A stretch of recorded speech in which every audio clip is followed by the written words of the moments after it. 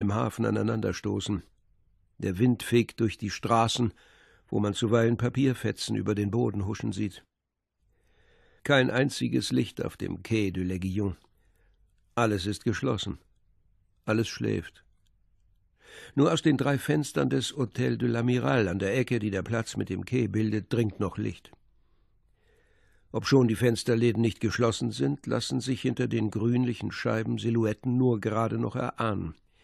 Und der wachhabende Zöllner, der kaum hundert Meter weiter weg in seinem Schilderhäuschen hockt, beneidet die Leute, die noch zu so später Stunde im Café sitzen. Ihm gegenüber im Hafenbecken liegt ein Küstenfrachter vor Anker, der am Nachmittag hier Zuflucht gesucht hat.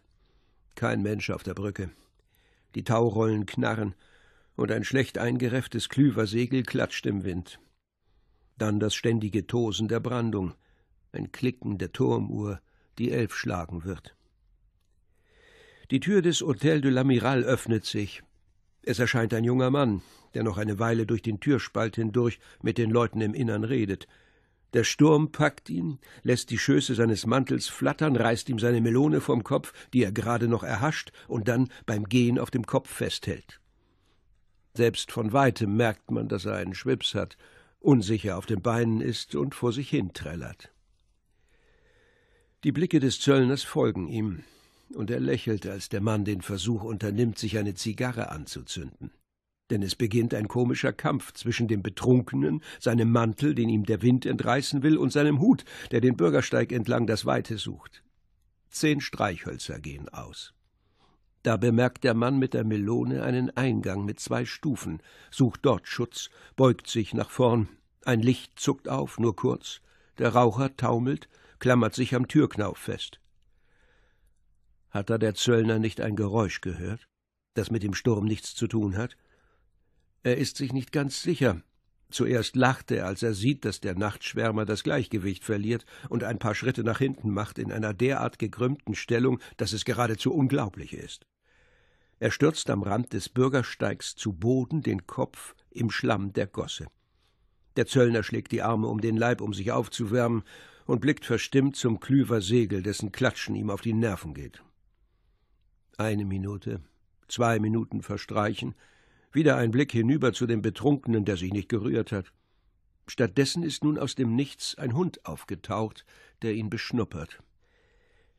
Erst in diesem Augenblick habe ich das Gefühl gehabt, dass irgendetwas passiert ist, wird der Zöllner im Verlauf der Ermittlungen aussagen. Das Hin und Her, das dieser Szene folgt, ist in strenger chronologischer Reihenfolge schon schwieriger zu schildern. Der Zöllner geht auf den daliegenden Mann zu, ein wenig beunruhigt durch die Anwesenheit des Hundes, eines kräftigen, gelben, bissigen Tieres. Eine Gaslaterne steht acht Meter weiter weg. Zunächst stellt der Beamte nichts Ungewöhnliches fest. Dann bemerkt er ein Loch im Mantel des Betrunkenen, und aus diesem Loch quillt eine dickliche Flüssigkeit. Nun läuft er zum Hotel de l'Amiral. Das Café ist so gut wie leer, mit dem Ellbogen auf die Kasse gestützt ein Serviermädchen. An einem Marmortisch rauchen zwei Männer ihre Zigarren zu Ende, nach hinten gelehnt, die Beine ausgestreckt. Schnell, ein Verbrechen, ich weiß nicht. Der Zöllner dreht sich um. Der gelbe Hund ist unmittelbar nach ihm hereingekommen und hat sich zu Füßen des Serviermädchens niedergelegt. Unschlüssigkeit, eine unbestimmte Angst liegt in der Luft. Ihr Freund, der gerade gegangen ist. Wenige Augenblicke später beugen sie sich zu dritt über den Körper, der sich nicht von der Stelle gerührt hat. Bis zum Rathaus, wo sich die Polizeiwache befindet, ist es nur ein Katzensprung. Der Zöllner will etwas tun. Er läuft erst zur Polizeiwache außer Atem, danach läutet er bei einem Arztsturm. Und weil ihm der Anblick immer noch vor Augen steht, wiederholt er Er ist nach hinten getaumelt wie ein Betrunkener, und er hat so mindestens drei Schritte getan. Fünf Männer, sechs, sieben, und Fenster, die sich da und dort auftun, Geraune, der Arzt im Schlamm kniend verkündet eine Kugel aus nächster Nähe direkt in den Bauch. Man muss sofort operieren. Jemand soll das Krankenhaus anrufen. Alle haben den Verletzten erkannt. Monsieur Mostagin, der größte Weinhändler von Concarneau, Ein gemütlicher Dicker, der nur Freunde hat. Die beiden Polizisten in Uniform, einer hat sein Käppi nicht auftreiben können, wissen nicht, wo sie mit ihren Ermittlungen beginnen sollen. Jemand sagt etwas. Monsieur Le Pommeret, dem man wegen seines Benehmens und seines Tonfalls auf den ersten Blick ansieht, dass er zu den Notabeln gehört. Wir haben gemeinsam Karten gespielt im Café des Hotels mit Servière und Dr. Michou. Der Doktor ist als erster gegangen vor einer halben Stunde. Mostagin hat uns aus Angst vor seiner Frau um Punkt elf Uhr verlassen. Ein tragikomischer Zwischenfall. Alle hören Monsieur Le Pommeret zu. Man vergisst den Verletzten, und da öffnet dieser die Augen, versucht aufzustehen und mit Verwunderung in der Stimme, die so sanft und zart ist, dass das Serviermädchen in ein nervöses Lachen ausbricht, murmelt er Was ist denn? Doch ein Krampf schüttelt ihn, seine Lippen beben, die Gesichtsmuskeln ziehen sich zusammen, während der Arzt seine Spritze für eine Injektion vorbereitet. Der gelbe Hund läuft den Leuten zwischen den Beinen herum. Jemand wundert sich. Kennen Sie dieses Tier? Noch nie gesehen. Bestimmt ein Hund von einem Schiff. In der dramatischen Atmosphäre hat dieser Hund etwas Beunruhigendes. Vielleicht wegen seiner Farbe, ein schmutziges Gelb. Es ist ein mageres Tier mit hohen Läufen, und sein dicker Kopf erinnert gleichermaßen an einen Hofhund und an eine Dogge. Fünf Meter von der Gruppe entfernt vernehmen die Polizisten den Zöllner, der einziger Zeuge des Vorfalls ist. Man schaut auf den Eingang mit den zwei Stufen. Es handelt sich um den Eingang eines großen Bürgerhauses, dessen Fensterläden geschlossen sind. Rechts von der Tür kündigt eine notarielle Bekanntmachung die öffentliche Versteigerung des Gebäudes für den 18. November an. Preisansatz 80.000 Francs. Ein Polizeisergeant müht sich eine Weile vergeblich damit ab, das Schloss zu sprengen und schließlich gelingt es dem Chef der benachbarten Autowerkstatt, es mit Hilfe eines Schraubenziehers aufzubekommen. Der Krankenwagen trifft ein. Monsieur Mostagin wird auf eine Tragbare gehievt. Den Schaulustigen bleibt nichts weiter mehr übrig, als sich das leerstehende Haus anzusehen. Seit einem Jahr wird es nicht mehr bewohnt. Im Flur herrscht ein penetranter Geruch nach Staub und Tabak. Der Strahl einer Taschenlampe fällt auf Zigarettenasche und Spuren von Schlamm auf den Bodenfliesen, was beweist, dass jemand ziemlich lange hinter der Tür auf der Lauer gelegen hat. Ein Mann, bloß mit einem Mantel über seinem Schlafanzug, sagt zu seiner Frau Komm, es gibt nichts mehr zu sehen. Den Rest erfahren wir morgen aus der Zeitung. Monsieur Servière ist da. Servière ist ein kleiner rundlicher Herr in einem graubeigen Überzieher, der sich mit Monsieur Le Pommeret im Hôtel de l'Amiral befand. Er ist Redakteur beim Phare de Brest, wo er unter anderem jeden Sonntag eine humoristische Glosse veröffentlicht. Er macht sich Notizen, gibt den beiden Polizisten Hinweise, wenn nicht gar Befehle. Die Türen, die zum Flur hinaus liegen, sind abgesperrt. Jene am Ende des Flurs, die zu einem Garten führt, ist offen.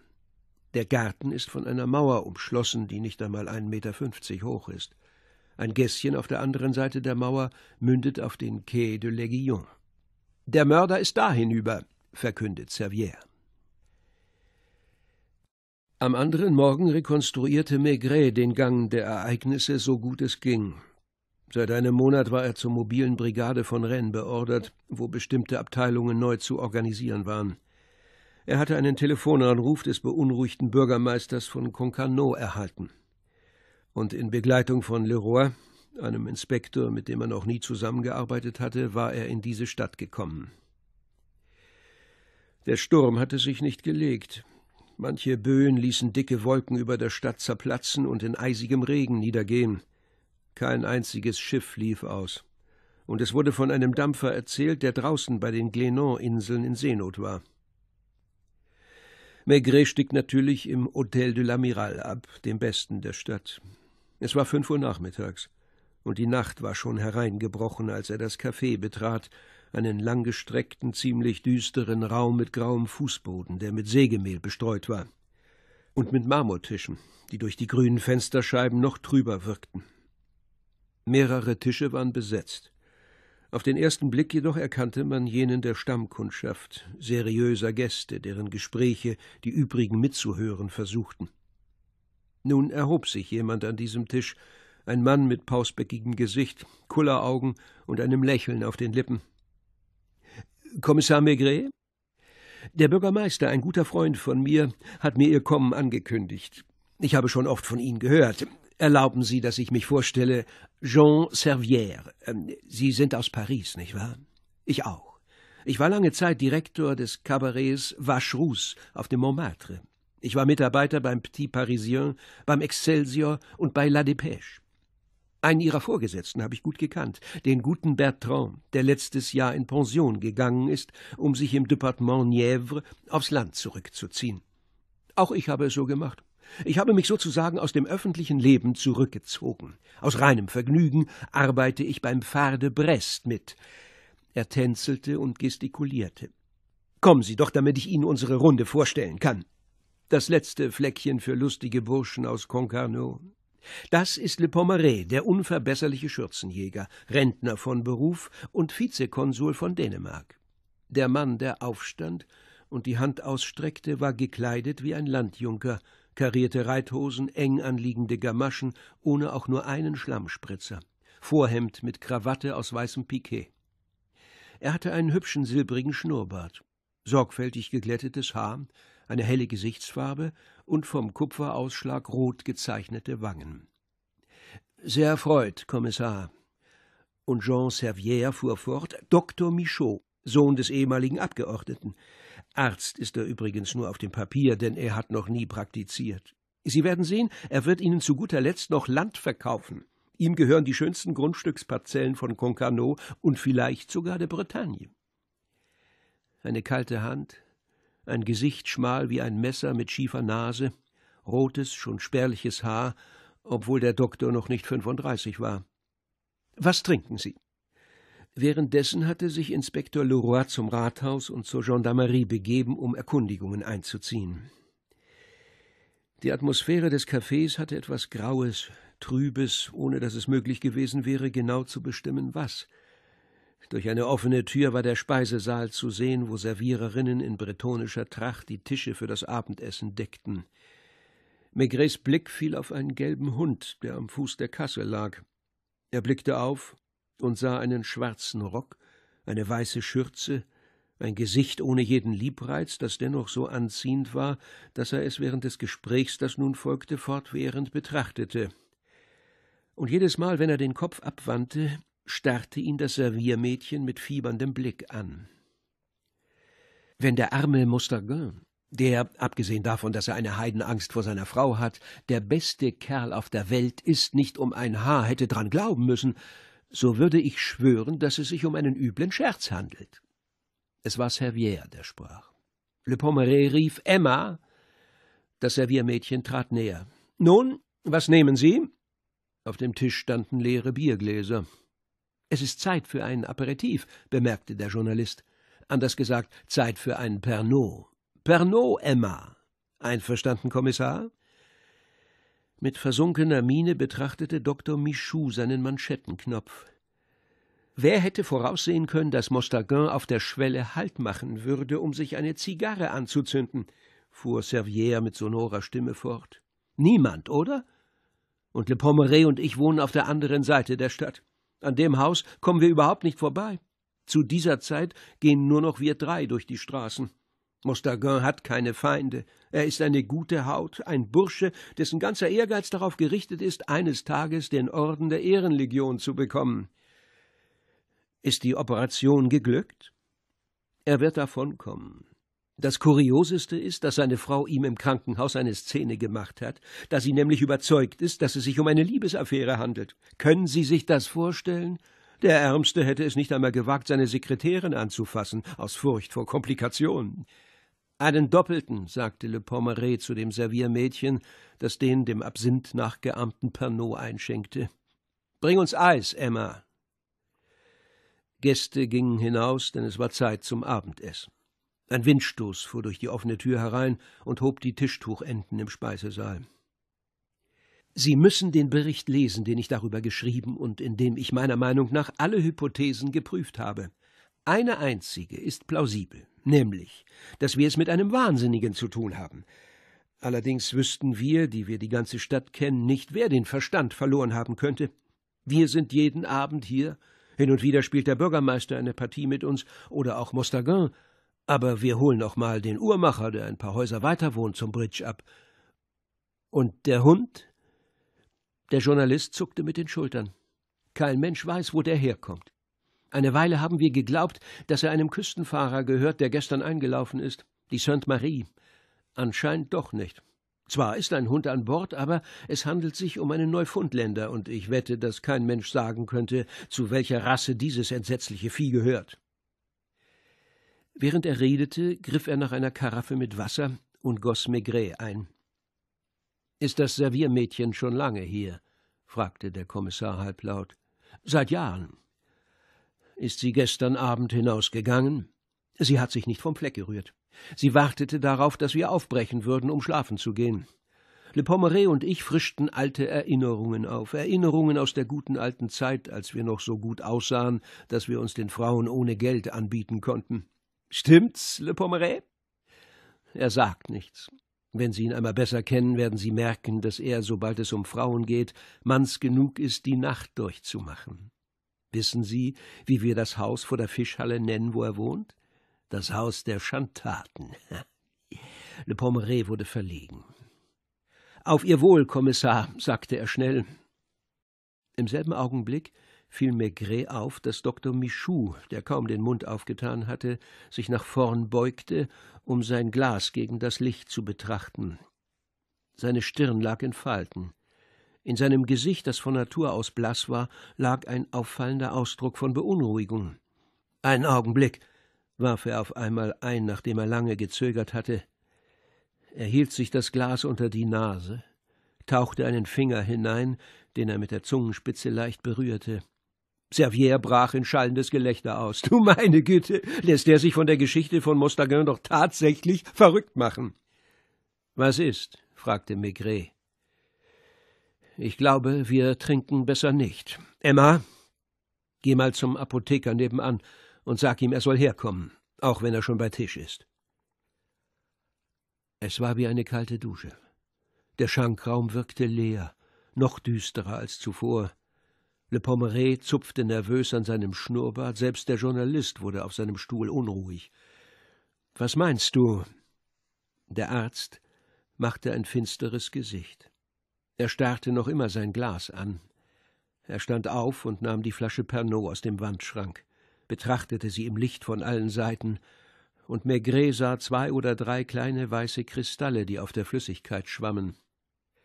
Das Serviermädchen kam wieder, gefolgt vom Apotheker, der noch kaute. Hören Sie mal, Cerdivon, Sie müssen uns unverzüglich den Inhalt dieser Flasche und der Gläser analysieren. Heute? Jetzt gleich. Welche Probe soll ich machen? Was meinen Sie? Noch nie zuvor hatte Maigret den bleichen Schatten der Angst so rasch anwachsen sehen.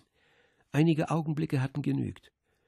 Alle Wärme war aus den Blicken verschwunden, und das Kupferrot auf den Wangen von Le Pommeray schien etwas Künstliches zu haben. Das Serviermädchen hatte sich mit den Ellbogen auf die Kasse aufgestützt und feuchtete die Miene eines Bleistifts an, um Zahlen in ein Heft, das in schwarzes Wachstuch eingeschlagen war, einzutragen. Du spinnst ja, versuchte Servier einzuwerfen. Es klang unecht. Der Apotheker hielt die Flasche in der einen Hand, ein Glas in der anderen. Strichnin, flüsterte der Arzt. Und er schob den anderen nach draußen, kam wieder herein, den Kopf gesenkt, gelb im Gesicht. Wie sind Sie darauf gekommen? begann Maigret. Keine Ahnung. Ein Zufall. Ich habe ein weißes Pulverkörnchen in meinem Glas bemerkt. Der Geruch kam mir so eigenartig vor. Kollektive Autosuggestion, behauptete der Journalist. Wenn ich das morgen in meinem Blatt erwähne, dann ist das der Bankrott von allen Bistros im Departement Finistère. Trinken Sie immer Pernod? Jeden Abend vor dem Essen. Emma ist so sehr daran gewöhnt, dass sie sofort welchen bringt, wenn sie feststellt, dass unsere Halben leer sind. Wir haben unsere lieben Gewohnheiten. Abends ist es dann Calvados. Maigret stellte sich vor den Schrank mit den Likören und erblickte eine Flasche Calvados. Nicht den da, die dickbauchige Karaffe. Er nahm sie, betrachtete sie im Licht von allen Seiten und sah ein paar weiße Pulverkörnchen. Er sagte jedoch nichts. Es war nicht nötig. Die anderen hatten begriffen. Inspektor Leroy trat ein, verkündete mit teilnahmsloser Stimme Der Gendarmerie ist nichts Verdächtiges aufgefallen, keine Herumtreiber in der Gegend. Man versteht nicht. Er wunderte sich über die Stille, die herrschte, über die greifbare, beklemmende Atmosphäre der Angst. Tabakqualm schwebte um die Glühlampen, das grünliche Tuch des Billardtischs präsentierte sich wie ein kahler Rasen. Zigarettenstummel lagen auf dem Boden herum, auch Spucke hier und da im Sägemehl. Sieben? Behalte eins, sagte Emma, wobei sie die Spitze ihres Bleistifts anfeuchtete. Und aufblickend rief sie ins Hinterzimmer Ich komme, Madame. Maigret stopfte seine Pfeife. Dr. Michou starrte unentwegt auf den Boden, und seine Nase wirkte so schief wie nie zuvor. Die Schuhe von Le Pomaré glänzten, so als wären sie nie zum Gehen benutzt worden. Jean Servier zuckte hin und wieder mit den Achseln und sprach mit sich selbst. Alle Blicke richteten sich auf den Apotheker, als dieser mit der Flasche und einem leeren Glas wiederkam. Er war gelaufen, er war völlig außer Atem.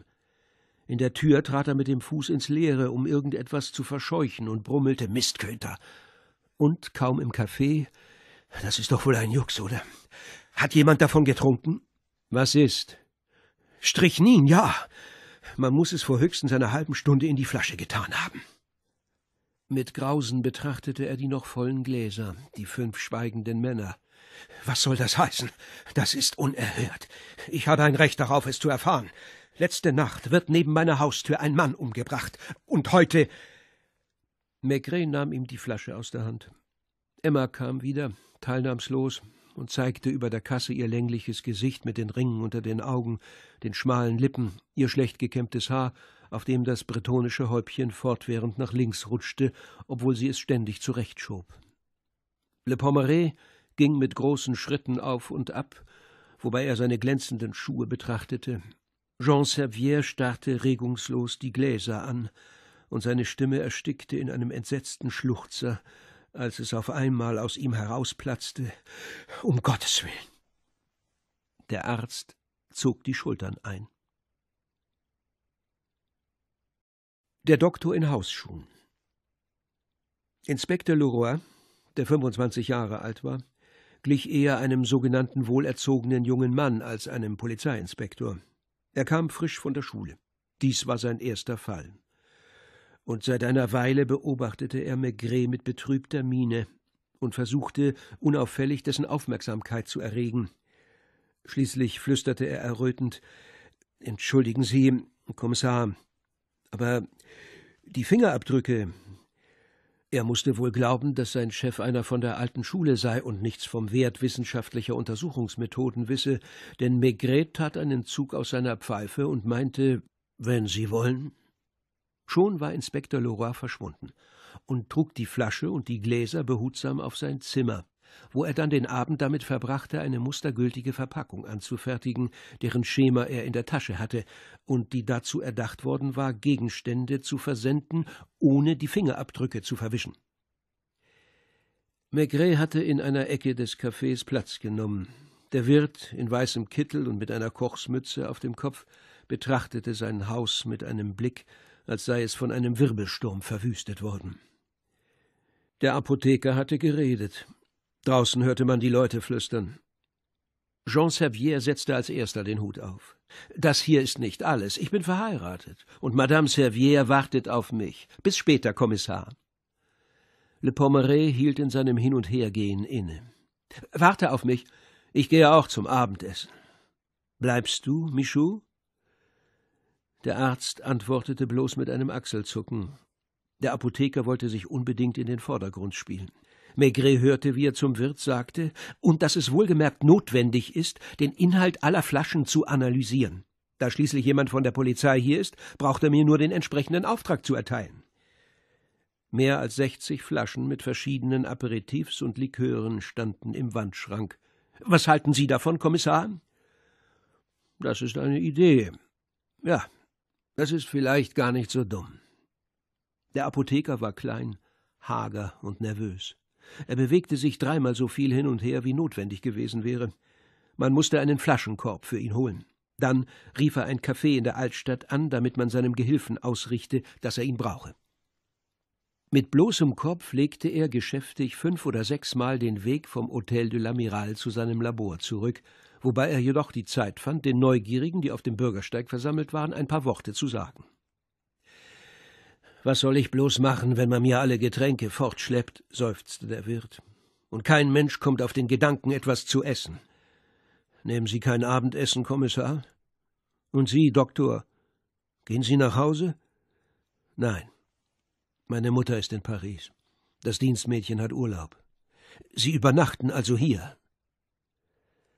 Es regnete. Die Straßen waren voll von schwarzem Morast. Der Wind rüttelte an den Fensterläden im ersten Stock. Maigret hatte im Speisesaal zu Abend gegessen, nicht weit von jenem Tisch, an welchem der Arzt mit finsterer Miene Platz genommen hatte. Durch die kleinen grünen Fensterscheiben hindurch erahnte man draußen die Köpfe der Neugierigen, die hin und wieder ihr Gesicht an die Scheiben drückten. Das Serviermädchen war für eine halbe Stunde fort gewesen, um selber zu Abend zu essen. Danach hatte sie ihren gewohnten Platz rechts von der Kasse wieder eingenommen, einen Ellbogen darauf gestützt, eine Serviette in der Hand. Bringen Sie mir eine Flasche Bier, sagte Maigret. Er spürte ganz deutlich, dass der Arzt ihn beim Trinken beobachtete, und danach so, als warte er auf die Symptome einer Vergiftung. Jean Servier kam nicht zurück, obwohl er es angekündigt hatte. Auch Le Pommeret nicht. Somit blieb das Café leer, denn keiner wollte so recht hereinkommen, geschweige denn etwas trinken. Draußen wurde behauptet, dass alle Flaschen vergiftet gewesen seien. Es hätte gereicht, um die ganze Stadt damit umzubringen. Von seiner Villa in Sable Blanc rief der Bürgermeister an, um zu erfahren, was denn los sei. Danach herrschte düstere Stille. Dr. Michou in der Ecke blätterte Zeitungen durch, ohne sie zu lesen. Das Serviermädchen rührte sich nicht vom Fleck. Maigret rauchte, gelassen, und hin und wieder kam der Wirt und vergewisserte sich mit einem Blick, dass sich kein weiteres Unglück ereignet hatte. Man hörte die Turmuhr der Altstadt die vollen und die halben Stunden schlagen. Das Getrappel und Getuschel auf dem Bürgersteig nahm ein Ende. Und bald war nur noch das monotone Klagen des Windes, das Trommeln des Regens auf die Scheiben zu hören. Übernachten Sie hier? fragte Maigret den Arzt. Es war so still, dass lautes Sprechen schon als Belästigung empfunden wurde. Ja, das kommt ab und zu vor. Ich wohne mit meiner Mutter zusammen drei Kilometer vor der Stadt. Eine riesige Villa. Meine Mutter ist für ein paar Tage nach Paris gefahren, und das Dienstmädchen hat mich um Urlaub gebeten, um zur Hochzeit ihres Bruders gehen zu können. Er stand auf, zögerte, sagte ziemlich unvermittelt Gute Nacht. Und er verschwand im Treppenhaus. Man hörte, wie er im ersten Stock unmittelbar über Maigrets Kopf seine Schuhe auszog. Im Café blieben nur noch das Serviermädchen und der Kommissar. Komm her, sagte er und wandte sich auf seinem Stuhl zu ihr um.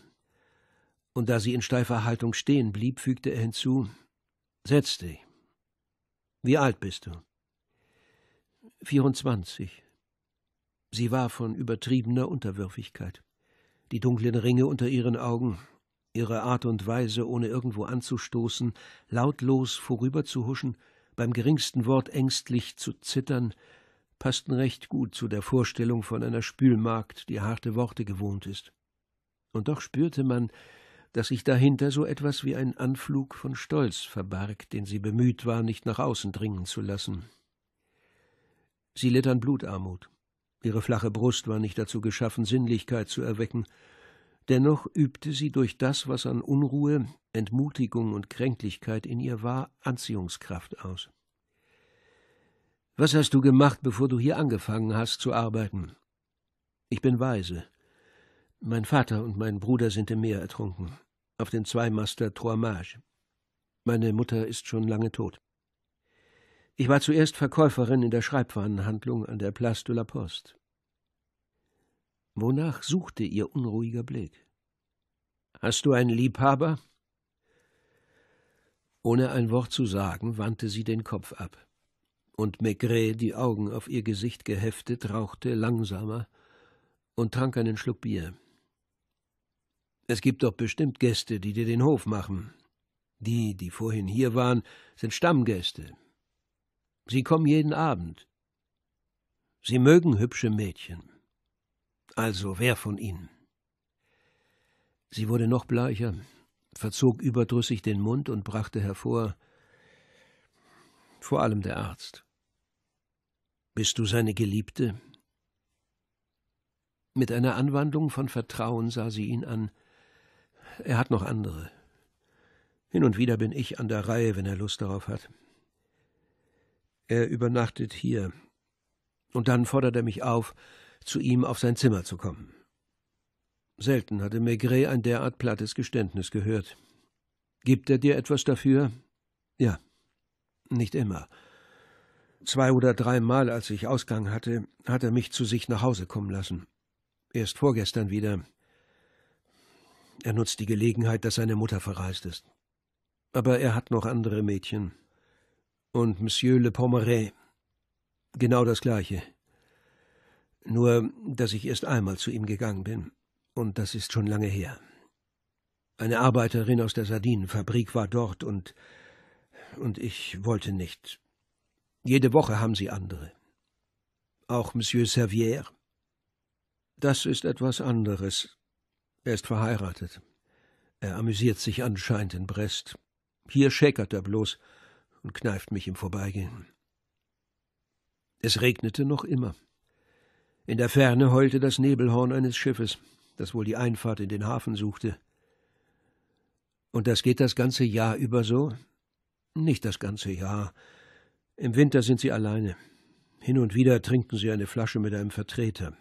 Aber im Sommer herrscht Hochbetrieb. Das Hotel ist voll. Abends trinken sie zu zehn oder zu fünfzehn Champagner oder halten in den Villen ihre Gelage ab. Mit Autos, schönen Frauen, unser eins hat die Arbeit. Im Sommer bediene nicht ich, sondern richtige Kellner. Ich bin dann unten beim Geschirrspülen. Wonach suchte sie bloß ringsum? Sie saß schief auf dem Rand ihres Stuhles und schien drauf und dran, mit einem Ruck aufzustehen. Eine schrille Klingel schellte. Sie sah Maigret an, dann die Klingeltafel hinter der Kasse. Sie erlauben? Sie ging hinauf. Der Kommissar hörte Schritte, ein verworrenes Gemurmel im Zimmer des Arztes. Der Apotheker kam herein, ein wenig angetrunken. Es ist geschafft, Kommissar. 48 Flaschen analysiert, und zwar richtig. Das können Sie mir glauben. Nirgendwo sonst eine Spur von Gift als im Pernod und im Calvados. Der Wirt braucht bloß seine Sachen wieder abholen zu lassen. Sagen Sie mal unter uns, was meinen Sie? Anarchisten, oder nicht? Emma kam wieder, ging auf die Straße hinaus, um die Fensterläden zu schließen, und wartete darauf, die Tür absperren zu können. Na? fragte Maigret, als sie erneut alleine waren.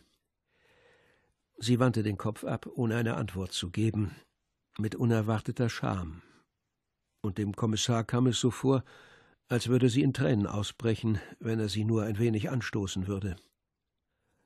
Gute Nacht, mein Kleines, sagte er zu ihr. Als der Kommissar nach unten ging, hielt er sich für den ersten, der aufgestanden war. So sehr war der Himmel von Wolken verdunkelt. Vom Fenster aus hatte er den menschenleeren Hafen gesehen, wo ein einsamer Kran einen Sandfrachter entlud. Auf den Straßen huschten ein paar Leute mit Regenschirmen und Regenmänteln dicht an den Häuserwänden entlang.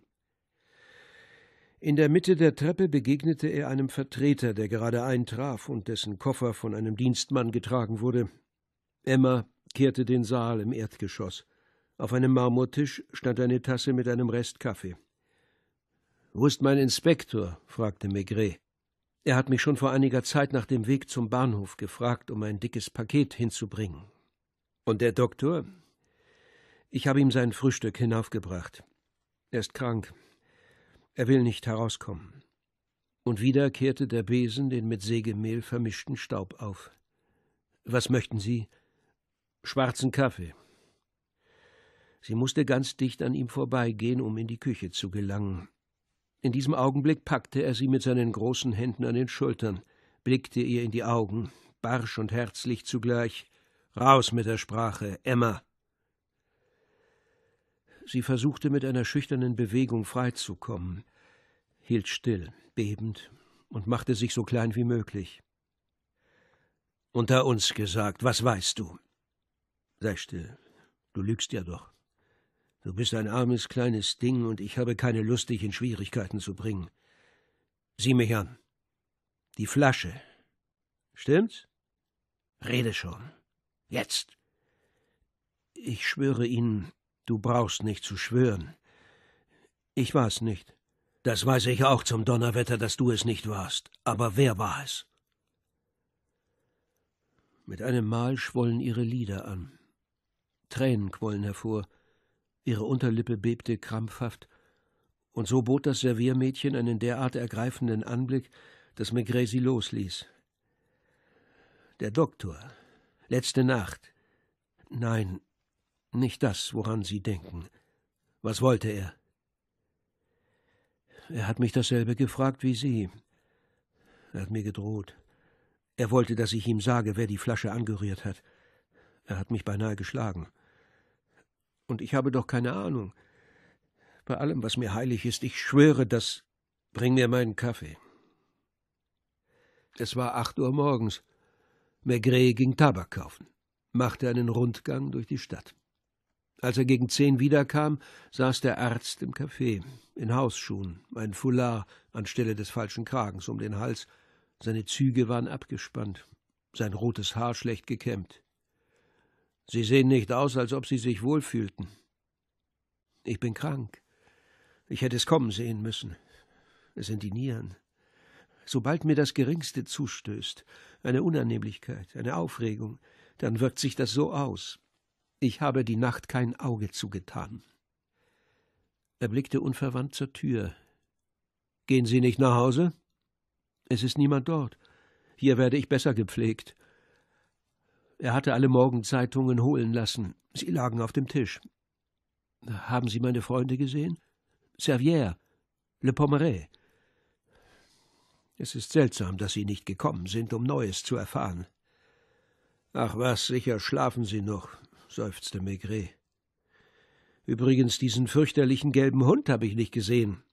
Emma, haben Sie vielleicht den Hund wieder gesehen? Nein? Da kommt Leroy. Vielleicht ist er ihm auf der Straße begegnet. Was gibt's Neues, Leroy? Die Flakons und die Gläser sind auf dem Weg zum Labor. Ich habe bei der Gendarmerie und beim Rathaus vorbeigeschaut. Sie haben von diesem Hund gesprochen, ja? Ein Bauer hat ihn anscheinend heute Morgen im Garten von Monsieur Michou gesehen. In meinem Garten? Der Arzt war aufgestanden. Seine weißen Hände bebten. Was machte er in meinem Garten? Nach dem, was mir erzählt wurde, lag er am Eingang des Hauses, und als der Bauer näher gekommen ist, hat er so sehr geknurrt, dass der Mann lieber das Weite gesucht hat. Maigret beobachtete die Gesichter aus dem Augenwinkel. Was meinen Sie, Doktor? Sollen wir nicht gemeinsam zu Ihnen nach Hause gehen? Ein gezwungenes Lächeln. Bei diesem Regen, in meinem Zustand? Da würde ich mir mindestens acht Tage Bettruhe einhandeln. Was hat dieser Hund schon zu bedeuten? Sicher ein ganz gewöhnlicher, streunender Köter. Maigret setzte seinen Hut auf und zog seinen Mantel über. Wohin gehen Sie? Ich weiß nicht. Frische Luft schnappen. Kommen Sie mit, Leroy? Als sie draußen waren, konnten sie noch den länglichen Kopf des Arztes erkennen, den die Scheiben verzerrten, noch länger machten und grünlich einfärbten. Wohin gehen wir? fragte der Inspektor. Maigret zuckte mit den Achseln, schlenderte eine Viertelstunde ziellos um das Hafenbecken herum, wie jemand, der sich für Schiffe interessiert. In der Nähe der Mole angelangt, schlug er einen Weg ein, den ein Schild als die Straße nach Sable Blanc auswies. Wenn man die Zigarettenasche analysiert hätte, die auf dem Flur des leerstehenden Hauses gefunden wurde, begann Leroy nach einem Räuspern.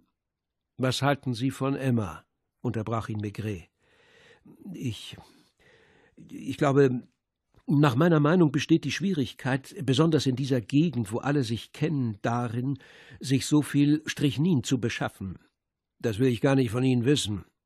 Wären Sie zum Beispiel gerne Ihr Liebhaber? Dem armen Inspektor fiel nichts ein, was er hätte antworten können. Und Maigret hieß ihn Halt machen und seinen Mantel öffnen, um sich vor dem Wind geschützt eine Pfeife anstecken zu können. Der Strand von Sable Blanc, gesäumt von einigen Villen, darunter ein prächtiger Wohnsitz, der die Bezeichnung Schloss verdiente und dem Bürgermeister gehörte, erstreckte sich zwischen zwei felsigen Landzungen, drei Kilometer von Concarneau entfernt. Maigret und sein Begleiter wateten durch den mit Tang bedeckten Schlick und sahen kaum zu den leeren Häusern hin, deren Fensterläden geschlossen waren. Jenseits des Strandes stieg das Gelände an. Von Fichten gekrönte Felsen fielen steil zum Meer ab. Ein großes Schild, Baugrundstück Sable Blanc, ein Plan in verschiedenen Farben, mit den Parzellen, die schon verkauft, und jenen, die noch zu vergeben waren. Eine Holzbude, Verkauf der Grundstücke. Schließlich der Hinweis, falls nicht besetzt, bitte an den Verwalter, Monsieur Ernest Michou, wenden. Im Sommer, wenn alles frisch gestrichen war, musste das etwas Heiteres haben. Im Regen und im Schlamm, im Tosen der Brandung hatte es eher etwas Unheilvolles. In der Mitte eine große neue Villa aus grauem Stein mit Terrasse, Teich und Beeten, die noch nicht in Blüte standen in einiger Entfernung die Rohbauten weiterer Villen, ein paar Mauern, die aus dem Boden ragten und schon die Räume andeuteten. An der Holzbude fehlten ein paar Scheiben. Sandhaufen warteten darauf, auf die neue Straße verteilt zu werden, die von einer Presswalze zur Hälfte versperrt wurde. Oben auf der Klippe ein Hotel, oder vielmehr ein künftiges Hotel, ein Rohbau, mit Mauern von grellem Weiß und Fenstern, die mit Brettern und Pappe abgedeckt waren. Maigret ging in aller Ruhe voran, stieß die Schranke zur Seite, die Zugang zur Villa von Dr. Michou gewährte. Als er beim Eingang stand und nach dem Türknauf griff, murmelte Inspektor Laura, wir haben keinen Durchsuchungsbefehl. Meinen Sie nicht, dass. Wieder einmal zuckte sein Chef mit den Achseln. Auf den Wegen waren die tiefen Spuren zu sehen, die die Pfoten des gelben Hundes hinterlassen hatten. Es gab noch weitere Spuren, von riesigen Füßen in Nagelschuhen, mindestens Größe 46. Der Türknauf drehte sich. Wie durch Zauberei öffnete sich die Tür, und auf dem Teppich waren die gleichen Schlammspuren festzustellen, die des Hundes und der besagten Schuhe. Die kompliziert gebaute Villa war protzig eingerichtet, überall Nischen, Divane, niedrige Bücherschränke, bretonische Schrankbetten, die zu Vitrinen umgebaut waren, kleine türkische oder chinesische Tische viele Teppiche und Behänge. Aus allem sprach sichtlich der Wille zur Gestaltung eines rustikal modernen Ganzen. Einige bretonische Landschaften, signierte Akte mit Widmung, dem lieben Freund Michou, ja sogar dem Freund der Künstler. Missmutig besah sich der Kommissar den Klimbim, während diese falsche Vornehmheit auf Inspektor Leroy nicht ohne Eindruck blieb. Und Maigret öffnete die Tür, warf einen Blick in die Zimmer. Manche waren nicht möbliert. Der Gips auf den Wänden war kaum trocken. Zu guter Letzt stieß er eine Tür mit dem Fuß auf, und ein zufriedenes Murmeln kam über seine Lippen, als er die Küche sah. Auf dem weißen Holztisch standen zwei leere Flaschen Bordeaux. Etwa zehn Konservendosen waren ungeschickt geöffnet worden mit irgendeinem Messer. Der Tisch war schmutzig, fettig. Man hatte direkt aus den Dosen gegessen. Heringe in Weißwein, kaltes Ragout, Steinpilze und Aprikosen. Der Boden war bekleckert. Fleischreste lagen herum. Eine Flasche Weinbrand war zerbrochen und der Geruch von Alkohol vermischte sich mit dem der Lebensmittel. Maigret sah seinen Begleiter mit einem verschmitzten Lächeln an. Glauben Sie, Leroy, dass der Doktor diese Schweinerei angerichtet hat? Und da der andere in seiner Verblüffung keine Antwort gab, seine Mama auch nicht, so hoffe ich. Und schon gar nicht das Dienstmädchen. Sehen Sie mal, Sie haben doch eine Vorliebe für Abdrücke. Das da sind aber wohl eher Schlammkrusten in Form einer Schuhsohle. Größe 45 oder 46. Und die Spuren vom Hund? Er stopfte sich eine weitere Pfeife, nahm Schwefelhölzer von einem Regal. Halten Sie alles fest, was es hier drin festzuhalten gibt. An Arbeit fehlt es nicht. Bis gleich. Er ging fort. Beide Hände in den Taschen, den Mantelkragen hochgeschlagen, den Strand von Sable Blanc entlang. Als er das Hotel de l'Amiral betrat, bemerkte er zuerst Dr. Michou in seiner Ecke, noch immer in Hausschuhen, unrasiert, seinen Foulard um den Hals. Le Pommeray, ebenso korrekt wie am Abend zuvor, saß neben ihm, und die beiden Männer ließen den Kommissar näher kommen, ohne ein Wort zu sagen. Schließlich brachte der Doktor mit tonloser Stimme hervor Wissen Sie, was ich gerade erfahre? Servier ist verschwunden. Seine Frau ist halb am Durchdrehen. Seit er uns gestern Abend verlassen hat, ist er nicht wieder gesehen worden.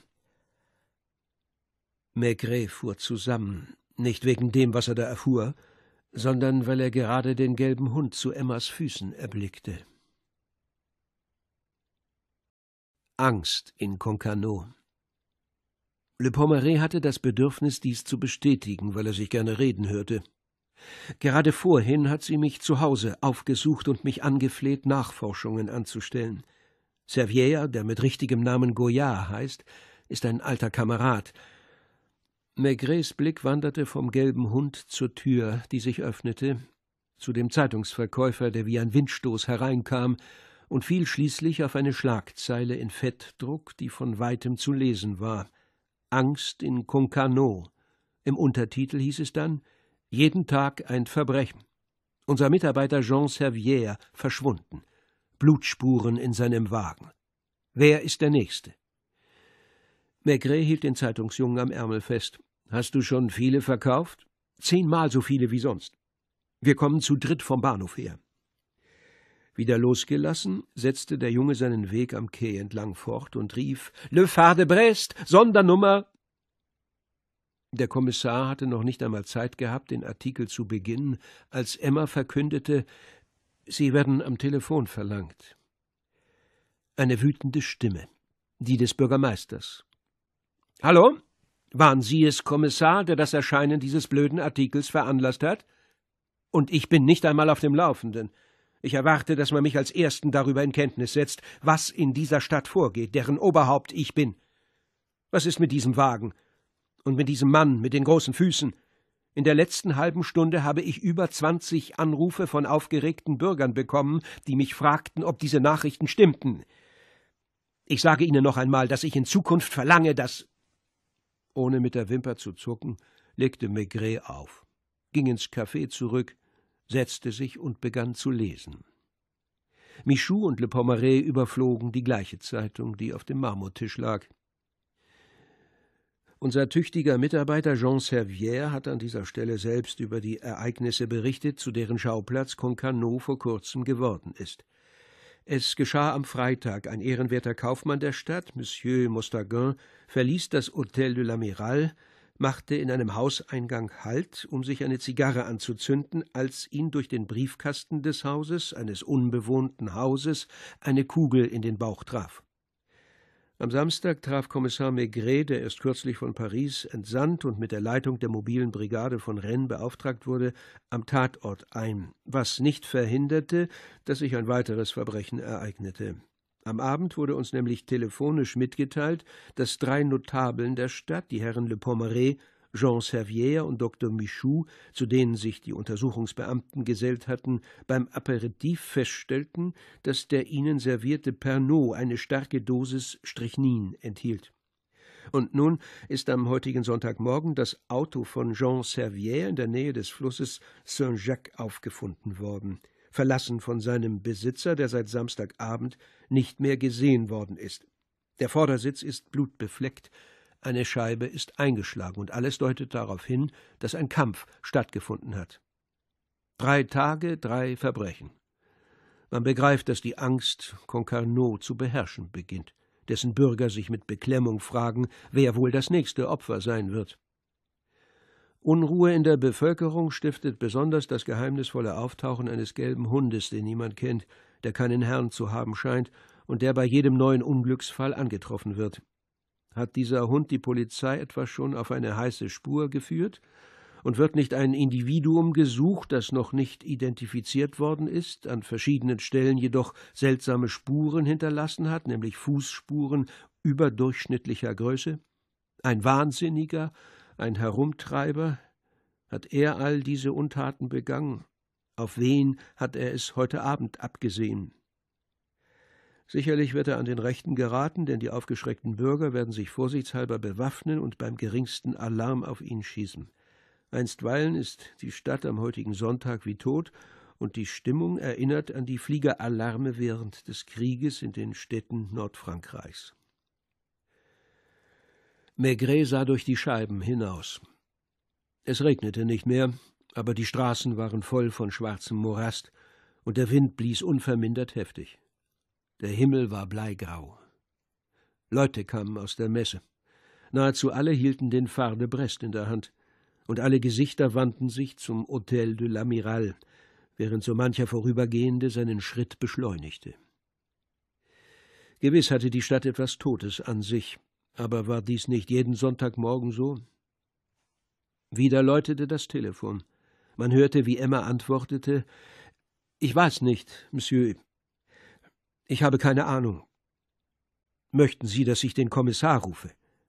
Hallo. Hallo. Unterbrochen. Was ist? brummte Maigret. Eine Zeitung aus Paris, glaube ich. Sie wollen wissen, ob es weitere Opfer gibt. Sie haben ein Zimmer bestellt. Rufen Sie den Phare de Brest für mich an. Inzwischen ging er auf und ab ohne den Arzt, der zusammengesunken auf seinem Stuhl hockte, eines Blickes zu würdigen, noch Le Pommeret, der seine schwer beringten Finger betrachtete. Hallo? Der Fade Brest? Kommissar Maigret. Den Direktor bitte. Hallo. Sind Sie es? Gut. Würden Sie mir bitte sagen, um welche Uhrzeit Ihr Machwerk heute Morgen aus der Presse ging?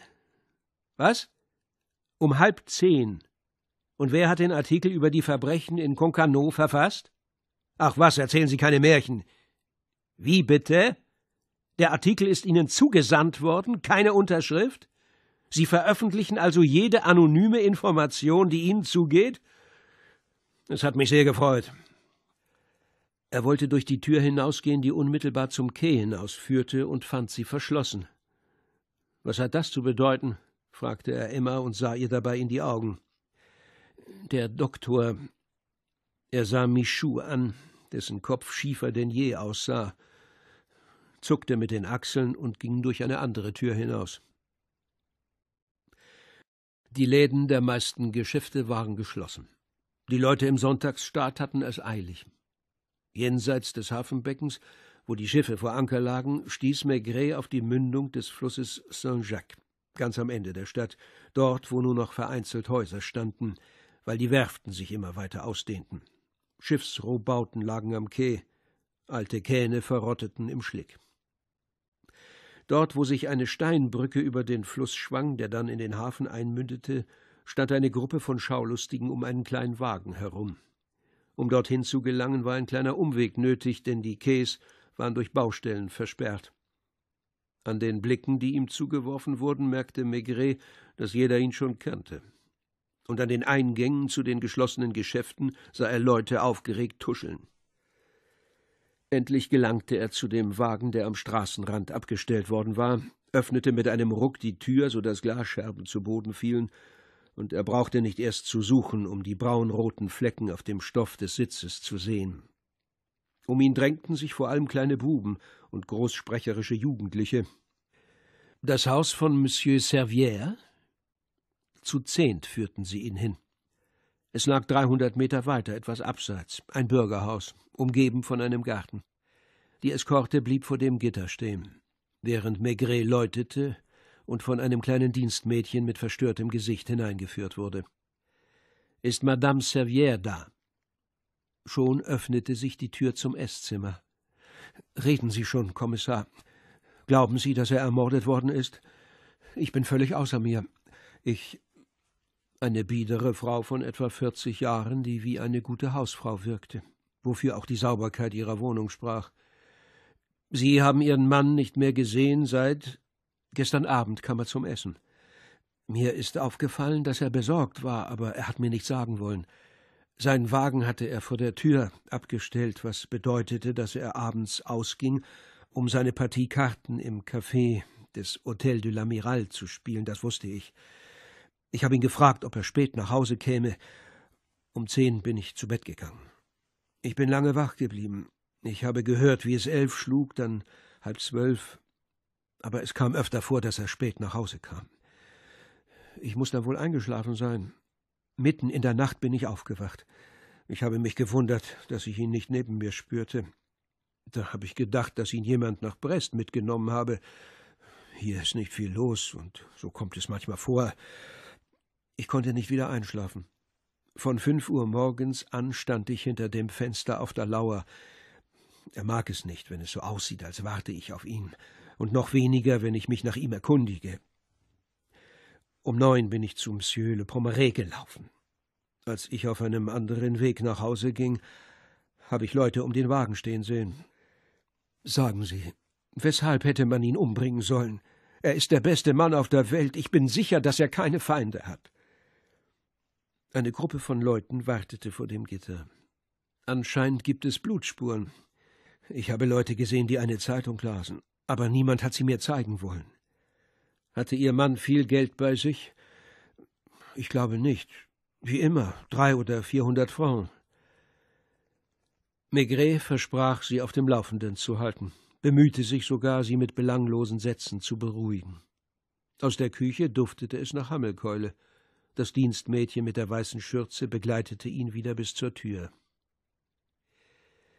Der Kommissar hatte draußen noch keine hundert Meter zurückgelegt, als ein Passant rasch auf ihn zukam. Entschuldigen Sie, Kommissar. Erlauben Sie, dass ich mich vorstelle, Monsieur Dujardin, Lehrer. Seit einer Stunde kommen Leute zu mir, besonders Eltern meiner Schüler, um mich zu fragen, ob an dem Zeitungsbericht etwas Wahres dran sei. Manche wollen wissen, ob sie das Recht haben zu schießen, falls sie den Mann mit den großen Füßen sehen sollten. Maigret war kein Geduldsengel. Er steckte beide Hände in seine Taschen und brummelte dabei, Sie können mich mal und er machte sich auf den Weg zur Stadtmitte. Es war zum Verrücktwerden. So etwas hatte er noch nie erlebt.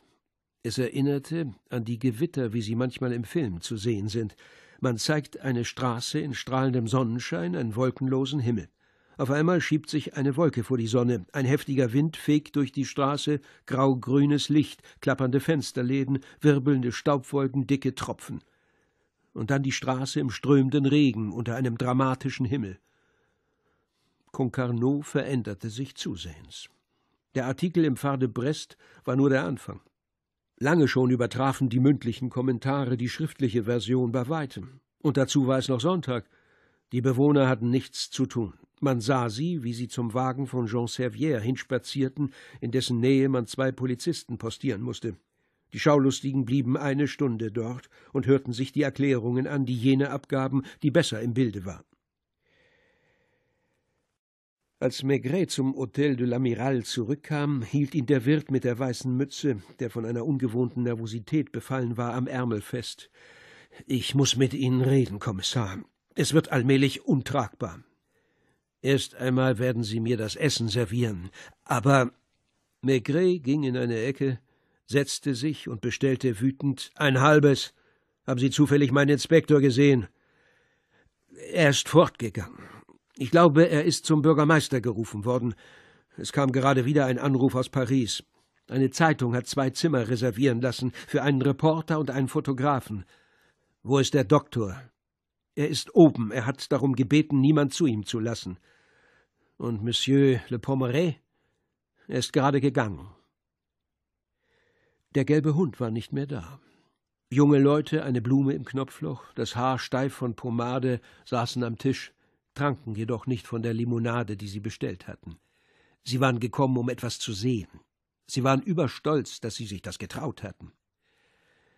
Komm mal her, Emma. Es bestand eine Art spontaner Sympathie zwischen dem Serviermädchen und dem Kommissar. Ungezwungen kam sie zu ihm und ließ sich in eine Ecke ziehen. Bist du sicher, dass der Doktor letzte Nacht nicht ausgegangen ist? Ich schwöre ihn. Ich habe nicht in seinem Zimmer geschlafen. Konnte er hinausgehen? Ich glaube nicht. Er hat Angst. Heute Morgen hat er mich die Tür abschließen lassen, die zum Quai hinausführt. Wieso kennt dich der gelbe Hund? Keine Ahnung. Ich habe ihn noch nie gesehen. Er kommt und geht. Ich frage mich sogar, wer ihm zu fressen gibt. Ist es lange her, seitdem er wieder weg ist? Ich habe nicht aufgepasst. Inspektor Leroy kam zurück, nervös. Sie wissen, Kommissar, dass der Bürgermeister wütend ist. Und er hat eine hohe Position. Er hat mir gesagt, dass er der Cousin des Justizministers ist. Er behauptet, dass wir Däumchen drehen, dass wir nur dazu taugen, Panik in der Stadt zu verbreiten. Er will, dass wir jemanden verhaften, egal wen, um die Bevölkerung zu beruhigen. Ich habe ihm versprochen, mit Ihnen darüber zu reden. Er hat mir wiederholt gesagt, dass unsere Karriere noch nie so sehr auf dem Spiel gestanden hat. Maigret kratzte sich bedächtig den Kopf mit seiner Pfeife. Was werden Sie tun? Gar nichts. Aber Sie sind jung, Leroy. Haben Sie in der Villa des Doktors interessante Spuren gesichert? Ich habe alles zum Labor geschickt, die Gläser, die Konservendosen, das Messer. Sogar einen Gipsabdruck der Spuren des Mannes und des Hundes habe ich angefertigt. Das ist schwierig gewesen, denn der hiesige Gips ist schlecht. Haben Sie eine Idee? Anstelle einer Antwort zog Maigret ein Notizbuch aus seiner Tasche, und mehr und mehr verwirrt las der Inspektor Ernest Michoud, der Doktor genannt, Sohn eines kleinen Unternehmers aus dem Departement Seine-et-Oise, der eine Legislaturperiode lang Abgeordneter gewesen ist und dann bankrott gemacht hat. Der Vater ist tot. Die Mutter ist eine Intrigantin, hat gemeinsam mit ihrem Sohn versucht, in Jean Lepin Grundstücksgeschäfte zu betreiben. Völliger Fehlschlag. Hat in Concarneau von vorn angefangen, Aktiengesellschaft ins Leben gerufen, gestützt auf den Ruf des verstorbenen Gatten. Hat kein Kapital eingebracht. Versucht zurzeit dafür zu sorgen, dass die Kosten für die Erschließungsarbeiten von der Gemeinde und dem Departement übernommen werden. Ernest Michoud ist verheiratet gewesen, jetzt geschieden. Seine ehemalige Frau hat einen Notar aus Lille geheiratet. Dekadenter Typ, Zahlungsschwierigkeiten. Der Inspektor sah seinen Chef an, als wolle er sagen: Na und? Maigret zeigte ihm die folgenden Zeilen: Yves Le Pommeret, Familie Le Pommeret. Sein Bruder Arthur leitet die größte Konservenfabrik von Concarneau. Niederer Adel. Yves Le Pommeret ist das schwarze Schaf der Familie, hat nie gearbeitet, hat vor langer Zeit den größten Teil seines Erbteils in Paris verprasst, hat sich in Concarneau niedergelassen, als er nur noch 20.000 Franc Rente bezog. Trotz allem gelingt es ihm, zu den Honoratioren zu gehören. Dabei muss er sich seine Schuhe selber putzen. Zahlreiche Affären mit jungen Arbeiterinnen, einige Skandale haben vertuscht werden müssen. Geht auf allen Schlössern der Umgebung zur Jagd hochnäsig. Ist durch Beziehungen an den Titel eines Vizekonsuls von Dänemark gekommen. Bemüht sich um den Orden der Ehrenlegion. Pumpt manchmal seinen Bruder an, um seine Schulden zu bezahlen. Jean Servière, Pseudonym von Jean Goyard. Geboren im Departement Morbihan lange Zeit Journalist in Paris, Generalsekretär bei kleinen Theatern und so weiter, hat eine bescheidene Erbschaft gemacht und sich in Concarneau niedergelassen, hat eine ehemalige Arbeiterin geheiratet, die 15 Jahre lang seine Geliebte war. Bürgerlicher Lebenswandel, einige Eskapaden in Brest und Nantes, lebt eher von kleinen Renten als von seinem Journalismus, auf den er sehr stolz ist. Akademische Auszeichnung. Ich begreife nicht, stammelte der Inspektor. Allerdings, geben Sie mir Ihre Notizen. Aber wer hat Ihnen gesagt, dass. Her damit. Das Notizbuch des Kommissars war ein Heft zu zehn Sous mit kariertem Papier und einem Umschlag aus Wachstuch. Das von Inspektor Lora war eine Agenda mit herausnehmbaren Seiten in Stahlringen. Mit väterlichem Ausdruck las Maigret. Erstens Fall Mostagain. Die Kugel, die den Weinhändler getroffen hat, war sicher für einen anderen bestimmt, da man nicht voraussehen konnte, dass jemand am Eingang Halt machen würde, hatte man sich wohl mit dem eigentlichen Opfer an dieser Stelle verabredet, das entweder gar nicht oder zu spät gekommen ist. Es sei denn, man hätte es darauf abgesehen, die Bevölkerung zu terrorisieren. Der Mörder kennt Concarneau wie seine Westentasche. Zigarettenasche, die im Flur gefunden wurde, nicht analysiert. Zweitens Fall des vergifteten Pernod. Im Winter ist das Café des Hôtel de l'Amiral fast den ganzen Tag über menschenleer. Ein Mann, der dies wusste, ist eingetreten und hat Gift in die Flaschen streuen können, in zwei Flaschen. Man hatte es also ausschließlich auf die Pernod- und Calvados-Trinker abgesehen. Erwähnenswert ist, dass der Doktor die weißen Pulverkörnchen, die auf der Flüssigkeit schwammen, rechtzeitig und ohne Mühe bemerkt hat. Drittens der gelbe Hund. Das Tier kennt das Café des Hôtel de l'Amiral, er hat einen Herrn. Aber wen? Scheint mindestens fünf Jahre alt zu sein. Viertens Fall Servière. Durch Schriftanalyse herausfinden, wer den Artikel an den Phare de Brest eingesandt hat. Maigret lächelte, gab seinem Kollegen das Notizbuch zurück und bemerkte Sehr gut, Junge. Dann warf er einen mürrischen Blick hinüber zu den Silhouetten der Neugierigen, die immer wieder durch die grünen Scheiben hindurch zu sehen waren, und fügte hinzu Gehen wir essen. Eine Weile später, als sie mit dem Vertreter, der am Morgen angekommen war, allein im Speisesaal saßen, kam Emma und sagte, Dr. Michou, dessen Zustand sich verschlimmert habe, hätte darum gebeten, ihm eine leichte Mahlzeit auf seinem Zimmer zu servieren. Am Nachmittag glich das Café des Hotels mit seinen kleinen graugrünen Scheiben einem Glashaus im Botanischen Garten, an dem die Schaulustigen im Sonntagsstaat vorbeidefilierten. Und anschließend sah man sie den Weg zum hinteren Teil des Hafens einschlagen, wo der Wagen von Servière eine zweite Attraktion bildete, die von zwei Polizisten bewacht wurde. Dreimal rief der Bürgermeister aus seiner prächtigen Villa in Sable Blanc an. Haben Sie jemanden verhaftet? Maigret bemühte sich kaum um eine Antwort. Dann stürmten junge Leute zwischen 18 und 25 das Café, lärmende Gruppen, die von einem Tisch Besitz ergriffen, Getränke bestellten und sie dann nicht anrührten.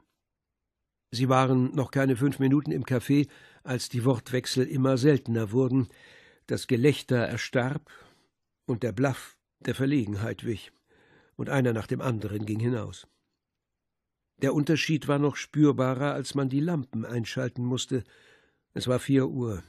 Sonst waren zu der Zeit noch eine Menge Leute auf der Straße. An diesem Tag war alles menschenleer, und es herrschte Totenstille. Man hätte meinen können, dass sich alle Spaziergänger miteinander abgesprochen hätten. In weniger als einer Viertelstunde leerten sich die Straßen, und wenn Schritte widerhallten, so waren es die eiligen Schritte eines ängstlichen Passanten, der sich nach Hause in Sicherheit bringen wollte. Emma hatte sich mit den Ellbogen auf die Kasse gestützt. Der Wirt ging von seiner Küche zum Café, wo Maigret seine Klagen hartnäckig überhörte. Ernest Michou kam gegen halb fünf herunter, noch immer in Hausschuhen. Er war unrasiert, sein cremefarbener seidener Foulard war schweißdurchnässt. Sie hier, Kommissar? Das schien ihn zu beruhigen. Und Ihr Inspektor? Ich habe ihn auf eine Runde in die Stadt geschickt. Und der Hund? Seit heute Morgen ist er nicht wieder gesehen worden. Der Fußboden war grau, der Marmor der Tische grellweiß, durchzogen von blauen Adern. Durch die Fensterscheiben hindurch erahnte man die beleuchtete Turmuhr der Altstadt, auf der es zehn vor fünf war. Weiß man immer noch nicht, wer diesen Artikel geschrieben hat? Die Zeitung lag auf dem Tisch. Man las schließlich nur noch vier Worte. Wer ist der Nächste? Das Telefon läutete. Emma antwortete Nein. Nichts. Ich weiß von nichts. Wer war es? erkundigte sich Maigret. Wieder eine Zeitung aus Paris. Anscheinend kommen die Journalisten mit dem Wagen. Sie hatte ihren Satz noch nicht beendet, als erneut das Telefon läutete. Es ist für Sie, Kommissar. Der Arzt, ganz bleich, folgte Maigret mit den Blicken. Hallo? Wer ist am Apparat? Leroy, ich bin in der Altstadt, in der Nähe der Brücke. Man hat einen Schuss abgefeuert. Ein Schuster, der von seinem Fenster aus den gelben Hund bemerkt hat. Tot? Verletzt. Die Lenden zerschmettert. Das Tier kann sich kaum noch wegschleppen. Die Leute wagen sich nicht heran. Ich rufe sie von einem Café aus an. Das Tier liegt mitten auf der Straße. Durch das Fenster kann ich es sehen. Es jault. Was soll ich tun? Und aus der Stimme des Inspektors, die ihm nicht mehr gehorchte, sprach Angst, so als sei der verletzte gelbe Hund ein übernatürliches Wesen. An allen Fenstern sind Menschen. Sagen Sie, Kommissar, soll man ihm den Gnadenschuss geben?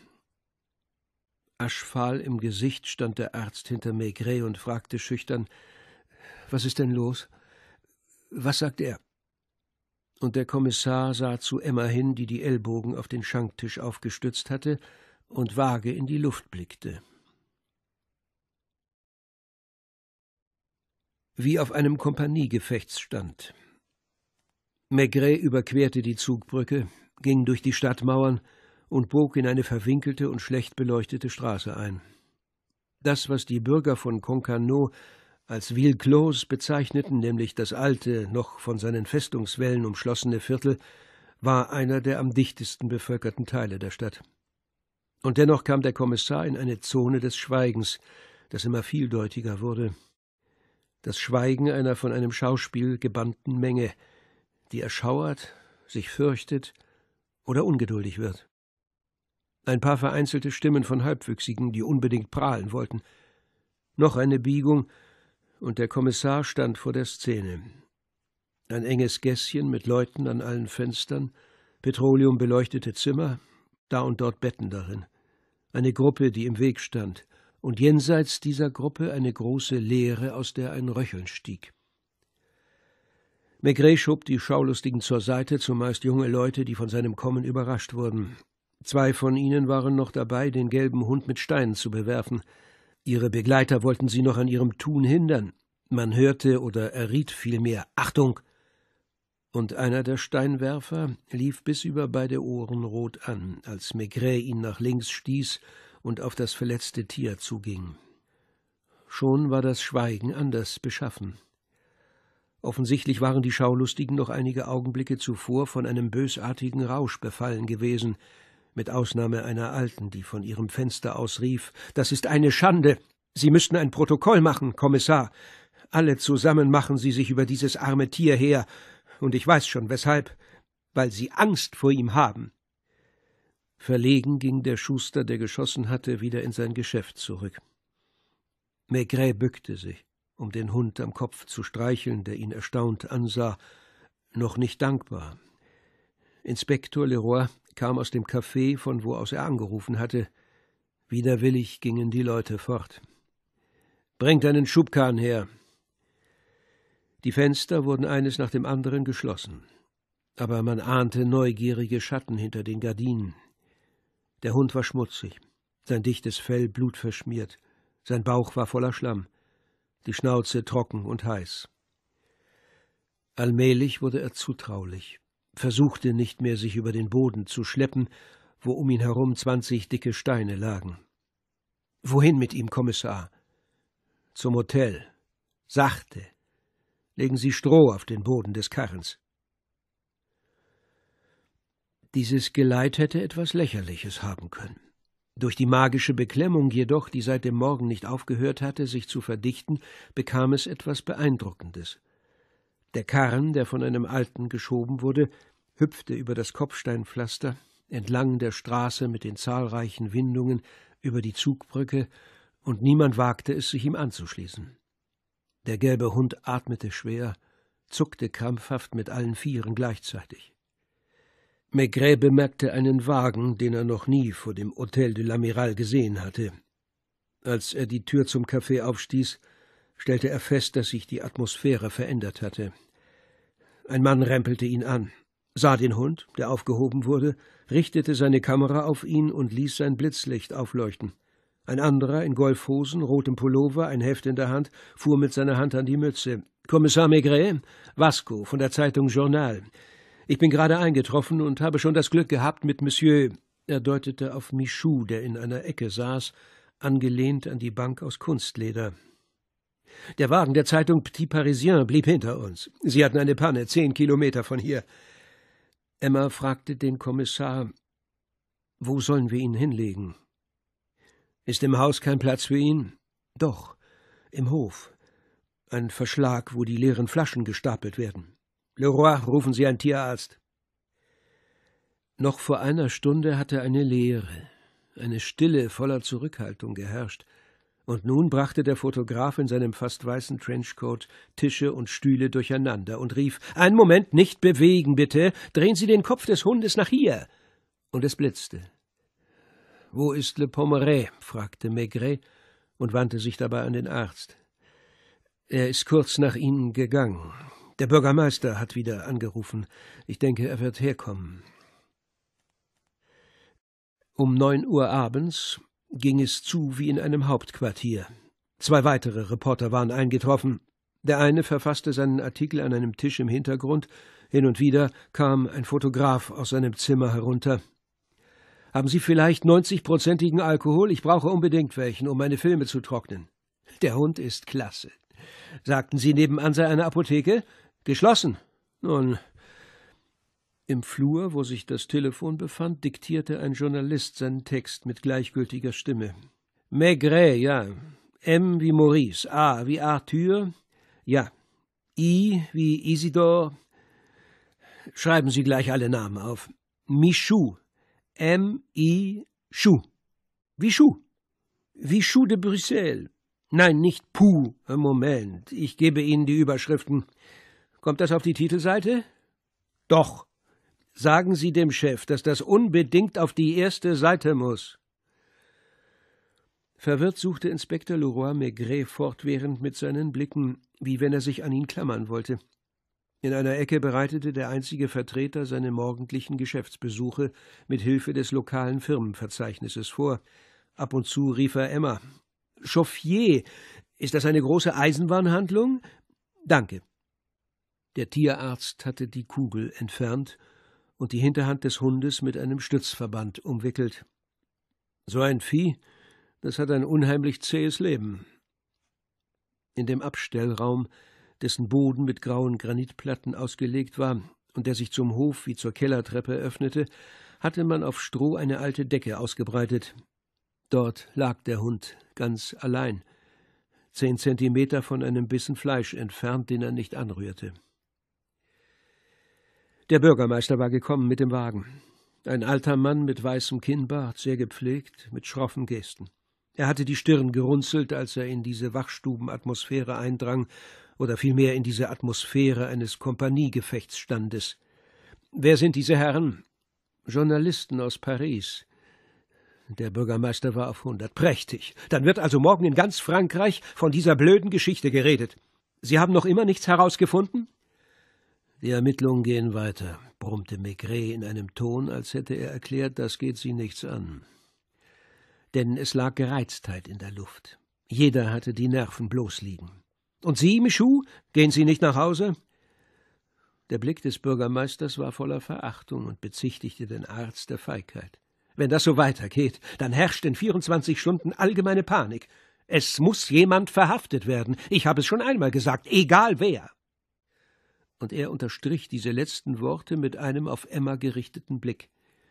Ich weiß, dass ich Ihnen keine Befehle zu erteilen habe. Der hiesigen Polizei haben Sie ja bloß eine bedeutungslose Rolle überlassen. Aber ich sage Ihnen, noch ein Verbrechen, ein einziges, dann ist der Teufel los. Die Leute machen sich auf etwas gefasst. Die Geschäfte, die sonst am Sonntag bis neun Uhr geöffnet bleiben, haben zu. Dieser blöde Artikel im Phare de Brest hat die Bevölkerung in Angst und Schrecken versetzt. Der Bürgermeister hatte seine Melone nicht abgenommen, und beim Fortgehen zog er sie noch weiter in die Stirn, nachdem er gemahnt hatte, ich wäre Ihnen dankbar, wenn Sie mich auf dem Laufenden hielten, Kommissar. Und ich mache Sie nochmals darauf aufmerksam, dass Sie für alles, was zurzeit geschieht, die Verantwortung tragen. Ein halbes, Emma, bestellte Maigret. Man konnte die Journalisten weder daran hindern, im Hotel de l'Amiral abzusteigen, noch daran, es sich im Café bequem zu machen, zu telefonieren, das Haus mit ihrem lärmenden Hin und Her zu erfüllen. Sie verlangten Tinte und Papier, sie fragten Emma aus, die jämmerlich und verwirrt dreinschaute.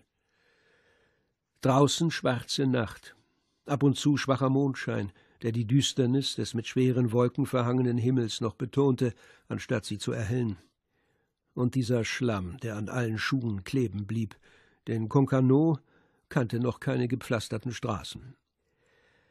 Hat Ihnen Le Pommeret gesagt, ob er wiederkäme? fragte Maigret Michou. Ja, er ist nach Hause essen gegangen. Welche Adresse? fragte ein Journalist, der nichts weiter zu tun hatte.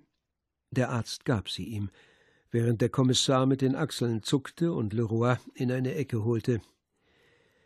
Haben Sie das Original des Artikels, der heute Morgen erschienen ist? Ich habe es gerade bekommen. Es liegt auf meinem Zimmer. Der Text ist mit der linken Hand geschrieben worden, also von jemandem, der befürchtete, dass seine Handschrift erkannt werden könnte. Kein Poststempel? Nein, der Brief wurde in den Briefkasten der Zeitung geworfen. Auf dem Umschlag steht äußerst dringend. So dass also spätestens um acht Uhr morgens jemand über das Verschwinden von Jean Servier im Bilde war und wusste, dass der Wagen am Fluss Saint-Jacques abgestellt war oder abgestellt werden würde und dass man Blutspuren auf dem Sitz feststellen würde. Und dieser jemand wusste außerdem sehr wohl, dass man irgendwo die großen Fußstapfen eines Unbekannten entdecken würde. Das ist unglaublich, seufzte der Inspektor. Was diese Fußstapfen betrifft, so habe ich davon ein Funkbild zum Quai des Orfèvres geschickt. Sie haben schon in den Registern nachgeforscht. Ich habe die Antwort. Sie passen zu keiner Karteikarte eines Verbrechers. Es stand außer Zweifel. Leroy ließ sich von der Angst ringsum anstecken. Am stärksten von diesem Virus befallen, um es einmal so zu sagen, war Ernest Michou, dessen Gestalt im Kontrast zum sportlichen Äußeren, zu den ungezwungenen Gesten und dem Selbstvertrauen der Journalisten erst recht kümmerlich wirkte. Er wusste nicht wohin. Maigret fragte ihn Gehen Sie nicht zu Bett? Noch nicht. Ich schlafe nie vor ein Uhr morgens ein. Er bemühte sich zu lächeln, was missriet und zwei Goldzähne sichtbar werden ließ. Ganz offen, was denken Sie? Die beleuchtete Turmuhr der Altstadt schlug zehn. Der Kommissar wurde ans Telefon gerufen. Es war der Bürgermeister. Noch nichts? Ob auch er sich auf ein Verbrechen gefasst machte? Aber machte sich Maigret im Grunde genommen nicht selbst auch darauf gefasst? Eigensinnig stattete er dem gelben Hund einen Besuch ab, der eingeschlummert war, furchtlos ein Auge aufschlug und ihn näher kommen sah. Der Kommissar kraulte ihn am Kopf und schob ihm etwas Stroh unter die Pfoten. Er bemerkte den Wirt hinter sich. Glauben Sie, dass diese Herren von der Presse lange bleiben? Denn dann muss ich an die Vorräte denken. Morgen um sechs ist Markt. Wenn man Maigret nicht kannte, so hatte es in solchen Fällen etwas Verwirrendes, zu sehen, wie seine großen Augen einen anstarrten, als sähe er einen nicht und ihn etwas Unverständliches brummeln zu hören, während er sich entfernte, so als hielte er einen für nebensächlich. Der Reporter des Petit Parisien kam zurück, schüttelte die Regentropfen von seinem Mantel ab. Sieh mal an, regnet's? Was gibt's Neues, Grulle? Ein Licht zuckte in den Augen des jungen Mannes, der zu dem Fotografen, der ihn begleitete, leise ein paar Worte sagte und dann den Telefonhörer abnahm. Den Petit Parisien, Mademoiselle, Pressedienst, bitte vorziehen. Was? Sie haben eine direkte Verbindung mit Paris? Dann schnell her damit. Hallo? Hallo? Der Petit Parisien? Mademoiselle Germaine, holen Sie mir die diensthabende Stenotypistin an den Apparat. Hier Grollin. Seine Stimme hatte etwas Ungeduldiges, und sein Blick schien die Kollegen, die ihm zuhörten, herauszufordern. Maigret, der hinter ihm vorbeiging, blieb stehen, um ihm zuzuhören. Hallo? Sind Sie es, Mademoiselle Jeanne? Schnell. Ja, es ist noch Zeit für einige Provinzausgaben. Die anderen bekommen Sie erst in der Ausgabe von Paris. Sagen Sie dem Chef vom Dienst, er soll den Text abfassen. Ich habe nicht die Zeit dazu. Fall Concarneau. Unsere Mutmaßungen waren zutreffend. Ein weiteres Verbrechen. Hallo? Ja. Ja, Verbrechen. Ein Mann ermordet, wenn ihm das besser gefällt. Jeder war verstummt. Der Arzt näherte sich wie gebannt dem Journalisten, der fieberhaft, triumphierend mit den Füßen aufstampfend fortfuhr. Nach Monsieur Mostagin und dem Journalisten Jean Servière nun Monsieur Le Pommeret.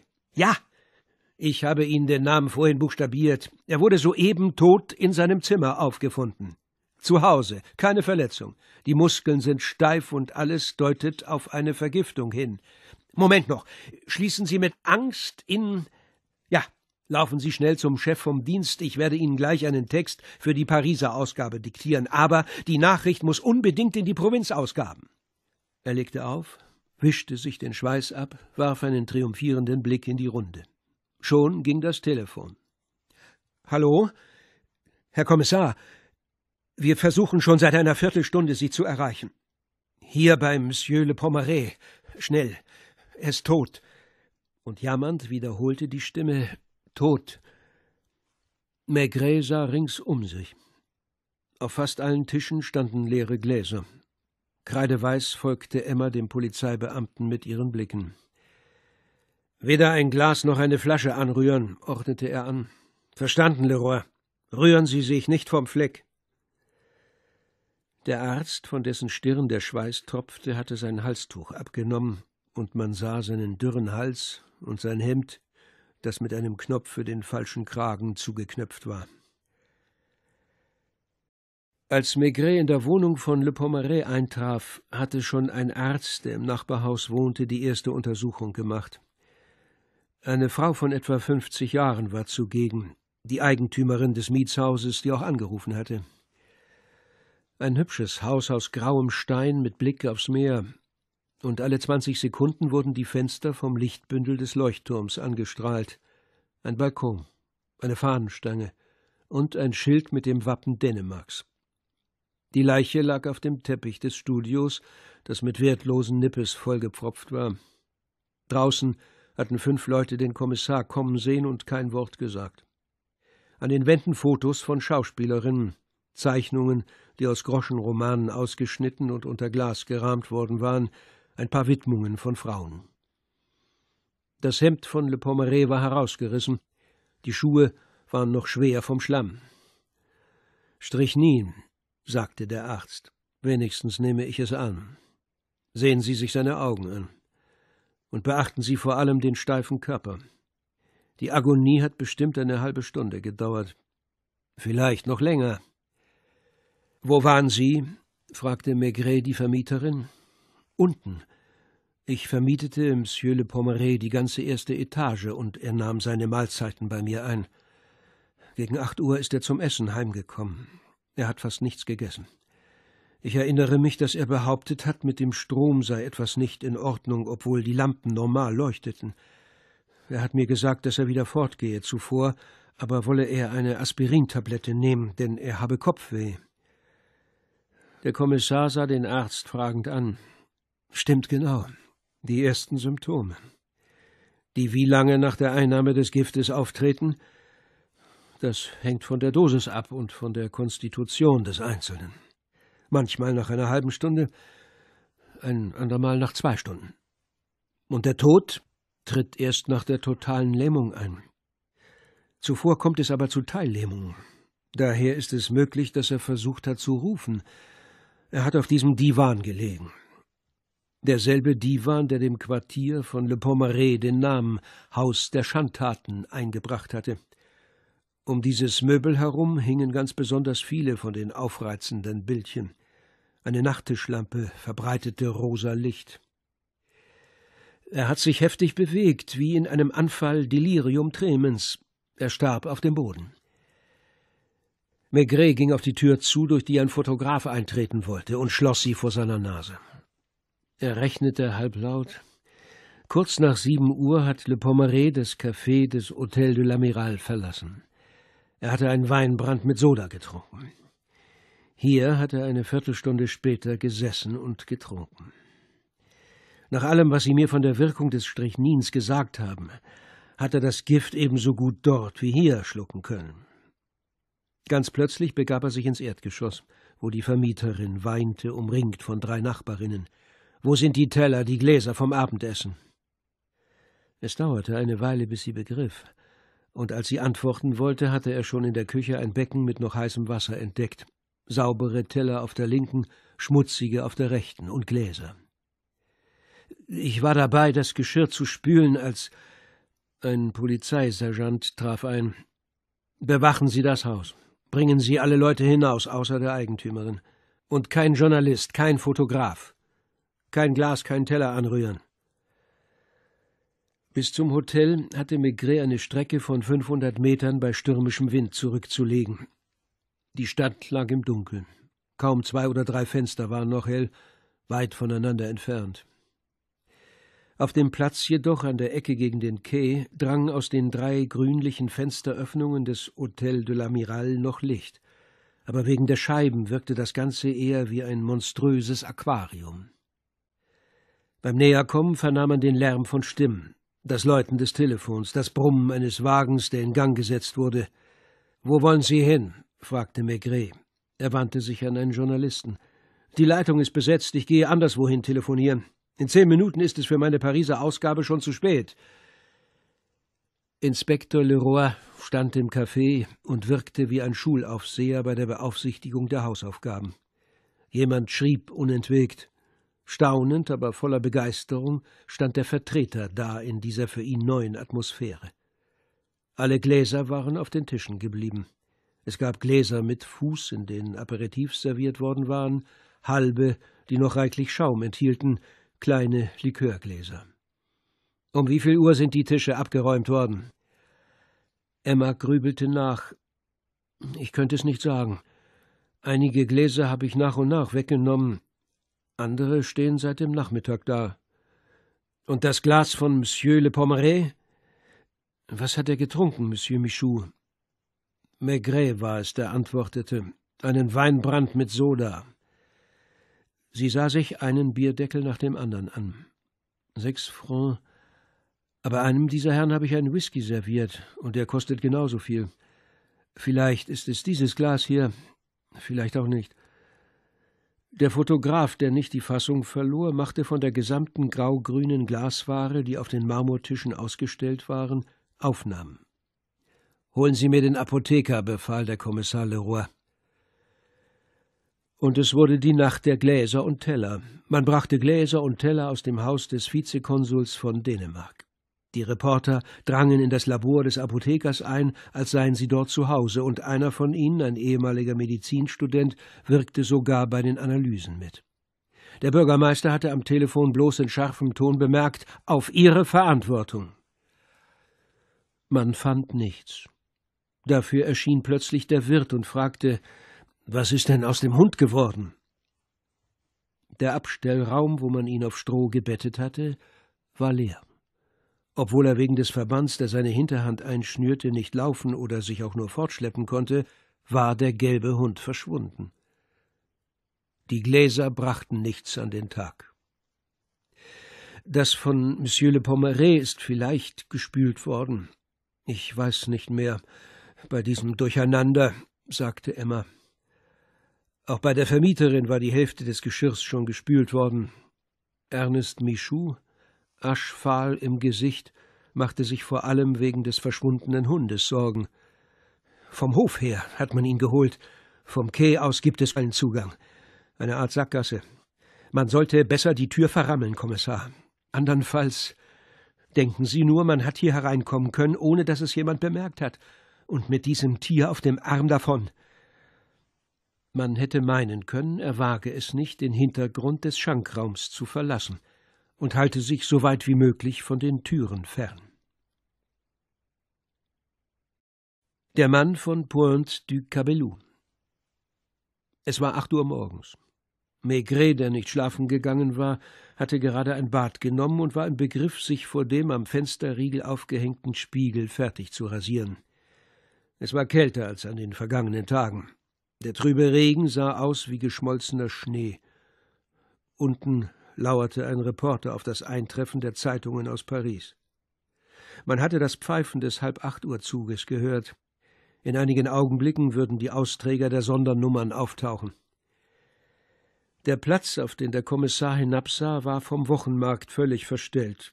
Man spürte jedoch, dass auf diesem Markt nicht der gleiche Betrieb herrschte wie sonst. Die Leute redeten leise, die Bauern schienen von den Neuigkeiten, die sie erfuhren, beunruhigt zu sein. Auf dem Platz waren etwa fünfzig Stände aufgestellt, an denen Butterballen, Eier, Gemüse, Hosenträger und Seidenstrümpfe feilgeboten wurden. Auf der rechten Seite parkten Karren aller Art, und das Ganze war überragt vom beschwingten Gleiten der weißen Trachtenhauben mit den breiten Klöppelspitzen. Dass etwas geschah, bemerkte Maigret erst, als er sah, wie sich die Gesichter veränderten, wie die Leute auf dem Markt sich zusammenscharten und alle in dieselbe Richtung blickten. Das Fenster war geschlossen. Er hörte den Lärm nicht, oder vielmehr war es bloß ein wirres Raunen, das er vernahm. Im Hafen luden einige Fischer leere Körbe und Netze in die Kutter. Auf einmal hielten sie inne, stellten sich rechts und links der Straße hin, auf der zwei Beamte der Stadtpolizei einen Festgenommenen in Richtung Rathaus führten. Einer der Polizisten war sehr jung und bartlos, die Arglosigkeit stand ihm im Gesicht geschrieben. Der andere trug einen kräftigen rotbraunen Schnurrbart, und seine dichten Augenbrauen verliehen ihm ein fast schon furchterregendes Aussehen. Die Gespräche auf dem Markt waren verstummt. Man betrachtete die drei Männer, die näher kamen. Man zeigte sich gegenseitig die Handschellen, mit denen die Handgelenke des Übeltäters gefesselt waren. Ein Hühne. Er ging vornüber gebeugt, wodurch seine Schultern doppelt so breit erschienen. Seine Füße schleiften im Schlamm, und er schien es zu sein, der die beiden Schutzmänner im Schlepptau hatte. Er trug irgendeine alte Jacke. Auf seinem bloßen Kopf wucherte sehr dichtes, dunkelbraunes Haar. Der Journalist lief ins Treppenhaus, stieß eine Tür auf und schrie seinem noch schlafenden Fotografen zu Benoit, Benoit, schnell aufstehen, ein umwerfendes Bild. Er wusste nicht, wie recht er damit haben sollte denn während Maigret sich die letzten Seifenreste von den Wangen wischte und seine Jacke suchte, ohne dabei den Platz aus den Augen zu lassen, trug sich ein wirklich außergewöhnlicher Zwischenfall zu. Im Handumdrehen hatte sich die Menge um die Polizisten und den Festgenommenen gedrängt. Plötzlich hob dieser, der schon lange auf die Gelegenheit gelauert haben musste, mit einem heftigen Ruck die Fäuste. Von weitem sah der Kommissar die jämmerlichen Ketten enden, die von den Händen der Polizisten hinunterhingen. Und der Mann, stürzte sich auf die Schaulustigen. Eine Frau purzelte zu Boden, Leute rannten davon. Noch hatte sich niemand von der Verblüffung erholt, als der Festgenommene schon in eine Sackgasse gelaufen war, zwanzig Meter vom Hotel de l'Amiral entfernt, unmittelbar neben dem leerstehenden Haus, aus dessen Briefkasten heraus am vergangenen Freitag eine Revolverkugel gefeuert worden war. Einer der Polizisten, der Jüngere, hätte beinahe geschossen, zögerte, rannte los, wobei er seine Waffe so hielt, dass Maigret sich auf einen Unfall gefasst machte. Ein Vordach aus weißem Holz gab unter dem Gedränge der Davoneilenden nach, und sein Leinenüberzug fiel auf die Butterballen hinunter.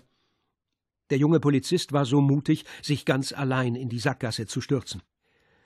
Maigret, der die Örtlichkeiten kannte, kleidete sich ohne Hast vollends an.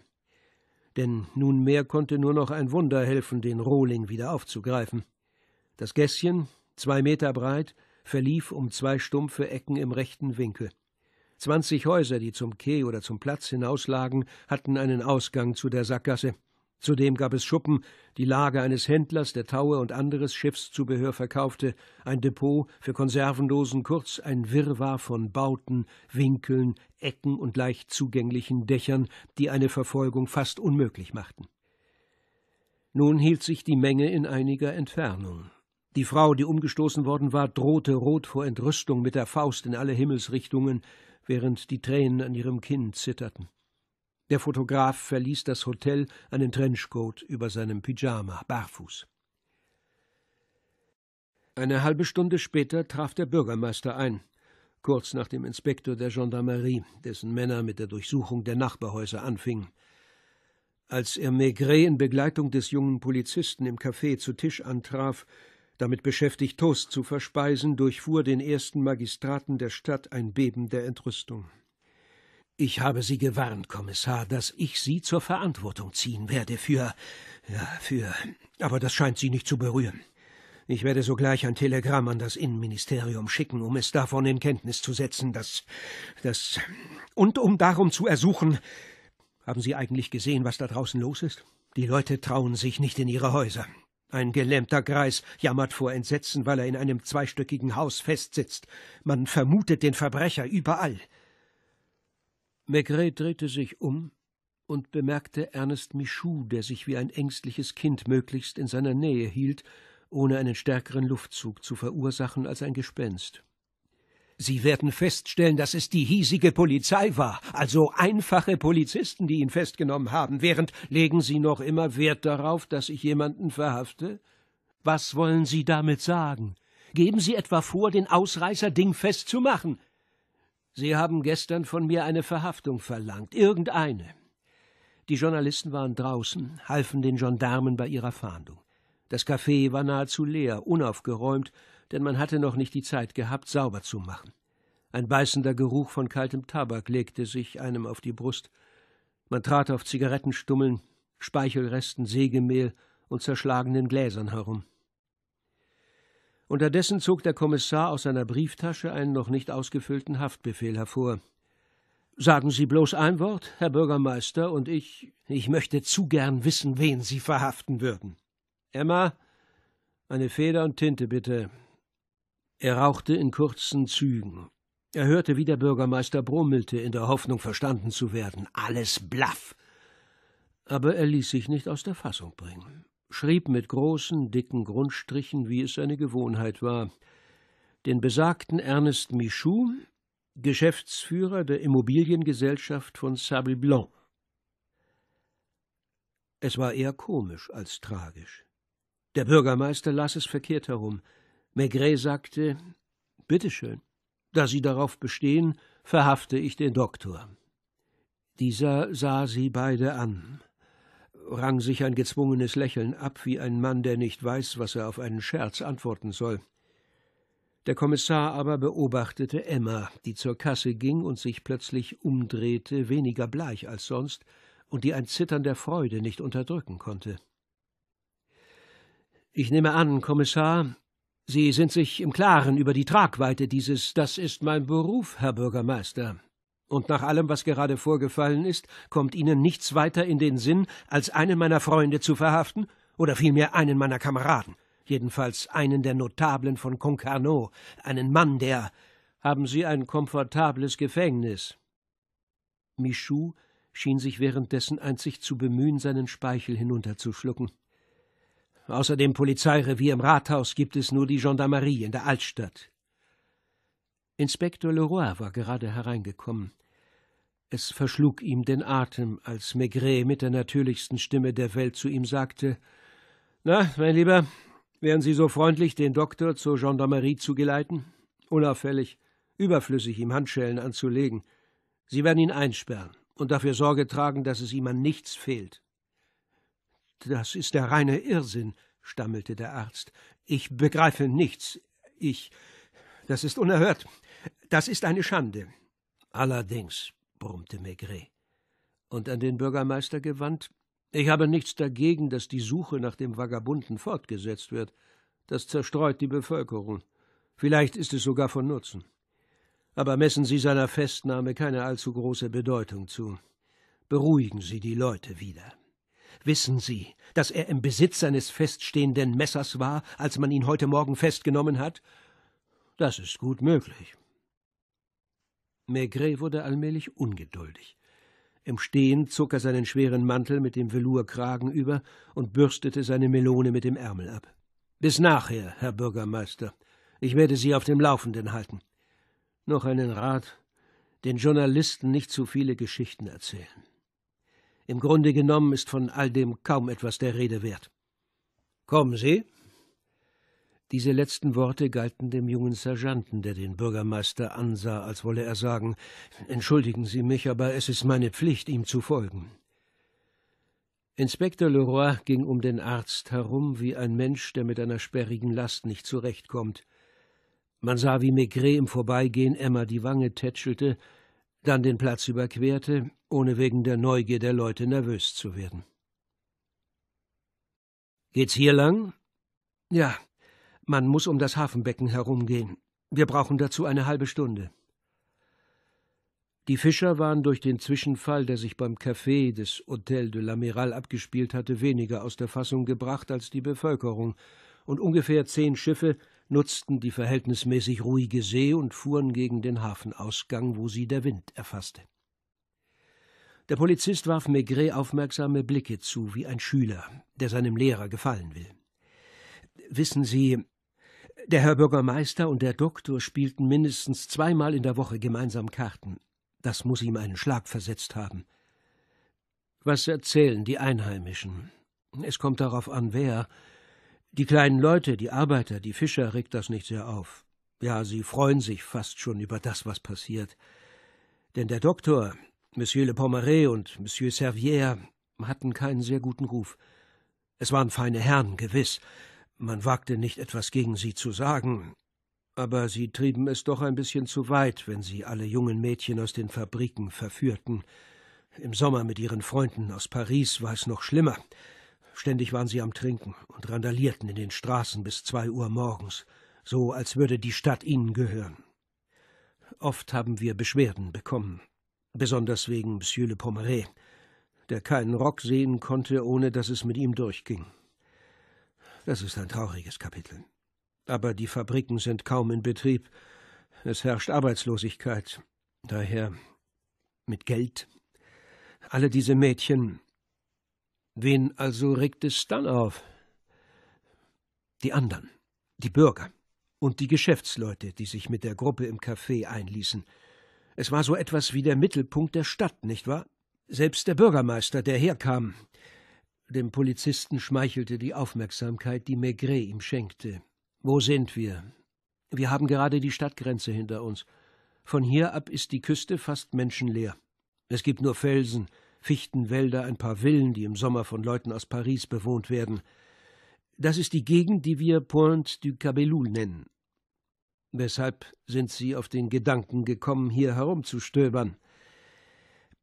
Als Sie uns, meinen Kollegen und mich damit beauftragt haben, einen Vagabunden zu suchen, der eventuell der Besitzer des gelben Hundes sein könnte, da haben wir zunächst einmal in den alten Schiffen des Innenhafens herumgesucht. Hin und wieder treibt man dort einen Landstreicher auf. Im vergangenen Jahr ist ein Kutter abgebrannt, weil ein Tippelbruder vergessen hatte, das Feuer zu löschen, das er angezündet hatte, um sich zu wärmen. Nichts gefunden? Nichts. Es war mein Kollege, der sich dann an die alte Wache auf der Pointe du Gabelou erinnerte. Wir sind gleich da. Sehen Sie dieses viereckige Gebäude aus Quaderstein auf dem letzten Felsvorsprung? Es stammt aus derselben Epoche wie die Befestigungswelle der Altstadt. Kommen Sie hier herüber.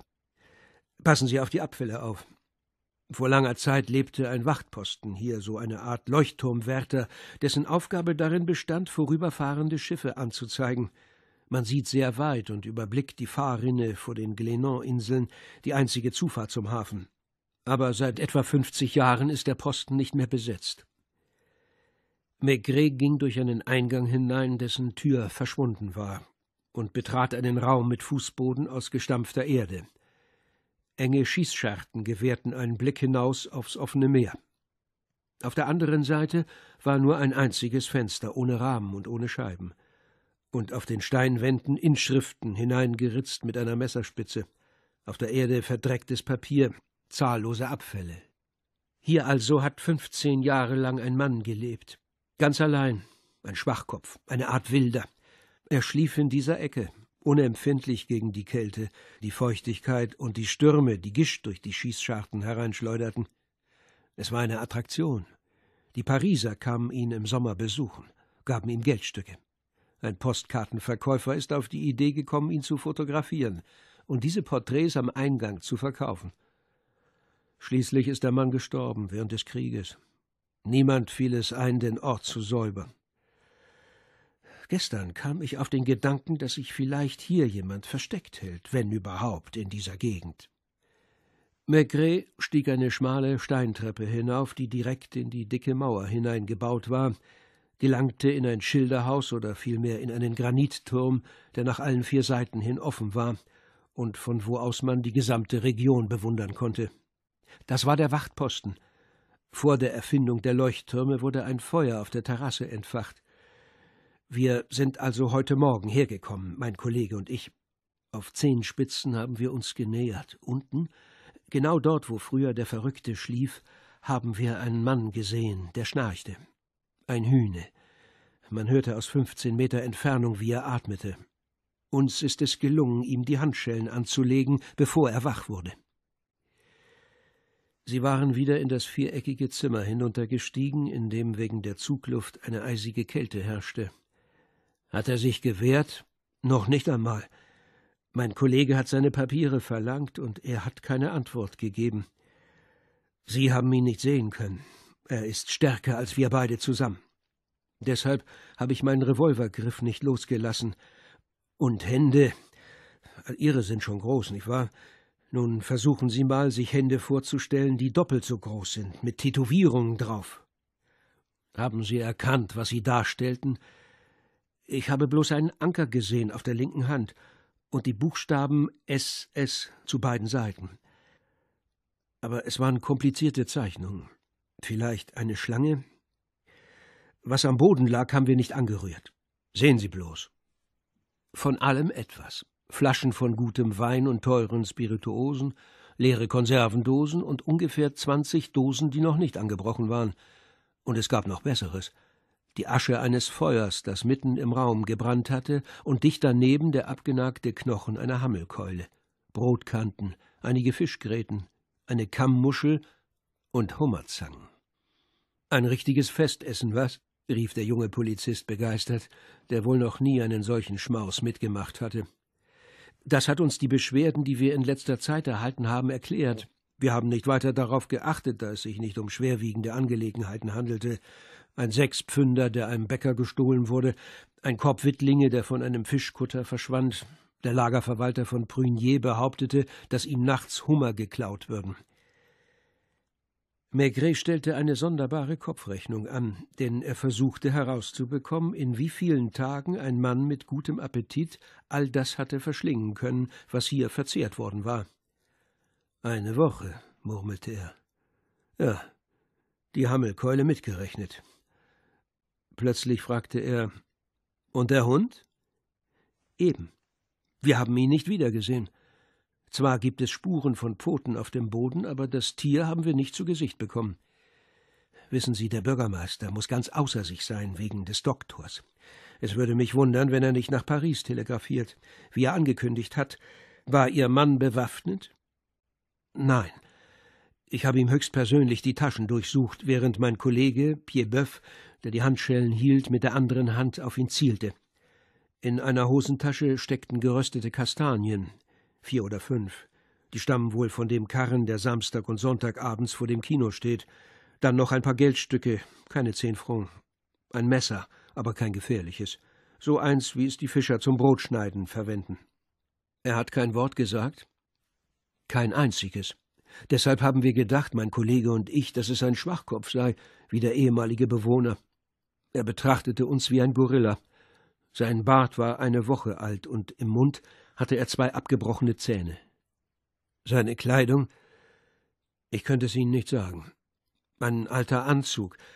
Ich weiß nicht einmal mehr, ob er darunter ein Hemd oder einen Pullover trug. Er ist uns brav gefolgt. Wir waren stolz auf unseren Fang. Zehnmal hätte er davonlaufen können, bevor wir in der Stadt eintrafen. Und so waren wir völlig arglos, als er mit einem Ruck die Ketten der Handschellen sprengte. Ich habe geglaubt, meine rechte Hand sei abgerissen. Man sieht den Abdruck der Handschellen immer noch. Was Dr. Michou anbelangt. Ja, Sie wissen, dass seine Mutter heute Morgen zurückkommen soll. Sie ist die Witwe eines Abgeordneten. Es heißt, dass sie einen langen Arm hat. Und sie ist mit der Frau des Bürgermeisters befreundet. Maigret sah durch die Schießscharten hindurch auf den grauen Atlantik hinaus. Kleine Segelboote schifften zwischen der Pointe du Cabellou und einem Riff hindurch, das man wegen der Brandung erahnte, wendeten dann und begannen ihre Netze in einer Entfernung von weniger als einer Meile auszuwerfen. Glauben Sie tatsächlich, dass der Doktor selbst Gehen wir, sagte der Kommissar. Die Flut stieg. Als sie hinausgingen, begann das Wasser schon an der Plattform zu lecken. Hundert Meter vor ihnen hüpfte ein Junge von Fels zu Fels auf der Suche nach den Reusen, die er in den Vertiefungen aufgestellt hatte. Der junge Polizist konnte nicht den Mund halten. Das Seltsamste ist, dass man Monsieur Mostagin angegriffen hat, den besten Menschen von Concarneau. Er sollte sogar Departementsrat werden. Allem Anschein nach ist er gerettet, aber die Kugel hat nicht entfernt werden können. So wird er Zeit seines Lebens ein Stück Blei im Bauch mit sich herumtragen. Wenn man überlegt, dass ohne diesen Einfall sich eine Zigarre anzuzünden. Sie gingen nicht um das Hafenbecken herum, sondern überquerten einen Teil des Hafens mit der Fähre, die im Pendelverkehr zwischen der Hafeneinfahrt und der Altstadt hin und her schipperte. Unweit der Stelle, wo sich am Abend zuvor junge Kerle mit Steinen über den gelben Hund hergemacht hatten, erblickte Maigret eine Mauer, einen monumentalen Eingang, darüber eine Fahne und die Worte Gendarmerie Nationale. Er überquerte den Hof eines Gebäudes, das aus der Zeit von Colbert stammte. In einem Büro diskutierte Inspektor Leroy mit einem Wachtmeister der Gendarmerie. Der Doktor? fragte Maigret. Eben. Der Wachtmeister wollte das Essen auf keinen Fall von außerhalb kommen lassen. Wenn, dann nur auf Ihre Verantwortung, sagte der Wachtmeister zu Maigret, und ich werde eine Bescheinigung von Ihnen verlangen, um mich abzusichern. Im Hof war es still wie in einem Kloster. Ein Brunnen plätscherte mit einem herrlichen Gluckern. Wo ist er? Dort unten rechts. Sie müssen die Tür aufstoßen, dann ist es die zweite Tür auf dem Flur. Soll ich Ihnen öffnen?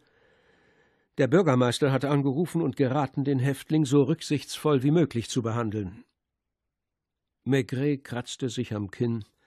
Inspektor Leroy und der Polizist, die beinahe gleich alt waren, betrachteten ihn mit derselben verstohlenen Neugier. Einige Augenblicke später betrat der Kommissar allein eine Zelle mit weißgekalkten Wänden, die nicht trostloser war als eine Kasernenstube.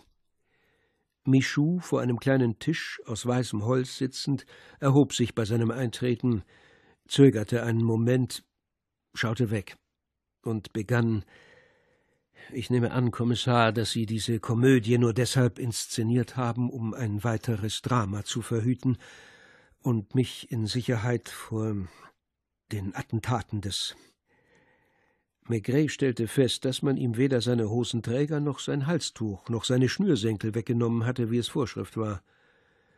Mit der Fußspitze zog er sich einen Stuhl heran, nahm Platz, stopfte sich eine Pfeife und murmelte gutmütig Allerdings. Aber nehmen Sie ruhig Platz, Doktor. Ein Feigling. Sind Sie abergläubisch, Kommissar? Maigret, rittlings auf seinem Stuhl, die Ellbogen auf der Lehne, verzog das Gesicht, was alles nur Erdenkliche bedeuten konnte. Der Arzt hatte nicht Platz genommen. Ich glaube, dass wir es eigentlich alle irgendwann einmal sind, oder wenn Ihnen das lieber ist, wir werden es genau dann, wenn man es auf uns abgesehen hat. Er hustete in sein Taschentuch, das er mit Sorge betrachtete, und fuhr fort. Vor einer Woche noch hätte ich Ihnen gesagt, dass ich nicht an Wahrsagerei glaube. Und dennoch, es ist vielleicht fünf Jahre her, gemeinsam mit einigen Freunden aß ich bei einer Schauspielerin aus Paris zu Abend. Beim Kaffee schlug irgendjemand vor, Karten zu legen. Nun, wissen Sie, was mir prophezeit wurde? Glauben Sie mir, ich habe gelacht. Ich habe erst recht gelacht, weil es sich vom üblichen Klischee abhob. Blonde Dame, älterer Herr, der es gut mit Ihnen meint, Brief, der von weit her kommt und so weiter. Mir dagegen wurde gesagt, Sie werden eines grässlichen Todes sterben, eines gewaltsamen Todes. Hüten Sie sich vor gelben Hunden.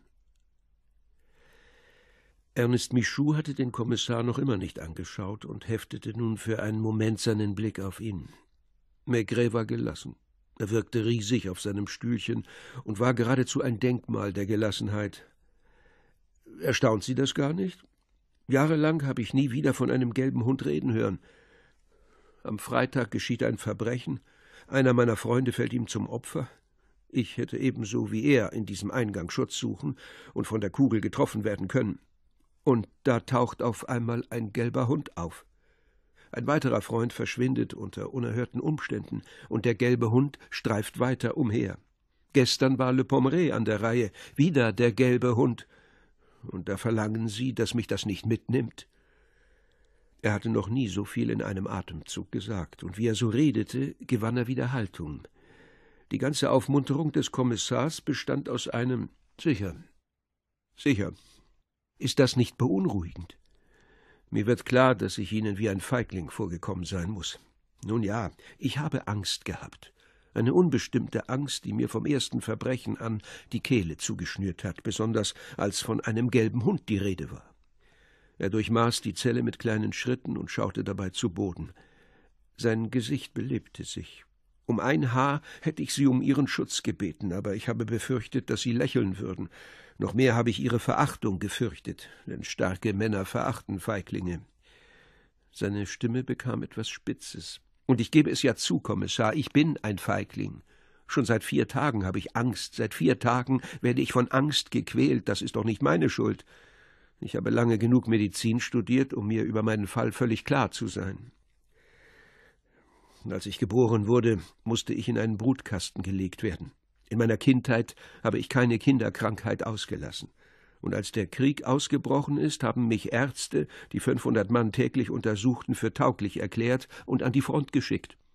Dabei hatte ich nicht nur eine schwache Lunge mit Vernarbungen von früheren Erkrankungen her, sondern mir war außerdem zwei Jahre zuvor eine Niere entfernt worden. Ich habe Angst gehabt. Angst zum Verrücktwerden. Sanitäter haben mich hervorgeholt, als ich bei der Explosion einer Granate in einem Bombentrichter begraben wurde und da hat man endlich festgestellt, dass ich für den Militärdienst untauglich war. Was ich Ihnen erzähle, ist nicht unbedingt amüsant, aber ich habe Sie beobachtet. Ich habe den Eindruck, dass Sie in der Lage sind zu verstehen. Diese Verachtung der Stärken für die Feiglinge, das ist einfach. Über die tieferen Ursachen der Feigheit sollte man sich jedoch Gedanken machen. Sehen Sie, ich habe begriffen, dass Sie für unsere Runde im Café des Hotel de l'Amiral keine Sympathie hegten. Man hat ihnen erzählt, dass ich mich mit dem Verkauf von Grundstücken beschäftige, als Sohn eines ehemaligen Abgeordneten, als Doktor der Medizin. Und diese Abende um einen Kaffeetisch herum, zusammen mit anderen Versagern. Aber was hätte ich machen können? Meine Eltern gaben viel Geld aus, obwohl sie nicht reich waren. Das ist in Paris keine Seltenheit. Ich bin im Luxus aufgewachsen, in den großen Thermalbädern. Dann stirbt mein Vater und meine Mutter beginnt an der Börse zu spekulieren, zu intrigieren, noch immer die Dame von Welt wie zuvor, noch immer genauso stolz, jedoch bedrängt von Gläubigern. Ich habe ihr geholfen. Das war alles, wozu ich in der Lage war. Diese Baugrundstücke, nichts Großartiges, und dieses Leben hier, die Notabeln, aber mit etwas Unsolidem. Seit drei Tagen beobachten Sie mich, und ich möchte gerne ein offenes Wort mit Ihnen reden. Ich bin verheiratet gewesen. Meine Frau hat die Scheidung eingereicht, weil sie einen Mann wollte, der höher hinaus wollte als ich. Drei oder vier Tage in der Woche schleppe ich mich krank und schlapp von meinem Bett zu einem Sessel. Erschöpft setzte er sich. Emma wird Ihnen erzählt haben, dass ich ihr Geliebter war. Blöd, nicht wahr? Doch hin und wieder braucht man eine Frau. So etwas erklärt man nicht jedem. Im Café des Hotels wäre ich zu guter Letzt vielleicht noch übergeschnappt. Der gelbe Hund, Servier verschwunden, die Blutflecken in seinem Wagen und vor allem dieser hässliche Tod von Le Pommeret. Weswegen er? Weswegen nicht ich? Zwei Stunden zuvor saßen wir zusammen am selben Tisch vor denselben Gläsern, und ich hatte das dunkle Gefühl, dass ich an der Reihe wäre, wenn ich das Haus verließe. Dann habe ich gespürt, wie der Kreis enger wurde, dass ich selbst im Hotel, selbst eingeschlossen in meinem Zimmer, der Gefahr ausgesetzt war. Freude durchfuhr mich, als ich sah, wie Sie meinen Haftbefehl unterschrieben haben. Und doch. Er blickte auf die Wände rings um ihn, auf das Fenster mit den drei Gitterstäben, das zum Hof hinauslag. Ich muss meine Pritsche in diese Ecke rücken. Wieso? Ja, wieso hat man mir vor fünf Jahren etwas von einem gelben Hund erzählen können, wo doch dieser Hund da bestimmt noch nicht geboren war? Ich habe Angst, Kommissar. Ich sage es Ihnen ins Gesicht, dass ich Angst habe. Es ist mir gleich, was die Leute denken werden, wenn sie erfahren, dass ich im Gefängnis sitze. Sterben, das will ich nicht. Und irgendjemand lauert mir auf. Irgendjemand, den ich nicht kenne, der Le Pommeret umgebracht hat, der mit Sicherheit Goyard umgebracht hat, der auf Mostagon geschossen hat. Weswegen? Sagen Sie es mir, weswegen? Womöglich ein Wahnsinniger. Und man hat ihn noch nicht zur Strecke bringen können. Er ist auf freiem Fuß. Er schleicht vielleicht um uns herum. Er weiß, dass ich hier bin. Er wird herkommen mit seinem entsetzlichen Hund, der den Blick eines Menschen hat. Maigret erhob sich langsam, klopfte seine Pfeife gegen seinen Absatz, und der Doktor wiederholte mit jämmerlicher Stimme Ich weiß, dass ich Ihnen wie ein Feigling vorkomme, aber glauben Sie mir, ich bin sicher, dass ich heute Nacht wegen meiner Niere Höllenqualen ausstehen werde. Maigret stand da wie das Gegenstück des Häftlings, der Erregung, des Fiebers, der Krankheit, wie das Gegenstück dieser krankhaften und widerwärtigen Angst. Soll ich Ihnen einen Arzt kommen lassen? Nein, wenn ich wüsste, dass jemand käme, so hätte ich noch größere Angst. Ich würde mich darauf gefasst machen, dass er käme. Der Mann mit dem Hund, der Wahnsinnige, der Mörder. Es hätte nicht viel gefehlt, und er hätte mit den Zähnen geklappert. Meinen Sie, dass Sie ihn festnehmen oder wie ein tollwütiges Tier zur Strecke bringen werden? Denn er ist tollwütig. Man tötet nicht einfach so, ohne Grund. Noch ein paar Minuten und der Nervenzusammenbruch wäre da. Maigret zog es vor zu gehen. Während der Häftling ihm mit den Blicken folgte, den Kopf zwischen den Schultern eingezogen, die Lider gerötet. Haben Sie mich verstanden, Wachtmeister? Niemand außer Ihnen betritt seine Zelle. Und Sie bringen ihm höchstpersönlich das Essen und alles, was er möchte. Aber nichts herumliegen lassen, was er als Waffe verwenden könnte, um Selbstmord zu begehen. Nehmen Sie ihm seine Schnürsenkel ab, seine Krawatte. Der Hof soll Tag und Nacht bewacht werden. Nehmen Sie Rücksicht, sehr viel Rücksicht. So ein feiner Herr, seufzte der Wachtmeister. Glauben Sie, dass er das nächste Opfer ist? Ja. Sie bürgen mir für sein Leben. Und Maigret ging davon, die enge Straße entlang, durch die Wasserpfützen wartend. Die ganze Stadt kannte ihn schon. Die Gardinen bewegten sich, wenn er vorüberging, die Jungen hörten auf zu spielen, um ihn mit ängstlichem Respekt anzusehen. Auf der Zugbrücke, die die Altstadt mit der Neustadt verband, traf er Inspektor Leroy, der ihn suchte. Was Neues? Man hat doch nicht etwa meinen Gorilla dingfest gemacht. Welchen Gorilla? Den Mann mit den großen Füßen. Nein. Der Bürgermeister hat mir Befehl erteilt, die Fahndung einzustellen, weil sie die Bevölkerung aufregen würde. An den strategisch wichtigen Stellen hat er ein paar Gendarmen auf Posten gelassen. Aber ich will Sie nicht deswegen sprechen, sondern wegen des Journalisten, Goyard, genannt Jean Servière. Ein Vertreter, der ihn kennt und der gerade hier angekommen ist, behauptet, ihn gestern in Brest gesehen zu haben. Goyard habe so getan, als ob er ihn nicht kenne und den Kopf abgewandt.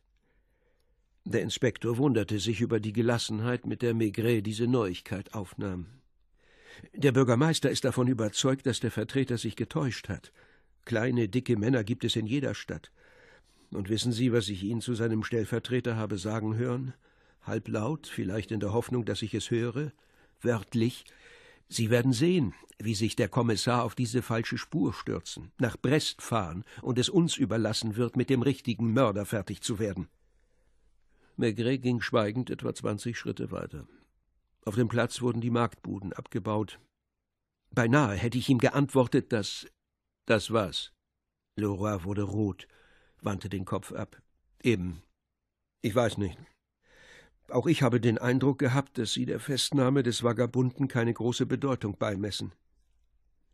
Wie geht es Mustagin? Besser. Er kann sich den Angriff, dessen Opfer er war, nicht erklären. Er hat seine Frau um Verzeihung gebeten, um Verzeihung, dass er so lange im Café geblieben ist, um Verzeihung, dass er sich halb betrunken hat. Unter Tränen hat er geschworen, nie mehr einen Tropfen Alkohol anzurühren. Maigret war gegenüber dem Hafen stehen geblieben, fünfzig Meter vom Hotel de l'Amiral entfernt. Boote kehrten heim, ließen beim Umschiffen der Mole ihr braunes Segel fallen, wurden langsam mit dem Wrickruder vorangetrieben. Die Ebbe legte am Fuß der Mauern der Altstadt Schlickbänke frei, auf denen alte Töpfe und Unrat lagen. Hinter dem einförmigen Wolkengewölbe ahnte man die Sonne. Ihr Eindruck, Leroy? Der Inspektor geriet noch mehr in Verwirrung. Ich weiß nicht. Ich meine, wenn wir den Mann hätten, denken Sie doch nur daran, dass der gelbe Hund erneut verschwunden ist. Was hat er in der Villa des Doktors zu suchen gehabt? Es musste dort Gifte geben. Daraus folgere ich, ja, natürlich. Ich allerdings, ich folgere nie. Dennoch würde ich den Vagabunden gern aus der Nähe sehen. Die Fußstapfen beweisen, dass er ein Hühne ist. Genau.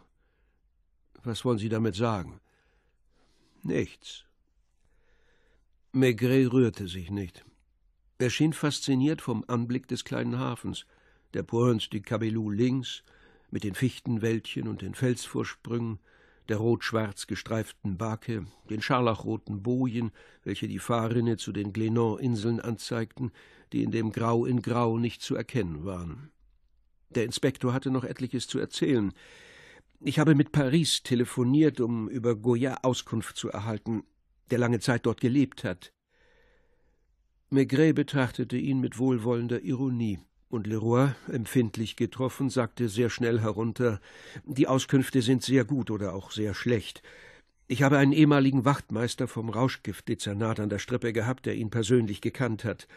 Allem Anschein nach hat er sich lange Zeit am Rande des Journalismus bewegt, zuerst als Lokalberichterstatter, dann als Generalsekretär eines kleinen Theaters, dann als Direktor eines Kabarets auf dem Montmartre.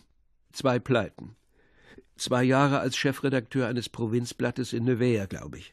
Dann schließlich übernahm er die Leitung eines Nachtlokals. Einer, der schwimmen kann. Das sind die Worte des Wachtmeisters. Allerdings hat er hinzugefügt, ein guter Kerl.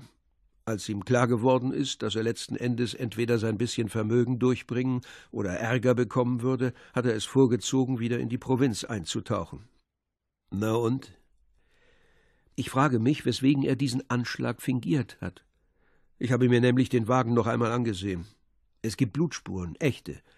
Aber wenn er angegriffen worden ist, weshalb gibt er kein Lebenszeichen, wo er doch nun in Brest herumläuft? Sehr gut. Der Inspektor sah Maigret scharf an, um herauszufinden, ob dieser sich nicht lustig mache. Aber keineswegs. Der Kommissar war ernst, den Blick auf einen Fleck Sonne geheftet, der sich weit draußen auf dem Meer abzeichnete. Was Le Pommeret anbelangt, haben Sie Hinweise? Sein Bruder ist zum Hotel gekommen, um Sie zu sprechen. Er hatte keine Zeit zu warten. Er hat kein gutes Haar an dem Ermordeten gelassen. Seiner Meinung nach war er sehr schlimm, ein Faulenzer. Zwei Leidenschaften, die Frauen und die Jagd. Dann noch die üble Angewohnheit, Schulden zu machen und den großen Herrn hervorzukehren. Eine Einzelheit von Hunderten. Der Bruder, der wohl der größte Unternehmer am Platze ist, hat mir erklärt, ich gebe mich damit zufrieden, meine Kleidung in Brest einzukaufen. Sie ist dort zwar nicht sehr fein, aber solide und bequem. Yves ließ seine Kleider in Paris in Auftrag geben, und er brauchte Schuhe, die das Zeichen eines großen Schuhfabrikanten trugen. Nicht einmal meine Frau trägt maßgearbeitetes Schuhwerk. Zum Piepen, sagte Maigret zur großen Bestürzung, wenn nicht gar zur Entrüstung seines Kollegen. Wieso? Köstlich, wenn Ihnen das lieber ist. Wir tauchen ja, wie Sie vorhin gesagt haben, mit einem Hechtsprung ins Provinzleben ein. Es ist zu schön. Ob Le Pommeret Konfektionsschuhe oder Schuhe nach Maß trug, das hört sich unwesentlich an. Aber ob Sie mir glauben oder nicht, genau das ist der Kern des Dramas. Gehen wir ein Aperitif trinken, Laura. So wie diese Leute im Hotel de l'Amiral. Noch einmal musterte der Inspektor seinen Chef und fragte sich, ob er ihn nicht doch auf die Schippe nahm. Dabei hatte er sich ein großes Lob erhofft für seinen Fleiß und seinen Einsatz an diesem Vormittag, und Maigret schien das alles nicht ernst zu nehmen. Es spielte sich die gleiche Szene ab, wie wenn ein Lehrer den Klassenraum betritt, wo die Schüler am Schwatzen sind. Die Gespräche verstummten. Die Journalisten stürzten dem Kommissar entgegen. Kann die Verhaftung des Doktors bekannt gegeben werden? Hat er ein Geständnis abgelegt? Von wegen. Maigret trieb sie mit einer Geste auseinander und sagte zu Emma Zwei Pernod, mein Kleines. Aber schließlich haben Sie doch Monsieur Michou festgenommen. Wollen Sie die Wahrheit wissen? Schon hatten sie ihre Notizblöcke zur Hand. Sie warteten mit gezücktem Federhalter. Nun denn, es gibt noch keine Wahrheit. Vielleicht wird es eines Tages eine geben. Vielleicht auch nicht. Es wird behauptet, dass Jean Goyard am Leben ist. Umso besser für ihn. Aber es gibt doch einen Mann, der sich versteckt, nachdem man vergebens fahndet, was die Unterlegenheit des Jägers gegenüber dem Wild beweist. Und leise sagte Maigret, wobei er Emma am Ärmel festhielt, serviere mir mein Abendessen auf meinem Zimmer. In einem Zug trank er seinen Aperitif und stand auf. Einen guten Rat, Monsieur. Keine voreiligen Schlüsse und vor allem keine Rückschlüsse. Und der Schuldige? Er zuckte mit seinen breiten Schultern und hauchte Wer weiß? Er war schon am Fuß der Treppe. Inspektor Leroy warf ihm einen fragenden Blick zu. Nein, mein Lieber, essen Sie am Gästetisch, ich muss mich ausruhen. Man hörte ihn schleppenden Schrittes die Treppenstufen hinaufsteigen. Zehn Minuten später ging auch Emma mit einer Platte hinauf, auf welcher eine Vorspeise angerichtet war. Sodann sah man, wie sie eine Kammmuschel, Kalbsbraten und Spinat hinaufbrachte. Das Gespräch im Speisesaal schlief ein. Einer der Journalisten wurde ans Telefon gerufen und erklärte Gegen vier, ja. Ich hoffe, Ihnen einen Sensationsbericht übermitteln zu können. Jetzt noch nicht, man muss abwarten. Ganz allein am Tisch aß Leroy mit den Manieren eines wohlerzogenen Jungen, wischte sich fortwährend mit der Ecke seiner Serviette die Lippen ab. Die Leute vom Markt beobachteten die Fassade des Cafés in der dunklen Hoffnung, dass dort etwas geschehe. Ein Gendarm stand angelehnt an der Ecke des Gästchens, durch welches der Vagabund verschwunden war. Der Herr Bürgermeister verlangt Kommissar Maigret am Telefon. Leroy wurde unruhig und beauftragte Emma. Gehen Sie nach oben, um ihn zu benachrichtigen. Aber das Serviermädchen kam wieder und verkündete, er ist weg. Der Inspektor rannte die Treppe hinauf, wobei er drei Stufen auf einmal nahm kam kreidebleich zurück und griff nach dem Hörer. Hallo? Ja, Herr Bürgermeister. Ich weiß nicht, ich bin sehr beunruhigt. Der Kommissar ist nicht mehr da. Hallo? Nein, ich kann Ihnen nichts weiter sagen. Er hat auf seinem Zimmer zu Abend gegessen. Ich habe ihn nicht herunterkommen sehen. Ich. Ich werde Sie gleich wieder anrufen. Und Leroy, der seine Serviette nicht losgelassen hatte, benutzte sie, um sich damit die Stirn abzuwischen. Das Pärchen im Kerzenschein. Erst eine halbe Stunde später ging der Inspektor in sein eigenes Zimmer hinauf. Auf dem Tisch fand er einen Zettel, auf welchem in Morseschrift geschrieben stand Steigen Sie heute Abend gegen elf Uhr unbemerkt auf das Dach. Sie werden mich dort antreffen. Kein Mucks. Kommen Sie bewaffnet. Sagen Sie, ich sei nach Brest abgereist, von wo aus ich Sie angerufen hätte. Verlassen Sie das Hotel nicht. Maigret.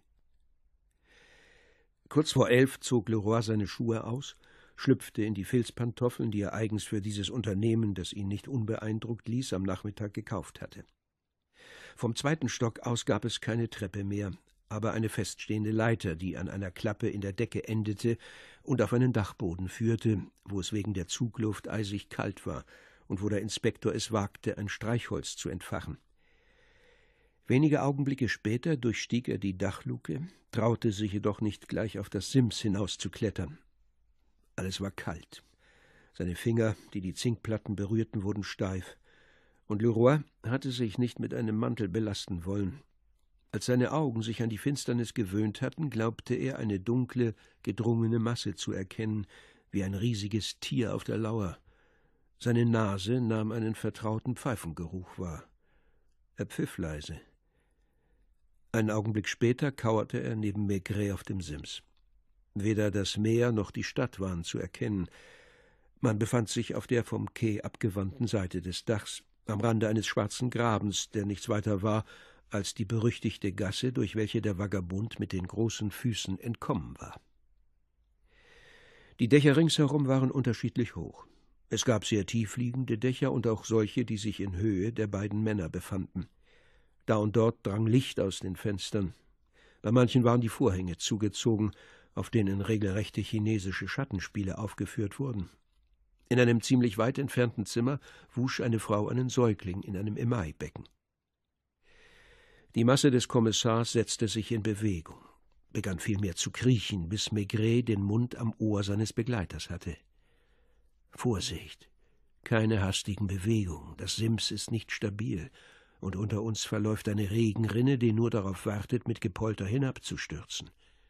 Was machen die Journalisten? Sie sind unten, außer einem, der sie in Brest sucht, davon überzeugt, dass sie Goya auf der Spur sind. Emma? Keine Ahnung. Ich habe nicht auf sie geachtet.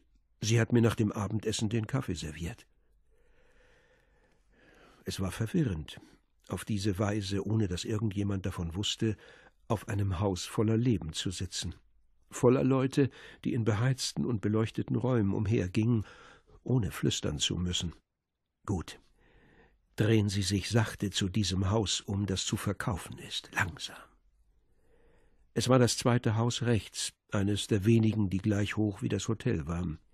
Es lag in völliger Dunkelheit da, und dennoch kam es dem Inspektor so vor, als spiegle sich ein Lichtschimmer in einer Fensterscheibe im zweiten Stock, hinter der keine Gardinen hingen. Nach und nach stellte er fest, dass es sich nicht um einen Widerschein handelte, der von draußen kam, sondern um ein schwaches Licht im Innern. Je länger er denselben Punkt im Raum anstarrte, desto deutlicher nahmen dort Dinge Gestalt an. Ein gebohnerter Fußboden, eine halb niedergebrannte Kerze, umgeben von einem Lichthof. Er ist da, sagte er auf einmal, und seine Stimme wurde unwillkürlich lauter. Psst, ja. Jemand lag auf dem bloßen Fußboden, zur Hälfte in dem von der Kerze beleuchteten Bereich, zur anderen Hälfte im Halbdunkel. Ein riesiger Schuh war zu sehen, ein breiter Oberkörper in einem Seemannspullover. Leroy wusste, dass sich ein Gendarm am Ende der Gasse befand, ein weiterer auf dem Platz, und noch einer ging auf dem Quai auf und ab. Wollen Sie ihn festnehmen? Ich weiß nicht. Er schläft schon seit drei Stunden. Ist er bewaffnet? Heute Morgen war er es nicht. Die Silben, die gesprochen wurden, waren kaum zu erraten. Es war ein undeutliches Geraune, das im Hauch der Atemstöße unterging. Worauf warten wir? Ich weiß nicht. Ich möchte wissen, weshalb er eine Kerze angezündet hat, wo man ihm doch nachstellt und er schläft. Achtung! Ein gelbes Viereck war soeben auf einer Mauer erschienen. Jemand hat gerade in Emmas Zimmer Licht gemacht, unter uns. Es ist der Widerschein. Haben Sie nicht zu Abend gegessen, Kommissar?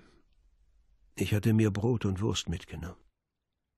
Ist Ihnen nicht kalt? Sie froren alle beide. In regelmäßigen Abständen sahen sie den Lichtstrahl des Leuchtturms über den Himmel streichen. Sie hat es ausgemacht. Psst, ja. Fünf Minuten Stille. Eintöniges Warten. Dann suchte die Hand von Leroy diejenige Maigrets, drückte sie vielsagend. Unten. Ich hab's gesehen. Ein Schatten auf der mit Kalk verputzten Mauer, die den Garten des unbewohnten Hauses von der Gasse trennte. Sie geht zu ihm, flüsterte Leroy der nicht den Mund halten konnte. Der Mann oben schlief immer noch bei seiner Kerze. Im Garten raschelte ein Johannisbeerstrauch. Eine Katze suchte auf einer Dachrinne das Weite. Haben Sie vielleicht ein Luntenfeuerzeug? Maigret wagte es nicht, seine Pfeife wieder anzuzünden. Er zögerte lange. Schließlich ließ er sich mit der Jacke seines Begleiters abschirmen und entfachte rasch ein Streichholz, während der Inspektor erneut den warmen Tabakgeruch einsog. Sehen Sie mal. Sie sagten nichts mehr. Der Mann erhob sich mit einer so plötzlichen Bewegung, dass er um ein Haar die Kerze umgestoßen hätte.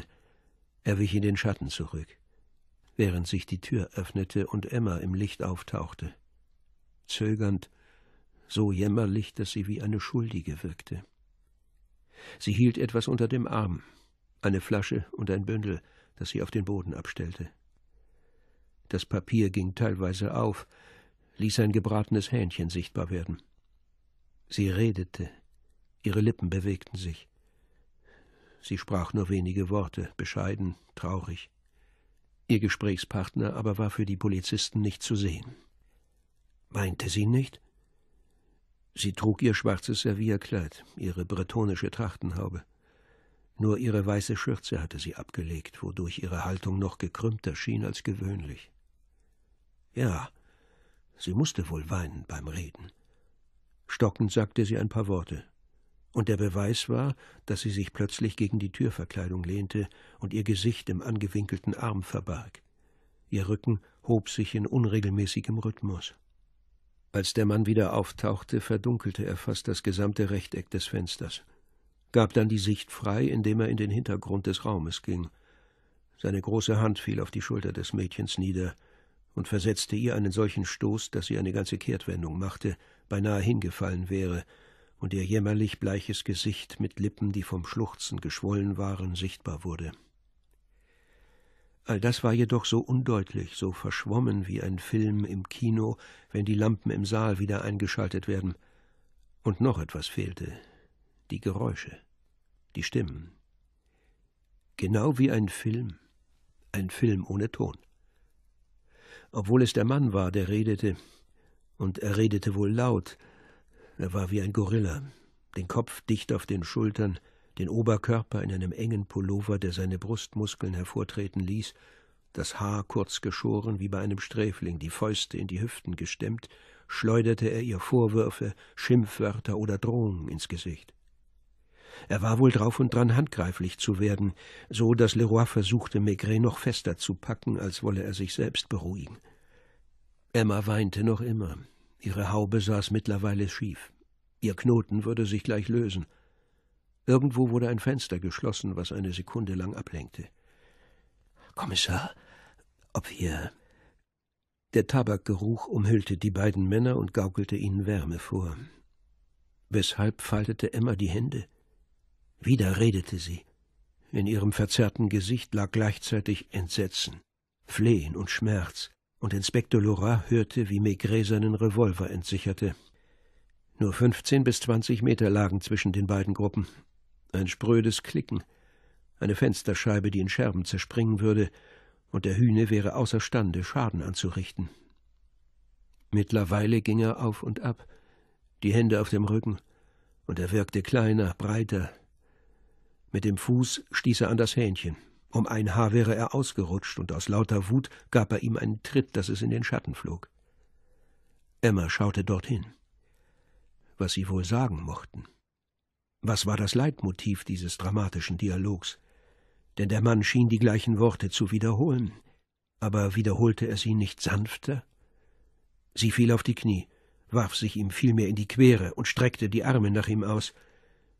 Er tat so, als sähe er sie nicht, wich ihr aus und schon war sie nicht mehr auf den Knien, sondern lag fast am Boden mit flehender Geste. Bald war der Mann zu sehen, bald verschluckte ihn der Schatten. Als er wiederkam, stellte er sich vor das klagende Mädchen, das er von oben bis unten musterte. Wieder fing er an zu gehen, kam näher, entfernte sich erneut, und nun ging ihr die Kraft oder der Mut aus, ihre Arme nach ihm auszustrecken, ihn anzuflehen. Sie ließ sich der Länge nach auf die Dielen fallen. Die Weinflasche stand kaum zwanzig Zentimeter von ihrer Hand weg. Es kam unerwartet. Der Vagabund beugte sich nieder oder streckte vielmehr seine schweren Pranken aus, packte Emma an den Schultern, an der Kleidung, und mit einem einzigen Ruck stellte er sie auf die Beine, und zwar so brutal, dass sie taumelte, als sie nicht mehr gehalten wurde. Aber verriet ihr verzerrtes Gesicht nicht dennoch eine Hoffnung? Ihr Haarknoten hatte sich gelöst, die weiße Haube lag auf dem Fußboden. Der Mann ging auf und ab. Zweimal wich er seiner fassungslosen Partnerin aus. Beim dritten Mal nahm er sie in die Arme, presste sie an sich, zog ihr den Kopf nach hinten, und gierig presste er seine Lippen auf die ihren. Nur noch sein Rücken war zu sehen, ein unmenschlicher Rücken, an dessen Schulter sich eine kleine Frauenhand geklammert hatte. Der Rohling hatte das Bedürfnis, mit seinen groben Fingern das herabhängende Haar zu liebkosen, ohne die Lippen von den ihren zu lösen, es zu streicheln, als wolle er seine Begleiterin vertilgen, zerdrücken, besser sich einverleiben. Hat man Worte, sagte der Inspektor, und seine Stimme überschlug sich. Und Maigret war so ergriffen, dass er deswegen um ein Haar in Lachen ausgebrochen wäre. War Emma seit einer Viertelstunde dort drüben? Der Mann hatte von ihr abgelassen. Die Kerze reichte bloß noch für fünf Minuten. Und die Entspannung, die sich eingestellt hatte, war beinahe greifbar. Lachte das Serviermädchen nicht? Irgendwo musste sie ein Stück von einem Spiegel aufgetrieben haben. Mitten im Licht sah man, wie sie ihr langes Haar einrollte, es mit einer Nadel feststeckte, am Boden eine weitere Nadel suchte, die sie verloren hatte, und sie zwischen den Zähnen hielt, während sie ihre Haube aufsetzte. Sie war beinahe hübsch, Sie war hübsch. Alles an ihr war rührend, sogar ihre flachen Hüften, ihr schwarzes Kleid, ihre geröteten Lider. Der Mann hatte das Hähnchen aufgehoben, und ohne sie dabei aus den Augen zu lassen, biss er mit Appetit hinein, ließ die Knochen krachen, riss Fleischfetzen heraus. Er suchte in seiner Tasche nach einem Messer, fand keines und zerbrach den Flaschenhals, indem er ihn auf den Absatz schlug. Er trank. Er forderte Emma zum Trinken auf, die sich lachend sträubte, ob ihr etwa das zerschlagene Glas Angst machte. Er brachte sie aber dazu, den Mund zu öffnen, und flößte ihr langsam von dem Getränk ein. Sie verschluckte sich, hustete. Da packte er sie bei den Schultern, küsste sie erneut, aber nicht mehr auf die Lippen. Er küsste sie ausgelassen ab auf die Wangen, auf die Augen, auf die Stirn und sogar auf ihr Spitzenhäubchen. Sie war bereit. Er kam zum Fenster und drückte das Gesicht dagegen, und wieder einmal füllte er nahezu das gesamte helle Rechteck aus. Als er sich wieder umdrehte, löschte er die Kerze aus. Inspektor Leroy war aufgeregt. Sie gehen zusammen fort. Ja. Sie werden geschnappt werden. Der Johannisbeerstrauch im Garten raschelte. Dann wurde eine Gestalt auf den Mauerabsatz emporgehoben, und schon befand sich Emma in der Sackgasse und wartete auf ihren Geliebten. Du wirst ihnen von weitem folgen. Sie dürfen dich auf keinen Fall bemerken. Gib mir Bescheid, sobald du kannst. So wie es der Vagabund mit seiner Begleiterin getan hatte, half Maigret dem Inspektor, sich an den Schieferziegeln bis zur Dachluke hochzuziehen. Dann beugte er sich nach vorn, um einen Blick in die Sackgasse zu werfen, wo man von den beiden nur die Köpfe sah. Sie zögerten, sie flüsterten. Dann zog Emma den Mann in einen Schuppen, in dem sie verschwanden, denn die Tür war nur mit einem Riegel verschlossen. Es handelte sich um den Schuppen des Tauhändlers, er hatte eine Verbindungstür zum Laden, in welchem sich zu dieser Uhrzeit niemand befand. Bloß ein Schloss war aufzubrechen, und das Pärchen würde zum Quai gelangen. Leroy aber würde vor den beiden dort sein. Sobald er auf der Leiter vom Dachstock hinabgestiegen war, begriff der Kommissar, dass etwas Außergewöhnliches vor sich ging. Er vernahm ein Geraune im Hotel. Unten läutete das Telefon mitten im Gewirr der Stimmen, auch die Stimme von Leroy war darunter, der wohl telefonieren musste, denn er sprach besonders laut. Maigret stürzte die Treppe hinunter, gelangte ins Erdgeschoss, stieß auf einen Journalisten. Was ist los? Wieder ein Mordanschlag. Vor einer Viertelstunde. In der Stadt. Der Verletzte ist zur Apotheke transportiert worden. Zuerst eilte der Kommissar auf den Quai hinaus und gewahrte einen laufenden Gendarm, der mit seinem Revolver herumfuchtelte. Selten war der Himmel derart schwarz gewesen. Maigret holte den Mann ein. Was ist los? Ein Pärchen ist gerade aus dem Laden gekommen. Ich bin gegenüber auf und ab gegangen.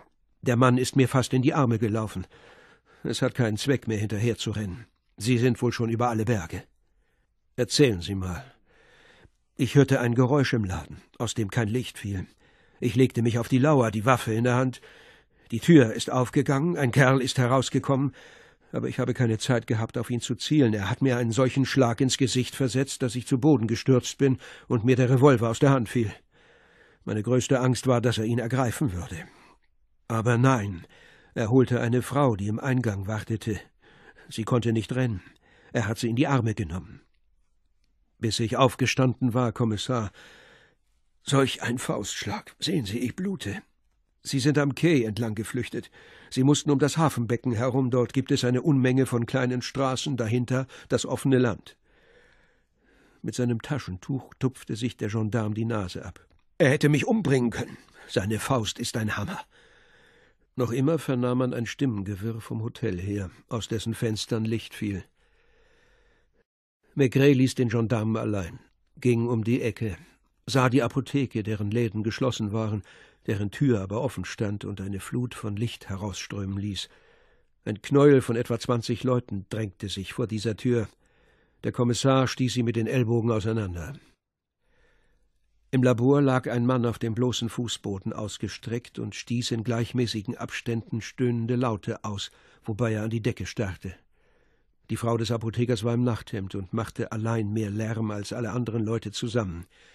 Und der Apotheker selbst, der über seinen Schlafanzug eine Jacke angezogen hatte, war völlig außer sich, hantierte mit Fläschchen herum, zupfte dicke Wattebäusche auseinander. Wer ist das? fragte Maigret. Er wartete nicht auf die Antwort, denn er hatte die Uniform des Zöllners erkannt, dem man ein Hosenbein aufgerissen hatte, und nun erkannte er auch das Gesicht wieder. Es handelte sich um jenen Zöllner, der am Freitag zuvor im Hafen Wache gestanden und von weitem das Verbrechen miterlebt hatte, dessen Opfer Moustaguin gewesen war. Ein Arzt traf ein, geschäftig, schaute auf den Verletzten, dann zu Maigret und rief aus: Was gibt's denn noch? Ein wenig Blut rann auf den Boden. Der Apotheker hatte das Bein des Zöllners mit Wasserstoffsuperoxid gewaschen, das Streifen rötlichen Schaums bildete. Draußen erzählte ein Mann vielleicht zum zehnten Mal, aber dennoch außer Atem Meine Frau und ich lagen im Bett, als ich ein Geräusch hörte, das wie ein Schuss klang. Darauf einen Schrei. Dann nichts mehr, vielleicht fünf Minuten lang. Ich wagte nicht wieder einzuschlafen. Meine Frau wollte, dass ich nachsehen gehe. Dann waren stöhnende Laute zu hören, die anscheinend vom Bürgersteig herkamen, unmittelbar bei unserer Tür. Ich habe sie geöffnet. Ich war bewaffnet. Ich habe eine dunkle Masse gesehen. Ich habe die Uniform erkannt. Ich habe angefangen zu rufen, um die Nachbarn aufzuwecken, und der Obsthändler, der einen Wagen hat, hat mir geholfen, den Verletzten hierher zu bringen. Um welche Zeit wurde der Schuss abgegeben? Vor knapp einer halben Stunde. Also genau im ergreifendsten Moment der Szene zwischen Emma und dem Mann mit den sagenhaften Fußabdrücken. Wo wohnen Sie? Ich bin der Segelmacher. Sie sind schon zehnmal bei mir vorbeigegangen. Rechts vom Hafen, ein Stück neben der Fischhalle. Mein Haus steht an einer Ecke, die der Quai mit einer kleinen Straße bildet. Danach gibt es nur noch vereinzelte Gebäude und fast nur noch Villen. Vier Männer trugen den Verletzten in ein Hinterzimmer, wo sie ihn auf ein Sofa betteten. Der Arzt erteilte Anweisungen. Draußen hörte man die Stimme des Bürgermeisters fragen: Ist der Kommissar hier? Maigret ging ihm entgegen, beide Hände in den Taschen. Sie werden zugeben, Kommissar. Der Blick seines Gesprächspartners war jedoch so kalt, dass der Bürgermeister für einen Augenblick die Fassung verlor. Es war unser Mann, der den Anschlag verübte, stimmt's? Nein. Woher wollen Sie das wissen? Ich weiß es weil ich ihn zu der Zeit, als das Verbrechen verübt worden ist, fast ebenso gut vor mir sah, wie ich jetzt Sie vor mir sehe. Und Sie haben ihn nicht verhaftet? Nein. Man hat mir auch von einem überfallenen Gendarmen erzählt. Das ist richtig. Ist Ihnen eigentlich klar, welche Folgen diese Verbrechen haben können? Seit Sie hier sind, geschieht schließlich. Maigret nahm den Telefonhörer ab. Geben Sie mir die Gendarmerie, Mademoiselle. Ja, danke. Hallo? Die Gendarmerie? Der Wachtmeister selbst. Hallo. Hier Kommissar Maigret. Dr. Michou ist doch sicher noch dort, ja? Wie bitte? Ja, vergewissern Sie sich trotzdem. Wie? Es steht ein Wachtposten im Hof. Sehr gut. Ich warte. Glauben Sie etwa, dass der Doktor. Gar nichts. Ich glaube nie etwas, Herr Bürgermeister. Hallo? Ja, er hat sich nicht vom Fleck gerührt. Danke. Sie sagen, er schläft? Sehr gut. Hallo? Nein, nichts Besonderes. Stöhnende Laute drangen aus dem Zimmer im Hintergrund, wo eine Stimme unverzüglich rief Kommissar. Es war der Arzt, der seine noch seifigen Hände an einem Handtuch abwischte. Sie können ihn vernehmen. Die Kugel hat bloß die Wade gestreift. Mehr Angst als Schaden. Aber man muss auch sagen, dass die Blutung ziemlich stark war. Dem Zöllner standen die Tränen in den Augen. Er wurde rot, als der Arzt fortfuhr. Seine ganze Angst kommt daher, dass er glaubte, man würde ihm das Bein amputieren. Aber in einer Woche sieht alles wieder ganz anders aus. Der Bürgermeister stand im Türrahmen. Erzählen Sie mir, wie das passiert ist, sagte Maigret sanft, wobei er sich auf die Kante des Sofas setzte. Keine Angst. Sie haben gehört, was der Doktor gesagt hat. Ich weiß nicht. Was denn? Heute ging mein Dienst um zehn Uhr zu Ende. Ich wohne ein Stück weiter weg von der Stelle, wo ich angeschossen worden bin. Sie sind also nicht gleich nach Hause gegangen. Nein, ich habe gesehen, dass im Café des Hotels noch Licht war. Ich habe wissen wollen, wie es denn so steht. Ich schwöre Ihnen, mein Bein verbrennt mir. Ach was, ach was, sagte der Arzt. Aber wenn ich es Ihnen doch sage, Na dann, wenn es nichts ist. Ich habe im Café ein halbes getrunken. Es waren nur Journalisten da, und ich habe nicht einmal gewagt, sie zu fragen. Wer hat sie bedient? Ein Zimmermädchen, glaube ich. Emma habe ich nicht gesehen. Und dann. Ich wollte nach Hause. Ich bin am Wachlokal vorbeigegangen, wo ich mir eine Zigarette an der Pfeife meines Kollegen angezündet habe. Ich ging an den Käse entlang. Ich bin nach rechts abgebogen. Es war niemand da. Das Meer war nur schwach bewegt. Auf einmal, als ich gerade an einer Straßenecke vorüberging, spürte ich einen Schmerz im Bein, noch bevor ich den Knall eines Schusses hörte. Es war ein Stoß, wie wenn man mir einen Pflasterstein mitten in die Wade geschleudert hätte. Ich bin hingefallen. Ich habe wieder aufstehen wollen. Jemand lief davon. Meine Hand berührte eine warme Flüssigkeit, und ich weiß nicht, wie es passiert ist, aber ich bin ohnmächtig geworden. Ich habe geglaubt, ich sei tot. Als ich wieder zu mir kam, öffnete der Obsthändler an der Ecke gerade seine Tür und traute sich nicht heran. Das ist alles, was ich weiß. Die Person, die geschossen hat, haben Sie nicht gesehen. Ich habe gar nichts gesehen. Das geht nicht so, wie man sich das vorstellt. Es ging so schnell. Und vor allem, als ich meine Hand voller Blut spürte. Sie haben keine Feinde. Eben nicht. Ich bin erst seit zwei Jahren hier. Ich komme aus dem Landesinnern, und ich hatte noch nie Gelegenheit, Schmuggler zu Gesicht zu bekommen. Gehen Sie jeden Abend auf diesem Weg nach Hause? Nein. Es ist ein Umweg. Aber ich hatte keine Streichhölzer, und so bin ich absichtlich zum Wachlokal gegangen, um mir eine Zigarette anzuzünden. Daher bin ich nicht durch die Stadt, sondern an den Käse entlang gegangen. Durch die Stadt ist es näher, ein wenig so dass also jemand, der gesehen hätte, wie sie das Café verließen und in Richtung Quai gingen, Zeit gehabt hätte, ihnen aufzulauern? Bestimmt. Aber weswegen? Ich habe nie Geld bei mir. Man hat nicht versucht, mich auszurauben. Sind Sie auch sicher, Kommissar, dass Sie Ihren Vagabunden den ganzen Abend nicht aus den Augen gelassen haben? Es lag etwas Spitzes in der Stimme des Bürgermeisters. Leroy trat ein, einen Zettel in der Hand. Ein Telegramm, das die Post gerade per Telefon zum Hotel durchgegeben hat, aus Paris. Und Maigret las Sûreté Générale an Kommissar Maigret Concarneau. Jean Goyard, genannt Servière, dessen Personenbeschreibung Sie übermittelt haben, am heutigen Montag, Abend, acht Uhr, Hotel Bellevue, Rue Le Pic, Paris, verhaftet, als er in Zimmer 15 abstieg hat gestanden, von Brest mit sechs Uhr Zug angekommen zu sein, beteuert Unschuld und verlangt Vernehmung zur Sache im Beisein von Anwalt. Erwarten Weisungen. Ein Unbekannter. Sie werden vielleicht zugeben, Kommissar, dass es an der Zeit ist, dass wir uns mal ernsthaft unterhalten. Der Bürgermeister hatte diese Worte mit einer eisigen Ehrerbietung ausgesprochen und Inspektor Leroy kannte Maigret noch nicht gut genug, um dessen Gemütsbewegung danach einzuschätzen, wie er den Rauch aus seiner Pfeife wieder ausblies. Ein dünner, grauer Rauchfaden strömte langsam zwischen den halb geöffneten Lippen des Kommissars hervor, während er zwei oder dreimal blinzelte. Dann zog Maigret sein Notizbuch aus seiner Tasche und sah nacheinander den Apotheker, den Arzt und die Neugierigen an. Zu Befehl, Herr Bürgermeister. Hier, wenn Sie doch bitte auf eine Tasse Tee zu mir nach Hause kommen möchten, fiel ihm der Bürgermeister ins Wort. Mein Wagen steht vor der Tür, ich werde so lange warten, bis Sie die nötigen Befehle erteilt haben. Welche Befehle? Aber der Mörder, der Vagabund, dieses Mädchen.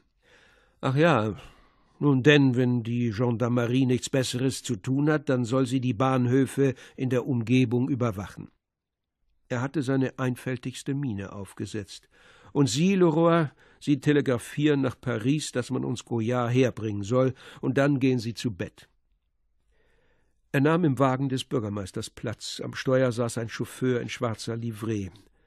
Kurz vor Sable erblickte man die Villa des Bürgermeisters, die dicht an die Klippe gebaut war, was ihr ein wenig den Anstrich eines feudalen Schlosses verlieh. Aus den Fenstern drang Licht. Während der Fahrt hatten die beiden Männer keine zwei Sätze gewechselt. Erlauben Sie, dass ich Ihnen den Weg weise. Der Bürgermeister übergab seinen pelzgefütterten Mantel einem Diener. Ist Madame schon zu Bett gegangen? Sie erwartet Herrn Bürgermeister in der Bibliothek. Sie war tatsächlich dort. Obgleich sie etwa 40 Jahre alt war, wirkte sie an der Seite ihres Gatten, der 65 war, sehr jung. Sie nickte dem Kommissar zu. Nun? Als Mann von Welt küsste ihr der Bürgermeister die Hand, die er festhielt, während er sagte: Beruhigen Sie sich. Ein Zöllner wurde leicht verletzt, und ich hoffe, dass nach der Unterredung, die Kommissar Maigret und ich nun haben werden, dieser unerträgliche Albtraum ein Ende finden wird. Ihr Seidenkleid knisterte, als sie hinausging. Ein blauer samtner Türvorhang fiel. Die Bibliothek war sehr geräumig, die Wände mit edlem Holz getäfelt, die Decke von hervortretenden Balken durchzogen, wie auf englischen Herrensitzen. Wertvolle Bände waren zu sehen, die kostbarsten jedoch mochten sich wohl in einem geschlossenen Bücherschrank befinden, der eine ganze Wandfläche einnahm. Das Ganze war wirklich luxuriös, ohne geschmackliche Mängel, der vollkommene Komfort. Obwohl eine Zentralheizung vorhanden war, brannten Holzscheite in einem riesigen Kamin. Kein Vergleich mit dem falschen Pump in der Villa des Arztes. Der Bürgermeister suchte unter den Zigarrenkistchen eines heraus und reichte es Maigret. Danke. Wenn Sie erlauben, rauche ich meine Pfeife. Nehmen Sie doch bitte Platz. Möchten Sie einen Whisky? Er drückte auf einen Knopf und zündete sich eine Zigarre an. Der Diener kam, um ihre Wünsche entgegenzunehmen, und Maigret wirkte, vielleicht mit Absicht, unbeholfen wie ein Kleinbürger, der in einem hochherrschaftlichen Anwesen empfangen wird. Seine Züge wirkten plumper, sein Blick unsicher. Sein Gastgeber wartete, bis der Diener hinausgegangen war. Sie müssen begreifen, Kommissar, dass diese Serie von Verbrechen unmöglich weitergehen kann. Sie sind nun. Na, Sie sind nun fünf Tage hier. Und seit fünf Tagen. Maigret zog sein unscheinbares Notizbuch, das in Wachstuch eingebunden war, aus der Tasche hervor. Erlauben Sie, fiel er dem Bürgermeister ins Wort. Sie reden von einer Serie von Verbrechen. Nun, ich muss feststellen, dass alle Opfer am Leben sind, außer einem.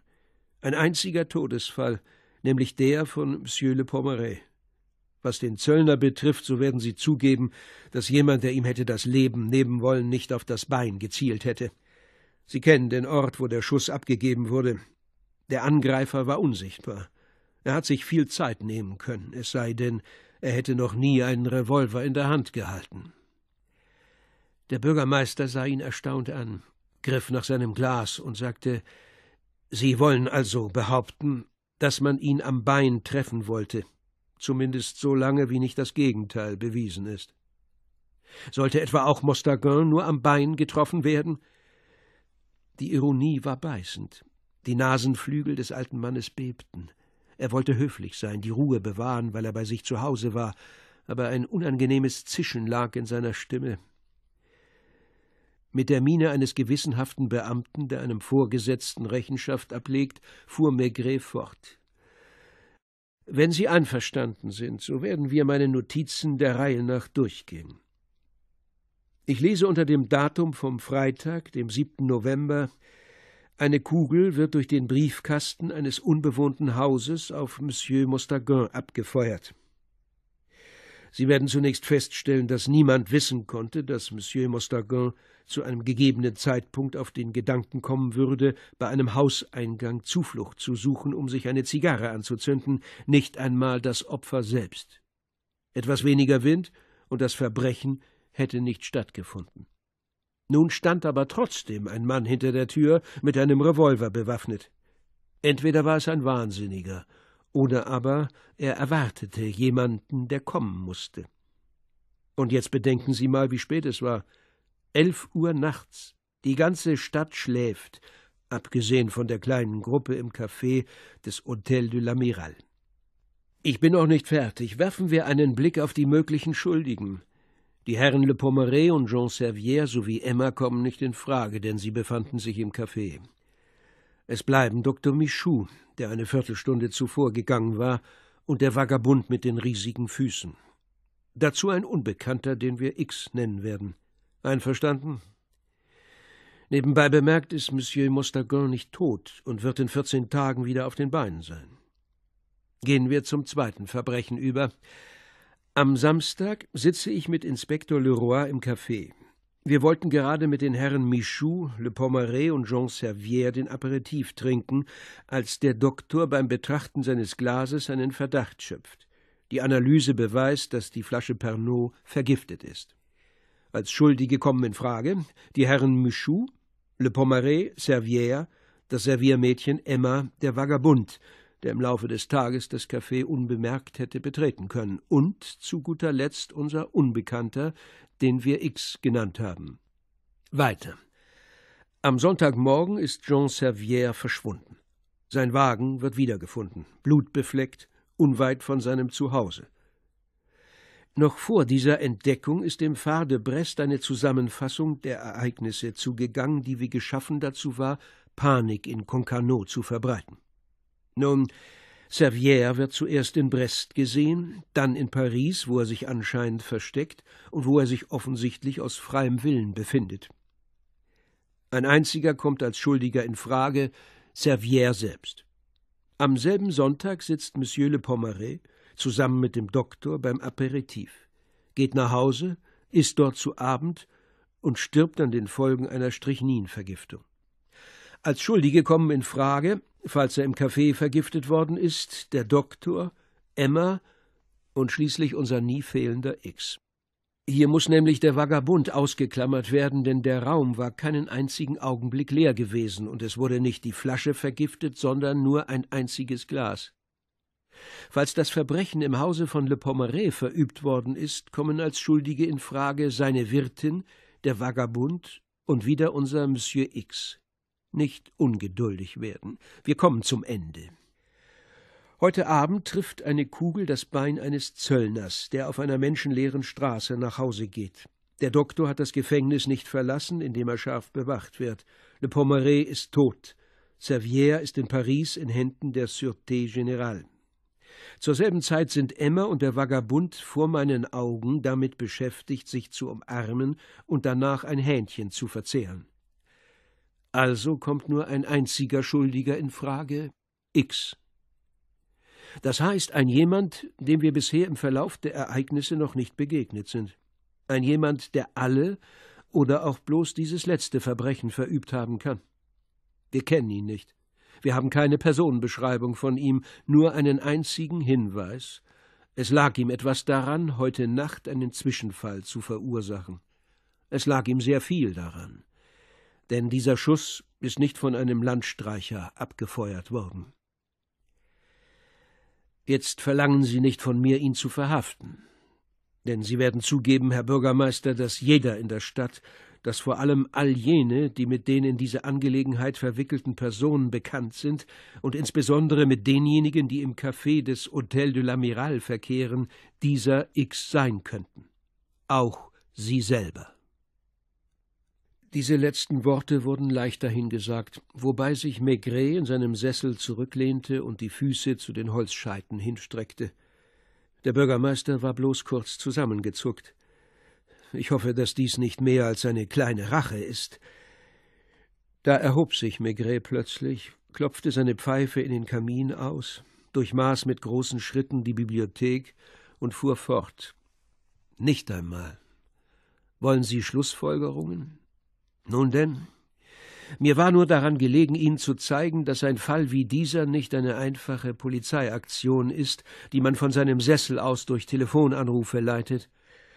Und bei allem Respekt, den ich Ihnen entgegenbringe, möchte ich hinzufügen, Herr Bürgermeister, dass, wenn ich die Verantwortung für eine Ermittlung übernommen habe, mir vor allem viel daran liegt, dass man seine Nase nicht ständig reinsteckt. Es war ihm unwillkürlich herausgerutscht. Schon seit Tagen gärte es in ihm. Vielleicht um sich zu beruhigen, trank Maigret einen Schluck Whisky, schaute zur Tür wie ein Mensch, der gesagt hat, was er zu sagen hatte und der nur noch auf die Erlaubnis wartet, gehen zu dürfen. Sein Gesprächspartner verharrte geraume Zeit in Schweigen und betrachtete dabei die weiße Asche seiner Zigarre. Schließlich ließ er sie in eine Schale aus blauem Porzellan fallen und erhob sich dann gemächlich, wobei seine Augen den Blick Maigrets suchten. Hören Sie, Kommissar. Er mochte wohl seine Worte abwägen, denn es lagen Pausen dazwischen. Ich habe im Laufe unserer kurzen Beziehung möglicherweise zu Unrecht etwas Ungeduld an den Tag gelegt. Es war ziemlich unerwartet. Erst recht in diesem Rahmen, wo der alte Mann mit seinem weißen Haar, seiner seidenbestickten Jacke, seiner grauen Hose mit der steifen Bügelfalte vornehmer denn je wirkte. Allmählich fange ich an, ihren wahren Wert zu schätzen. Innerhalb von wenigen Minuten haben sie für mich mit Hilfe einer bloßen Aufzählung von Tatsachen das beängstigende Geheimnis greifbar werden lassen, das diesem Fall zugrunde liegt und von dessen Vielschichtigkeit ich nichts geahnt habe. Ich gebe zu, dass Ihre Unentschlossenheit im Hinblick auf den Vagabunden mich ziemlich ungehalten über Sie gemacht hat. Er war auf den Kommissar zugegangen und berührte ihn an der Schulter. Ich bitte Sie, mir das nicht zu verübeln. Auch ich trage schwere Verantwortung. Es wäre unmöglich gewesen, die Gefühle Maigrets zu erraten, der damit beschäftigt war, sich mit seinen dicken Fingern eine Pfeife zu stopfen. Sein Tabaksbeutel war abgenutzt. Durch eine Fensteröffnung hindurch irrte sein Blick über den weiten Horizont der See. Was ist das für ein Licht? fragte er auf einmal. Das ist der Leuchtturm. Nein, ich meine dieses kleine Licht rechts. Das Haus von Dr. Michou. Das Dienstmädchen ist also zurück. Nein, es ist Madame Michou, die Mutter des Doktors, die heute Nachmittag zurückgekehrt ist. Haben Sie sie gesehen? Maigret glaubte ein gewisses Unbehagen bei seinem Gastgeber zu verspüren. Sie hat sich wohl gewundert, dass sie ihren Sohn nicht antraf. Sie ist hergekommen, um sich zu erkundigen. Ich habe sie über die Verhaftung informiert und ihr erklärt, dass es sich eher um eine Schutzmaßnahme handle, denn das ist es doch, nicht wahr? Sie hat mich um Erlaubnis gebeten, ihn im Gefängnis zu besuchen. Im Hotel wusste man nicht, wo Sie geblieben waren. Ich habe es auf mich genommen, diesen Besuch zu genehmigen. Madame Michou ist kurz vor dem Abendessen wiedergekommen, um die letzten Neuigkeiten zu erfahren. Meine Frau hat sie empfangen und sie zum Abendessen eingeladen. Sind die beiden befreundet? Wenn Sie so wollen. Eher gut nachbarschaftliche Beziehungen. Im Winter gibt es sehr wenig Leute in Concarneau. Maigret nahm seine Wanderung durch die Bibliothek wieder auf. Sie haben also zu dritt zu Abend gegessen. Ja, das ist ziemlich häufig vorgekommen. Ich habe Madame Michou beruhigt, so gut ich konnte, denn dieser Gang zur Gendarmerie hat sie sehr mitgenommen. Sie hat sehr viel Mühe gehabt, ihren Sohn aufzuziehen, dessen Gesundheit nicht die beste ist. Von Le Pommeret und Jean Servier war nicht die Rede. Sie hat Le Pommeret nie gemocht. Sie warf ihm vor, ihren Sohn zum Trinken zu verleiten. Tatsache ist, dass und Servier, sie kannte ihn weniger. Er gehörte nicht zu ihrer Welt, ein kleiner Journalist, eine Bekanntschaft aus einem Café, wenn Sie so wollen, ein amüsanter Kerl. Seine Frau dagegen kann man nicht empfangen, denn ihre Vergangenheit ist nicht einwandfrei. So ist es nun mal in einer Kleinstadt, Kommissar. Sie müssen sich mit diesem Dünkel abfinden. Er erklärt Ihnen zum Teil meine Launen. Sie wissen nicht, was es heißt, ein Gemeinwesen von Fischern zu verwalten und dabei gleichzeitig auf die Reizbarkeit der Schiffseigentümer und nicht zuletzt eines gewissen Bürgertums Rücksicht zu nehmen, das um welche Zeit ist Madame Michou von hier fortgegangen? Gegen zehn Uhr. Meine Frau hat sie mit dem Wagen nach Hause gefahren. Dieses Licht beweist uns, dass Madame Michou noch nicht zu Bett gegangen ist. Das ist ihre Gewohnheit, auch meine. In einem gewissen Alter braucht man nicht mehr viel Schlaf. Sehr spät in der Nacht sitze ich noch hier und lese oder blättere Akten durch. Gehen die Geschäfte der Familie Michou gut? Erneutes Unbehagen kaum wahrzunehmen. Noch nicht. Man muss abwarten, bis die Grundstücke von Sable Blanc erschlossen worden sind.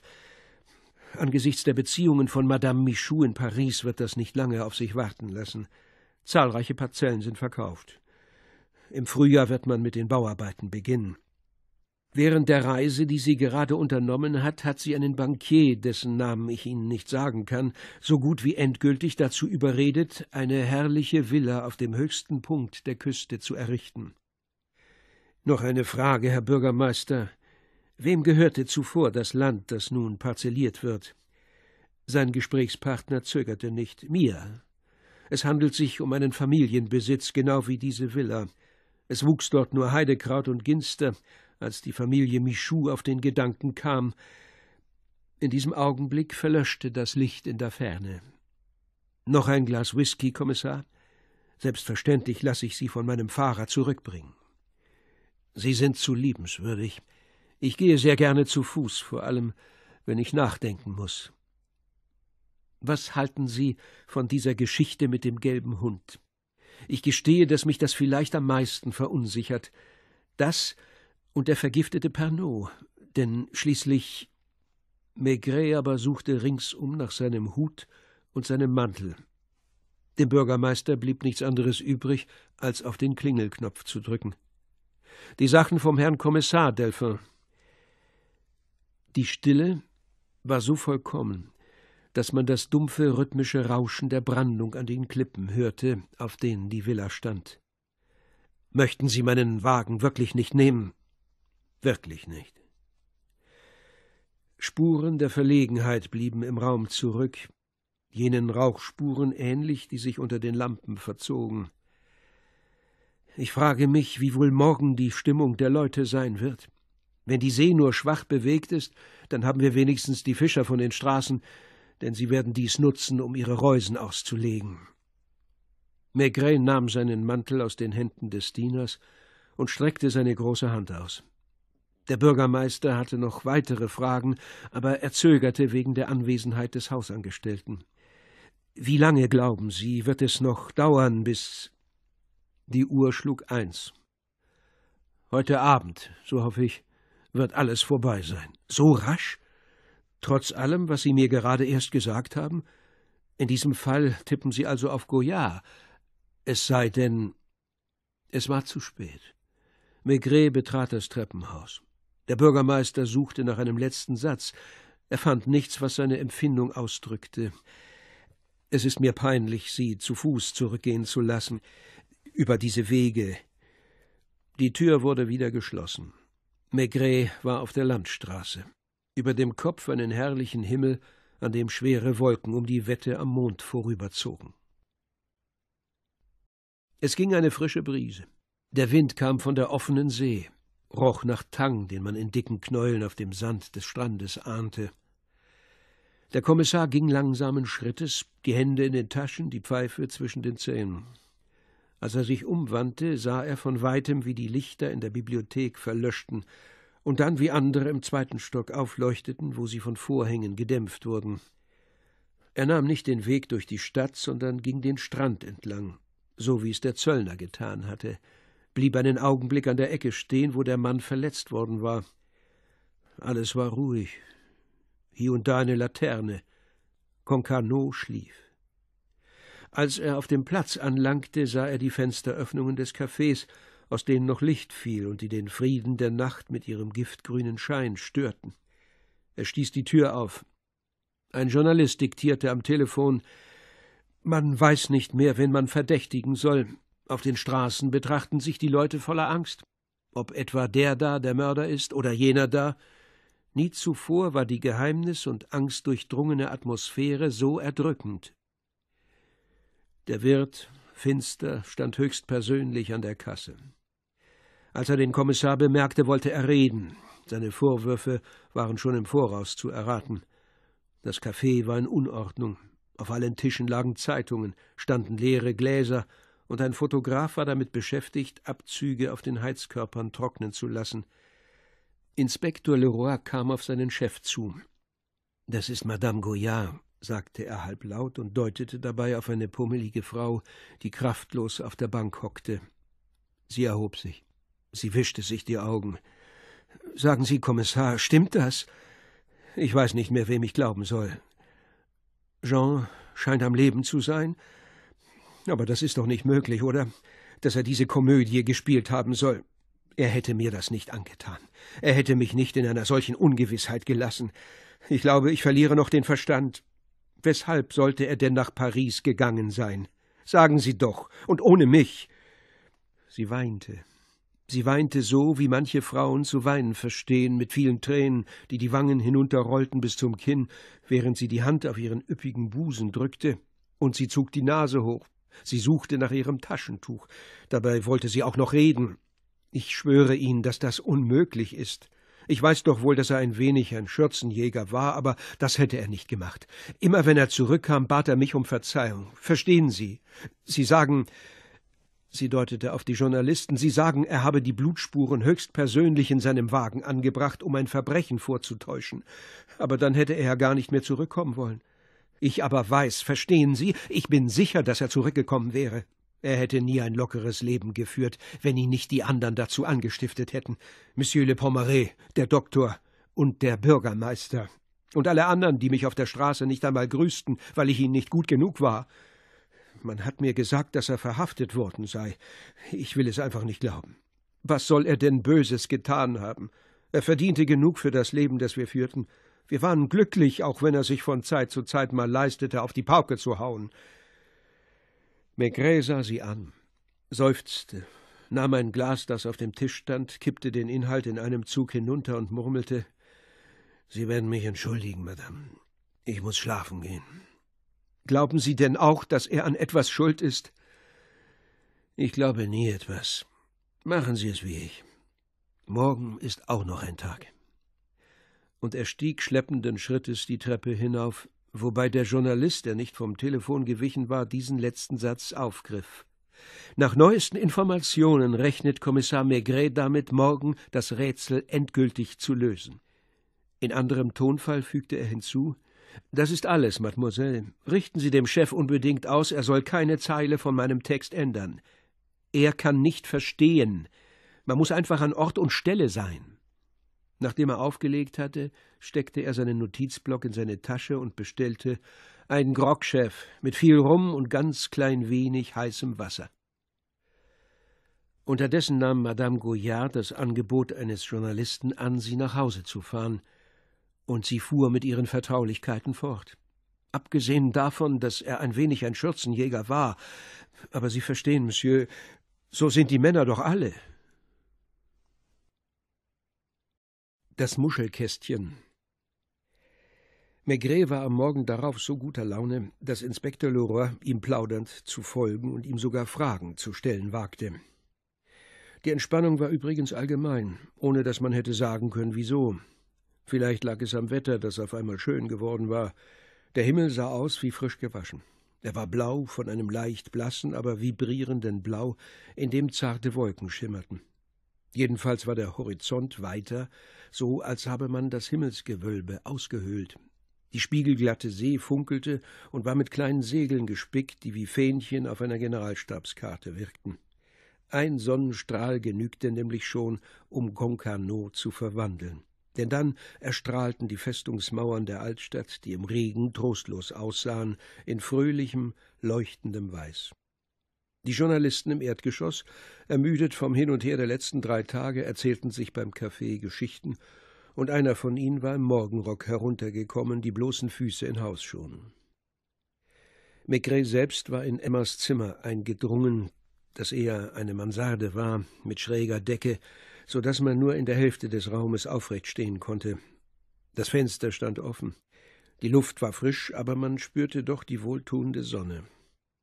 Auf der anderen Seite des Gässchens hatte eine Frau dies genutzt, um an ihrem Fenster Wäsche zum Trocknen aufzuhängen. Auf dem Hof einer Schule irgendwo schallte Pausenlärm. Und Leroy, der am Rande der kleinen eisernen Bettstatt saß, bemerkte Ich verstehe Ihre Methoden immer noch nicht ganz, Kommissar, aber ich glaube, dass ich so allmählich dahinter komme. Maigret sah ihn mit seinen lachenden Augen an und blies eine dicke Wolke Tabakqualm in die Sonne. Sie haben Glück, mein Lieber. Vor allem, was diesen Fall betrifft, wo meine Methode darin bestand, keine zu haben. Wenn Sie einen guten Rat möchten, wenn Sie Wert auf Ihr Fortkommen legen, so nehmen Sie sich bloß an mir kein Beispiel und versuchen Sie auch nicht von dem, was Sie mich tun sehen, Theorien abzuleiten.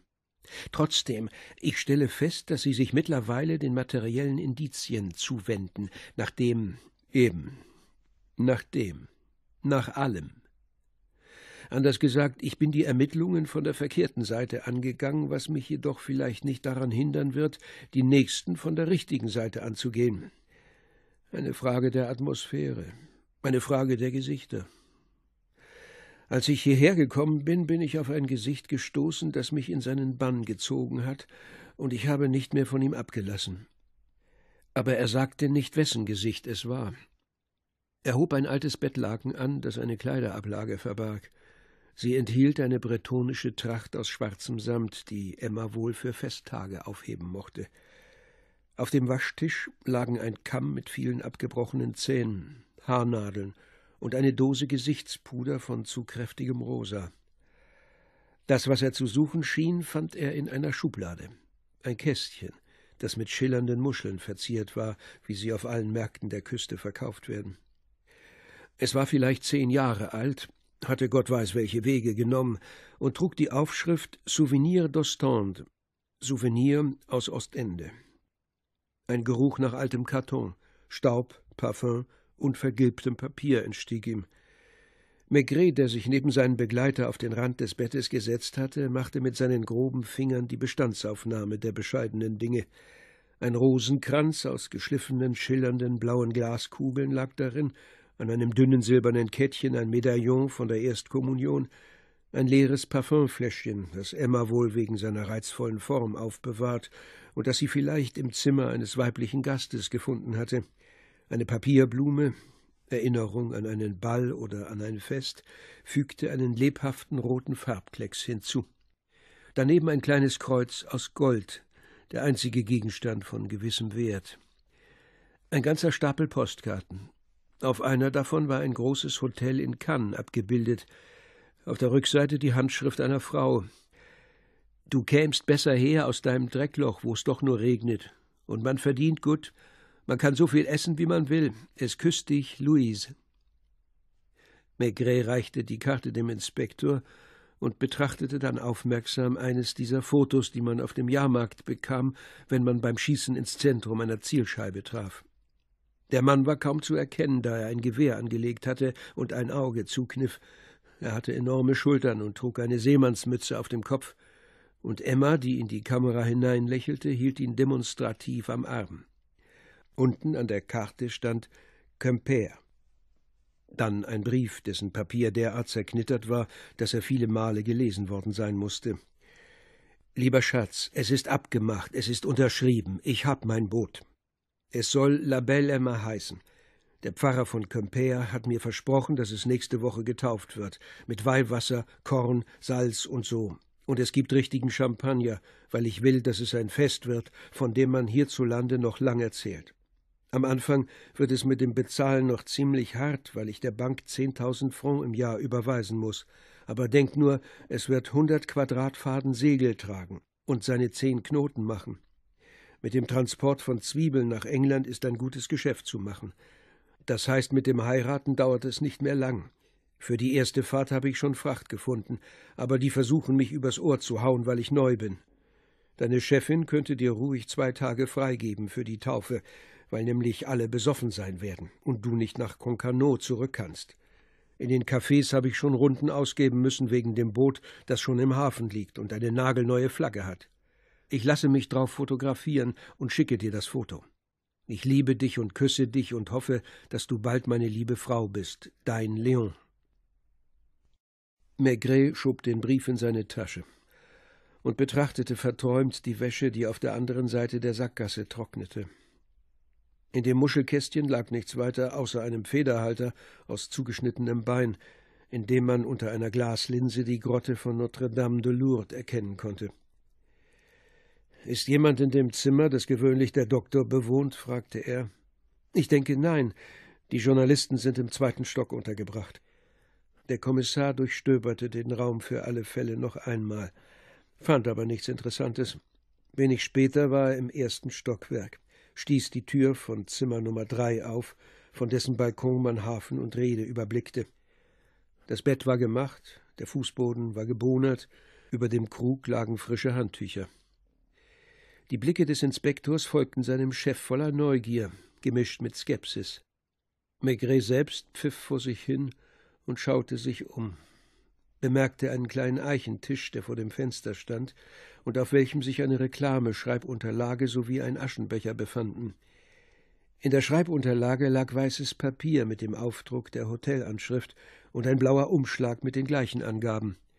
Aber auch zwei große Löschblätter lagen darin, wovon das eine nahezu schwarz vor Tinte war, während das andere nur wenige unvollständige Abdrücke von Buchstaben zeigte. Holen Sie mir einen Spiegel, mein Lieber. Einen großen? Egal, irgendeinen Spiegel, den ich auf den Tisch stellen kann. Als der Inspektor wiederkam, traf er Maigret auf dem Balkon stehend an, die Daumen in die Ärmelausschnitte der Weste geschoben, seine Pfeife mit offensichtlicher Genugtuung rauchend. Ist der recht?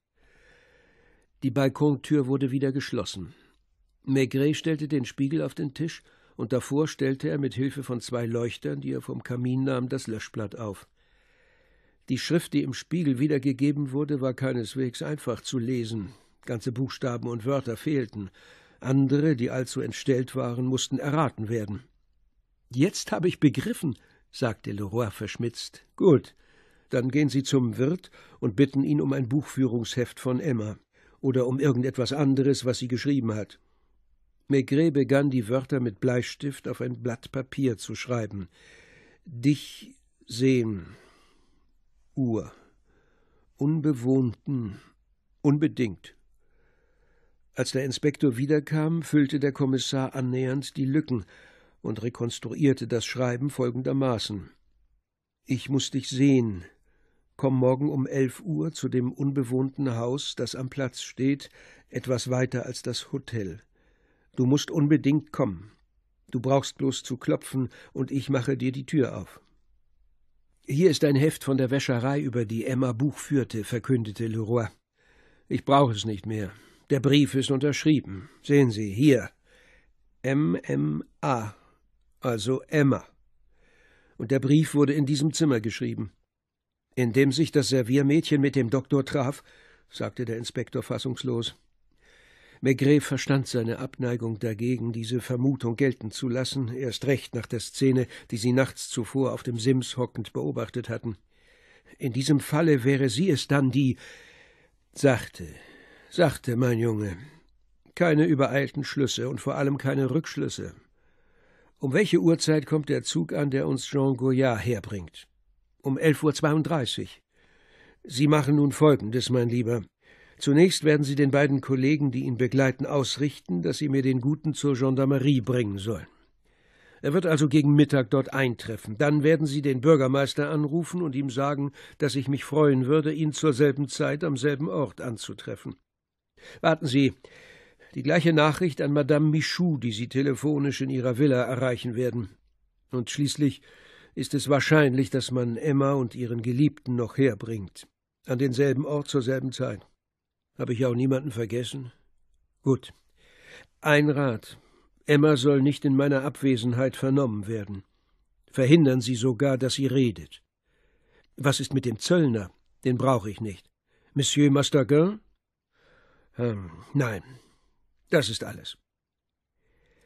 Im Café bestellte Maigret einen Brandwein aus der Region, den er mit sichtlichem Wohlgefallen kostete, wobei er zu den Journalisten die Bemerkung machte Es geht zu Ende, Monsieur. Heute Abend können Sie wieder nach Paris fahren. Der Spaziergang durch die verwinkelten Straßen der Altstadt ließ seine gute Laune steigen. Und als er vor dem Portal der Gendarmerie eintraf, über dem die leuchtende französische Flagge hing, stellte er fest, dass durch den Zauber des Sonnenlichts, der drei Farben und der lichtüberfluteten Mauer die Atmosphäre von einer Heiterkeit durchdrungen war wie am Nationalfeiertag. Ein alter Gendarm, der auf der anderen Seite des Toreingangs auf einem Stuhl saß, las eine Illustrierte. Der Hof mit all seinen kleinen Pflastersteinen, die durch grüne Moosstreifen voneinander getrennt waren, strahlte die Ruhe eines Klosterhofes aus. Wo ist der Inspektor? Sie sind alle unterwegs, der Inspektor, der Wachtmeister und fast das ganze Personal, auf der Suche nach dem Vagabunden, wissen Sie? Der Doktor hat sich nicht vom Fleck gerührt? Der Mann lächelte und warf dabei einen Blick zum vergitterten Fenster des Gefängnisses auf der rechten Seite. Keine Gefahr. Öffnen Sie mir die Tür, ja? und sobald die Riegel zurückgezogen waren, rief er in fröhlichem, freundschaftlichem Ton aus Guten Tag, Doktor. Haben Sie wenigstens gut geschlafen? Aber er gewahrte bloß ein fahles Gesicht, so schmal wie eine Messerklinge, das auf einem Feldbett unter einer grauen Decke hervorlugte. Die Augen waren fiebrig und lagen tief in ihren Höhlen. Nanu, geht es Ihnen nicht gut? Sehr schlecht, brachte Michu hervor, wobei er sich mit einem Seufzer auf seiner Pritsche aufrichtete. Meine Niere. Man gibt Ihnen doch hoffentlich alles, was Sie brauchen. Ja, Sie sind sehr liebenswürdig. Er hatte sich vollständig bekleidet hingelegt. Er zog die Beine unter der Decke hervor, setzte sich hin, fuhr sich mit der Hand über die Stirn, und Maigret setzte sich im selben Augenblick rittlings auf einen Stuhl stützte sich mit den Ellbogen auf die Lehne, strotzend vor Gesundheit und Schwung. Na, was ist? Ich sehe, dass Sie Burgunder bestellt haben. Meine Mutter hat ihn mir gestern mitgebracht. Ich hätte zu gerne diesen Besuch verhindert. Sie musste in Paris Wind davon bekommen haben. Sie ist zurückgekommen. Die Ringe unter den Augen hatten sich weit in seine unrasierten Wangen hineingefressen, die eingefallener wirkten und die fehlende Krawatte sowie der zerknitterte Anzug steigerten das Bild des Jammers, das der Mann bot. Er hielt mit dem Reden inne, um zu husten. Er spuckte sogar demonstrativ in sein Taschentuch, das er betrachtete wie jemand, der sich vor der Tuberkulose fürchtet und sich voll Angst beobachtet. Haben Sie Neuigkeiten? fragte er müde. Die Gendarmen haben Ihnen wohl von dem Zwischenfall der vergangenen Nacht erzählt? Nein. Was ist? Wer wurde. Er hatte sich an die Wand gedrückt, so als fürchte er, angegriffen zu werden. Pah, ein Fußgänger hat eine Kugel ins Bein bekommen. Und man hat ihn, den, den Mörder.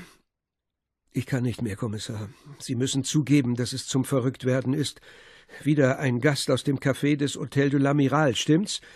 Auf uns hat man es abgesehen. Und ich grüble vergebens darüber nach, weswegen. Ja, weswegen?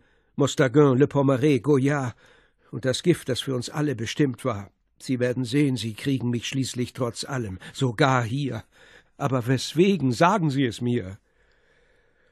Er war nicht mehr fahl, er war leichenblaß, und sein Anblick schmerzte.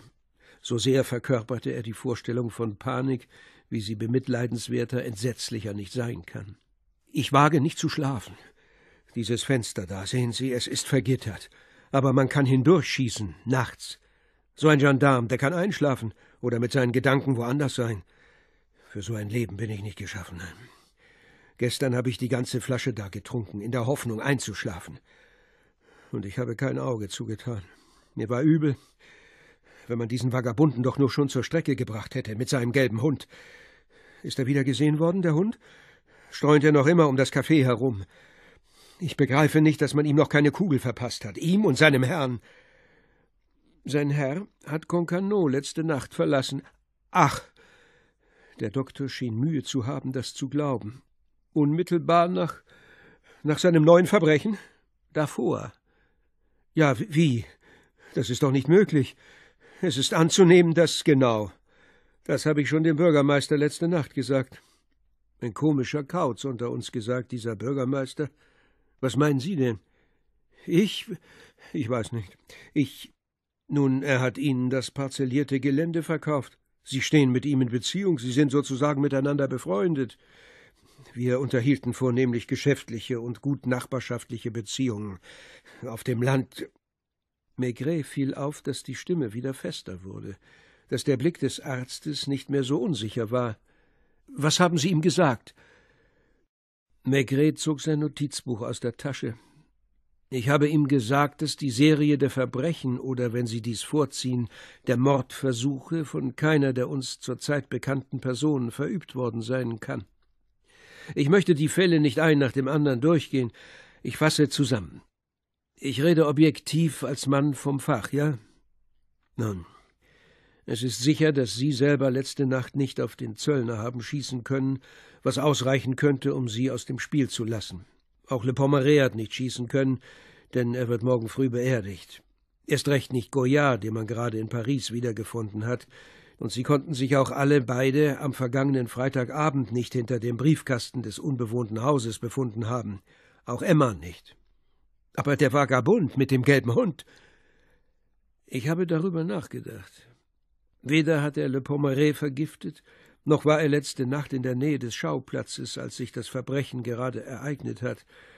Deswegen habe ich dem Bürgermeister von einer unbekannten Person erzählt, einem rätselhaften X, der alle diese Verbrechen verübt haben könnte. Es sei denn, es sei denn, es sei denn, es handelt sich gar nicht um eine Serie. Stellen Sie sich statt einer Art einseitigem Angriff einen regelrechten Kampf zwischen zwei Gruppen oder zwei Individuen vor. Aber Kommissar, was soll denn aus mir werden? Wenn unbekannte Gegner umherschleichen, dann bin ich und sein Gesichtsausdruck wurde wieder unsicher. Er fasste sich mit beiden Händen an den Kopf. Wenn ich daran denke, dass ich krank bin, dass die Ärzte mir strengste Ruhe empfehlen. Ach, eine Kugel oder Gift wird gar nicht nötig sein, um mich zu kriegen. Sie werden noch sehen, dass meine Niere schon das Nötige tun wird. Was halten Sie vom Bürgermeister? Ich weiß nicht. Ich weiß nichts. Er entstammt einer sehr reichen Familie. Als junger Mann hat er in Paris ein aufwendiges Leben geführt. Er hat seinen eigenen Reitstall gehabt. Dann ist er solide geworden. Ein Teil seines Vermögens hat er gerettet und ist hierher gekommen, um sich hier niederzulassen, im Hause seines Großvaters, der auch Bürgermeister von Concarneau war. Er hat mir das Gelände verkauft, mit dem er nichts anfangen konnte. Ich glaube, er würde gern zum Departementsrat ernannt werden, um in den Senat zu kommen. Der Arzt war aufgestanden, und man hätte schwören mögen, dass er innerhalb weniger Tage zehn Kilo abgenommen hatte und wenn er vor lauter Aufregung in Tränen ausgebrochen wäre, so hätte man sich darüber nicht gewundert. Was wollen Sie daraus entnehmen? Und dieser Goyard, der sich in Paris befindet, wenn man glauben soll, was, was soll er denn dort wohl machen und weswegen? Wir werden es bald erfahren, denn er kommt nach Concarneau. Er ist sogar schon hier eingetroffen. Ist er verhaftet worden? Er ist gebeten worden, zwei Herren bis hierher zu folgen. Das ist nicht dasselbe. Was hat er gesagt? Nichts. Man hat ihn nämlich nichts gefragt. Da sah der Arzt dem Kommissar auf einmal ins Gesicht. Schlagartig schoss ihm das Blut in die Wangen. Was soll das heißen? Ich habe den Eindruck, dass irgendjemand den Verstand verliert. Sie kommen und erzählen mir vom Bürgermeister von Goyard, und ich ahne, verstehen Sie, ich ahne, dass ich von einem Augenblick zum anderen umgebracht werde. Trotz dieser Gitter, die nichts verhindern werden, trotz diesem dicken Dummkopf von Gendarm, der auf dem Hof Wache hält. Aber ich will nicht sterben, ich will nicht. Man soll mir doch nur einen Revolver geben, damit ich mich verteidigen kann. Oder man soll die einsperren, die mir nach dem Leben trachten, die Le Pommeret umgebracht haben, die die Flasche vergiftet haben. Er bebte von Kopf bis Fuß. Ich bin kein Held, nein, es ist nicht meine Sache, dem Tod zu trotzen. Ich bin ein Mensch, ich bin krank, und ich bin genug damit geschlagen, gegen die Krankheit zu kämpfen, um zu leben. Sie reden und reden, aber was tun Sie? Wütend stieß er mit der Stirn gegen die Mauer. All das sieht aus wie eine Verschwörung. Man will mich zumindest um den Verstand bringen. Ja, man will mich ins Irrenhaus bringen. Wer weiß, ob meine Mutter es etwa satt hat? Weil ich stets eifersüchtig den Teil vom Erbe meines Vaters, der mir zusteht, für mich behalten habe, aber ich werde mich nicht unterkriegen lassen. Maigret hatte sich nicht gerührt. Er saß noch immer in der Mitte der weißen Zelle, deren eine Wand vom Sonnenlicht überflutet war, die Ellbogen auf die Lehne seines Stuhls gestützt, die Pfeife zwischen den Zähnen. Der Arzt ging auf und ab, Opfer einer Aufregung, die an Raserei grenzte. Da hörte man auf einmal im Raum eine fröhliche, kaum ironische Stimme, die nach Kinderart rief Kuckuck. Ernest Michou fuhr zusammen, schaute in alle vier Ecken der Zelle, bevor er Maigret ansah. Dann bemerkte er die Miene des Kommissars, der seine Pfeife aus dem Mund genommen hatte und ihm schmunzelnd einen Blick zuwarf. Es wirkte wie ein Knopfdruck. Michou erstarrte, völlig ermattet, völlig erschlafft, und sah aus, als schmelze er zu einer unwirklichen Silhouette der Haltlosigkeit zusammen. Haben Sie. Man hätte meinen können, die Stimme komme von woanders her, wie bei einem Bauchredner, der die Worte aus der Zimmerdecke oder aus einer Porzellanvase hervorlockt. Maigrets Augen lachten noch immer, als er aufstand, und mit aufmunterndem Ernst, der zu seinem Gesichtsausdruck im Widerspruch stand, sagte er Nehmen Sie sich zusammen, Doktor. Ich höre Schritte im Hof. In wenigen Augenblicken befindet sich der Mörder gewiss in diesen vier Wänden. Es war der Bürgermeister, der als erster vom Gendarmen hereingeführt wurde. Aber es waren noch weitere Schritte im Hof zu hören. La Belle Emma. Sie haben mich gebeten, herzukommen, Kommissar.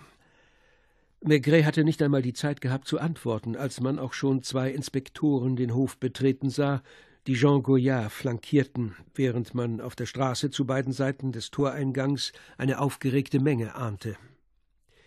Zwischen seinen Bewachern wirkte der Journalist kleiner, rundlicher. Er hatte die Krempel seines Schlapphuts über die Augen heruntergezogen und hielt sich, bestimmt aus Angst vor den Fotografen, ein Taschentuch vor die untere Gesichtshälfte. Hierher, sagte Maigret zu den Inspektoren. Sie könnten uns vielleicht Stühle holen, denn ich höre die Stimme einer Frau. Eine schrille Stimme, die sagte Wo ist er? Ich will ihn sofort sehen. Ich lasse Sie degradieren, Inspektor, verstehen Sie? Ich lasse Sie degradieren.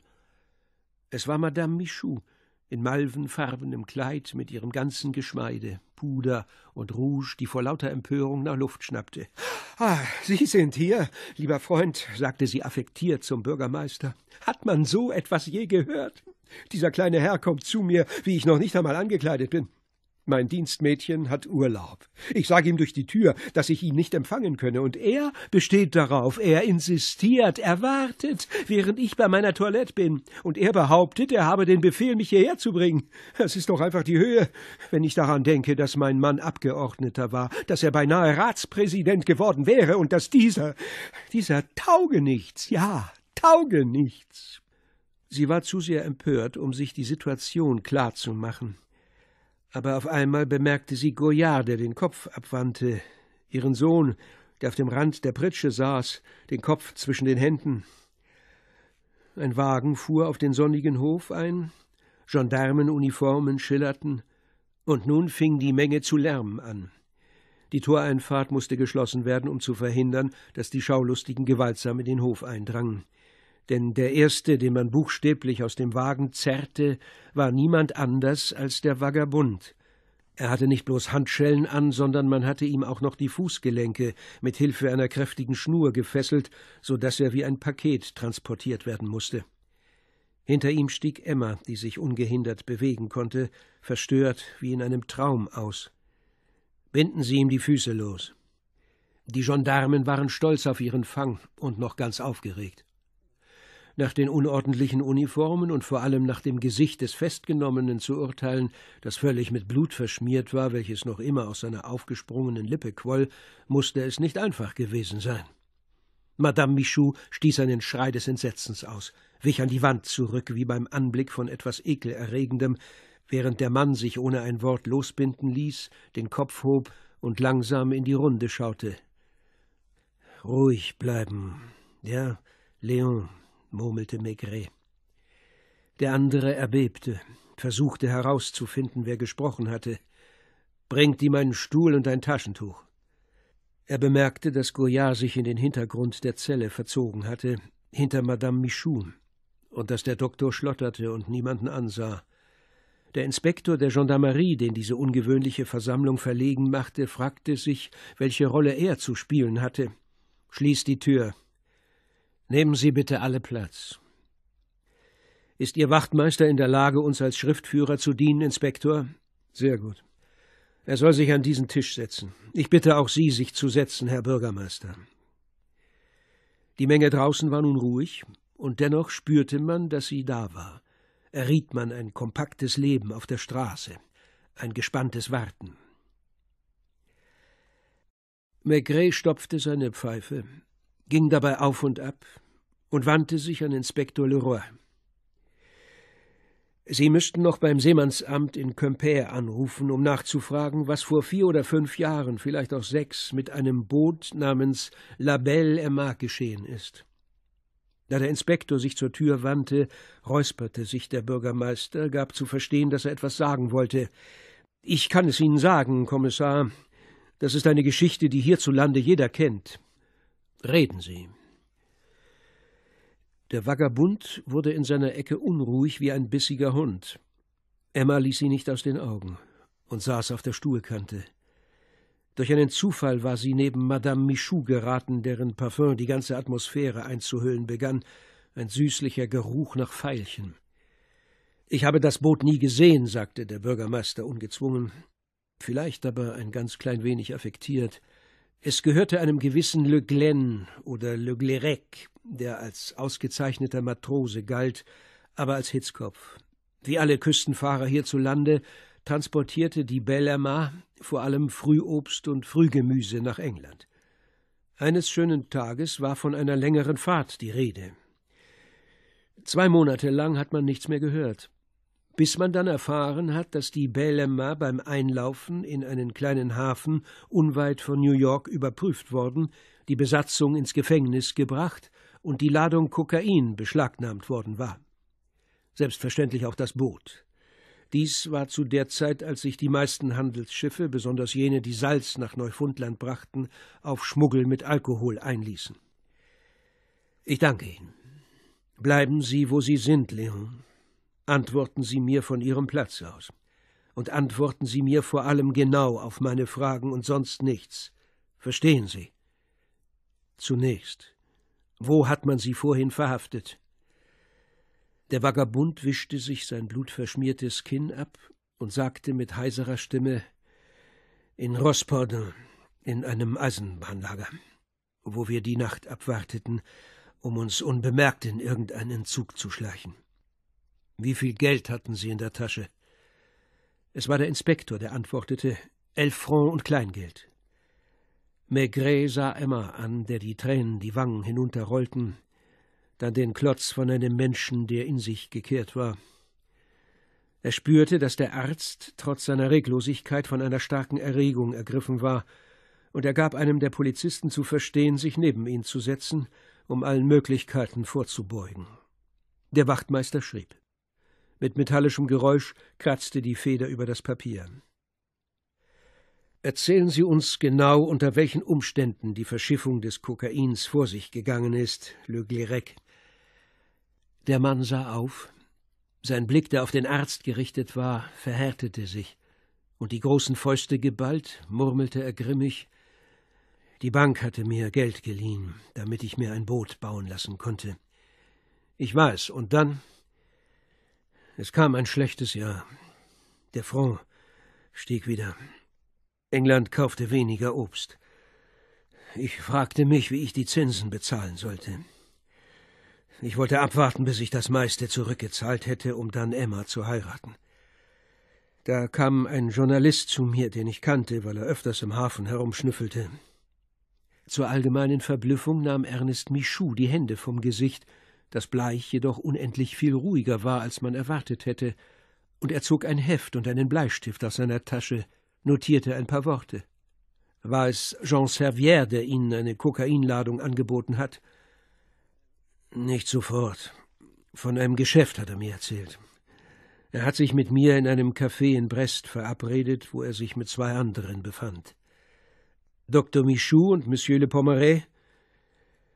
Ganz genau. Michou machte sich weitere Notizen, und in seinem Gesicht lag ein Ausdruck von Verachtung. Einmal brachte er es sogar fertig, ein ironisches Lächeln anzudeuten. Wer von den dreien hat Ihnen das Geschäft übertragen? Der Arzt wartete mit angehobenem Bleistift. Niemand von den dreien. Oder vielmehr, Sie haben mir bloß von der Stange Geld erzählt, die in ein oder zwei Monaten zu verdienen wäre. Eine Stunde danach ist ein Amerikaner gekommen. Ich habe nie erfahren, wie er hieß. Ich habe ihn bloß zweimal gesehen. Auf jeden Fall ein Mann, der die See kannte, denn er hat mich nach den Merkmalen meines Schiffs gefragt, nach der Zahl der Leute, die ich an Bord haben müsse, und wie lange es dauern würde, einen Hilfsmotor anzubauen. Ich glaubte, es ginge um Alkoholschmuggel. Jeder machte das, sogar Offiziere von Passagierdampfern. Die Woche darauf kamen Arbeiter und installierten einen Zweitaktmotor auf der Bellema. Er sprach schleppend, mit starrem Blick, und es war beeindruckend, wie seine dicken Finger sich langsam, krampfartig bewegten und viel beredter waren als sein Gesicht. Man hat mir eine englische Karte mitgegeben, auf der alle Winde des Atlantiks und die Route der Segelschiffe eingetragen waren, denn ich hatte die Überfahrt noch nie gemacht. Vorsichtshalber habe ich nur zwei Mann mitgenommen und ich habe niemandem etwas von dem Geschäft erzählt, außer Emma, die in der Nacht des Auslaufens auf der Mole stand. Auch die drei Männer standen da bei einem Wagen, dessen Scheinwerfer ausgeschaltet waren. Die Verladung hatte am Nachmittag stattgefunden. Und in diesem Moment habe ich Schiss bekommen. Nicht so sehr wegen des Schmuggels, aber ich bin so gut wie nicht zur Schule gegangen. Solange ich den Kompass und das Lot verwenden kann, gilt es. Ich fürchte mich vor niemandem. Aber da draußen, auf hoher See. Ein alter Kapitän hatte versucht, mir beizubringen, wie man mit dem Sextanten umgeht, um den Standort zu ermitteln. Ich hatte mir eine Logarithmentafel gekauft und alles, was dazugehört, aber ich war sicher, dass ich mich in den Berechnungen verheddern würde. Wenn ich aber Erfolg hätte, dann wäre das Schiff bezahlt, und es würden mir noch runde 20.000 Francs in der Tasche bleiben. Es war fürchterlich windig in jener Nacht. Der Wagen und die drei Männer gerieten außer Sicht. Dann auch Emma, deren Silhouette sich schwarz vom Ende der Mole abhob. Zwei Monate auf See. Michou machte noch immer Notizen, vermied aber den Mann anzusehen, der erzählte. Für das Löschen hatte ich Anweisung. Endlich kamen wir, Gott weiß wie, in dem kleinen Hafen an, der uns angegeben war. Wir hatten noch nicht einmal die Taue an Land geworfen, als uns auch schon drei Polizeiboote mit Maschinengewehren umzingelten und Männer mit Gewehren bewaffnet auf die Brücke sprangen, auf uns anlegten wobei sie uns etwas auf Englisch zuriefen und uns Kolbenstöße versetzten, bis wir die Hände hochhielten. Wir haben uns keinen Reim drauf machen können, so schnell war's passiert. Ich weiß nicht, wer mein Schiff zum Quai gesteuert hat, noch wie man uns in einen Polizeiwagen gesteckt hat. Eine Stunde danach war jeder von uns in einem Eisenkäfig eingesperrt, im Gefängnis Sing Sing. Wir waren krank davon. Niemand sprach Französisch. Die Häftlinge verspotteten oder beschimpften uns. Da drüben geht so etwas sehr schnell. Am Morgen darauf wurden wir vor eine Art Gericht gestellt und der Rechtsanwalt, der uns anscheinend verteidigte, hat noch nicht einmal das Wort an uns gerichtet. Erst danach hat er mir erklärt, dass ich zu zwei Jahren Zwangsarbeit und zu hunderttausend Dollar Geldstrafe verurteilt sei, dass mein Boot beschlagnahmt sei und so. Ich begriff nicht, Hunderttausend Dollar. Ich schwor, dass ich kein Geld besaß. In diesem Fall wurden es, ich weiß nicht wie viele Jahre, Gefängnis mehr. Ich bin in Sing Sing geblieben. Meine Matrosen mussten wohl in ein anderes Gefängnis gebracht worden sein, denn ich habe sie nie wiedergesehen. Man hat mich kahl geschoren. Man hat mich auf die Straße zum Steineklopfen mitgenommen. Ein Kaplan wollte mir Bibelunterricht geben. Sie wissen nicht, was es heißt. Es gab reiche Häftlinge, die fast jeden Abend in die Stadt bummeln gingen, und die anderen waren ihre Knechte. Was soll's. Erst ein Jahr später ist mir eines Tages der Amerikaner aus Brest wieder begegnet, der einen Häftling besuchen kam. Ich habe ihn wiedererkannt. Ich habe ihn gerufen. Er hat eine Weile gebraucht, um sich zu erinnern, dann ist er in Lachen ausgebrochen und hat mich ins Sprechzimmer führen lassen. Er war sehr herzlich. Er behandelte mich wie einen alten Kumpel. Er hat mir erzählt, dass er schon immer Spitzel der Prohibition gewesen sei. Er arbeite vor allem im Ausland, in England, Frankreich, Deutschland, von wo aus er der amerikanischen Polizei Informationen über abgehende Transporte zuspiele. Gleichzeitig aber treibe er hin und wieder Schwarzhandel auf eigene Rechnung. So auch bei diesem Geschäft mit Kokain, das Millionen einbringen sollte, denn zehn Tonnen waren davon an Bord. Zu ich weiß nicht wie viel Franc das Gramm. Also habe er sich mit Franzosen in Verbindung gesetzt, die das Boot und einen Teil des Kapitals stellen sollten. Das waren meine drei Männer. Und der Gewinn sollte natürlich unter den Vieren geteilt werden. Aber warten Sie, denn das Schönste kommt ja noch. Am selben Tag, als in Quimper die Verladung stattfand, erhielt der Amerikaner von zu Hause eine Warnung. Ein neuer Mann befasse sich mit der Prohibition, die Überwachung werde verschärft, die Käufer in den USA zögerten, und aus diesem Grund laufe die wahre Gefahr, keine Abnehmer zu finden. Dagegen verspreche ein neuer Erlass jedem, der Schmuggelware hochgehen lasse, eine Prämie, die sich auf ein Drittel des Wertes dieser Ware belaufe. Und das erzählte man mir in meinem Gefängnis. Ich erfuhr, dass meine drei Männer sogar auf dem Quai mit dem Amerikaner diskutiert hatten, während ich beklommen meine Taue schießen ließ und mich fragte, ob wir überhaupt lebend am anderen Ufer des Atlantiks ankämen. Alles auf eine Karte setzen? Der Doktor war es, ich weiß, der auf der Denunziation bestanden hat. Zumindest würde auf diese Weise ein Drittel des Kapitals mit Sicherheit zurückgewonnen, ohne Komplikationen zu riskieren. Außerdem sprach sich der Amerikaner mit einem Kollegen darüber ab, einen Teil des beschlagnahmten Kokains auf die Seite zu schaffen. Unglaubliche Tricks, ich weiß. Die Belema glitt über das schwarze Wasser des Hafens. Ich sah ein letztes Mal meine Braut in der Gewissheit, sie ein paar Monate danach zu heiraten. Und sie wussten, sie, die uns auslaufen sahen, dass man uns bei unserer Ankunft schnappen würde. Sie rechneten sogar damit, dass wir uns wehren würden, dass wir wahrscheinlich im Feuergefecht umkommen würden, wie es damals in amerikanischen Gewässern alle Tage vorkam. Sie wussten, dass mein Boot beschlagnahmt werden würde, dass es noch nicht einmal ganz bezahlt war, dass ich nichts anderes auf der Welt besaß. Sie wussten, dass ich von nichts anderem träumte, als zu heiraten. Und sie sahen zu, wie wir ausliefen. Das war's, was man mir in Sing Sing gestand, wo ich zu einem Rohling unter anderen Rohlingen geworden war. Man brachte mir Beweise. Mein Gesprächspartner lachte, klatschte sich auf die Schenkel und rief aus Richtige Lumpen, die drei.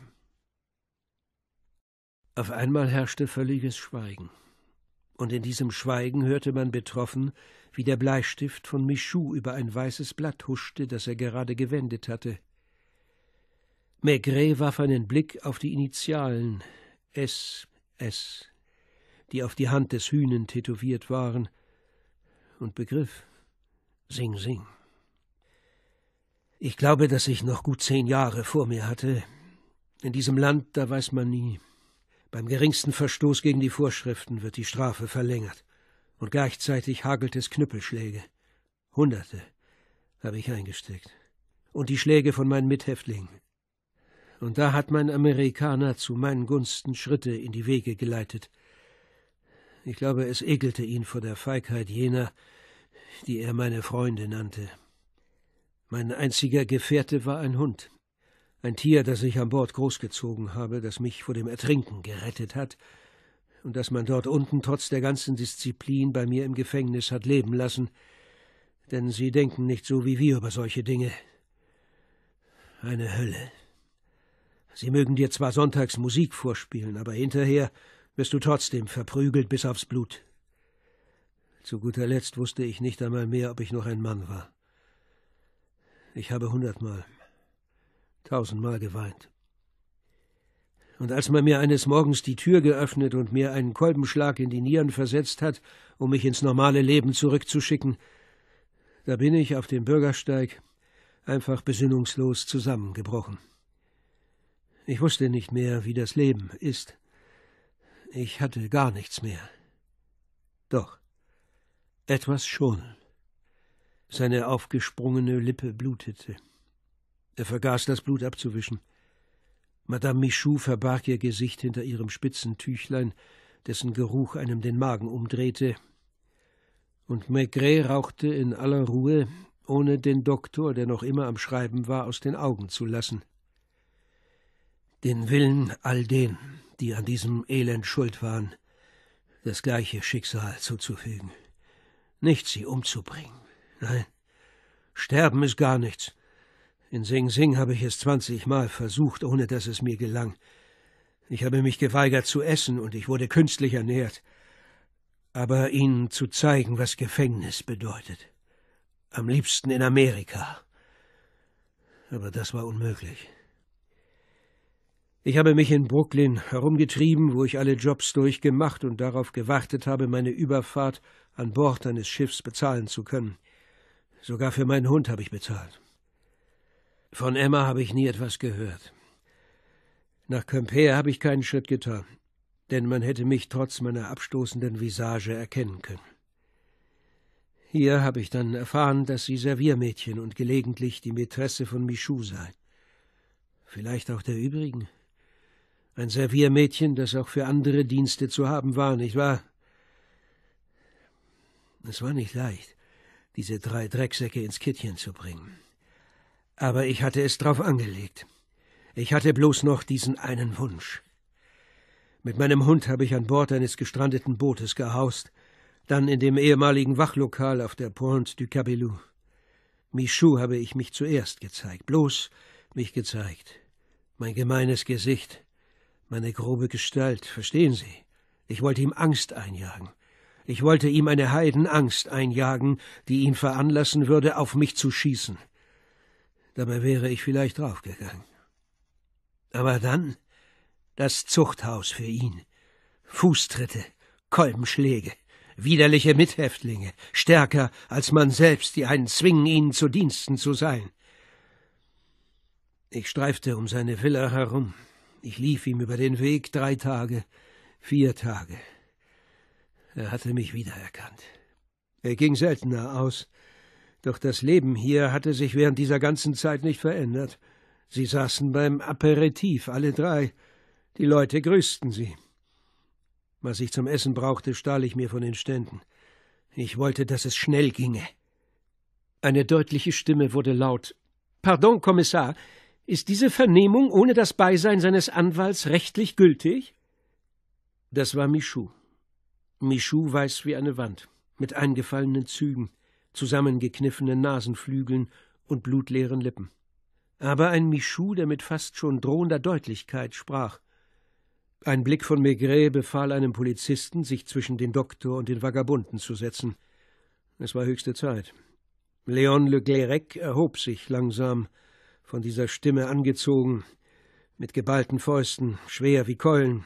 Hinsetzen! Setzen Sie sich hin, Leon.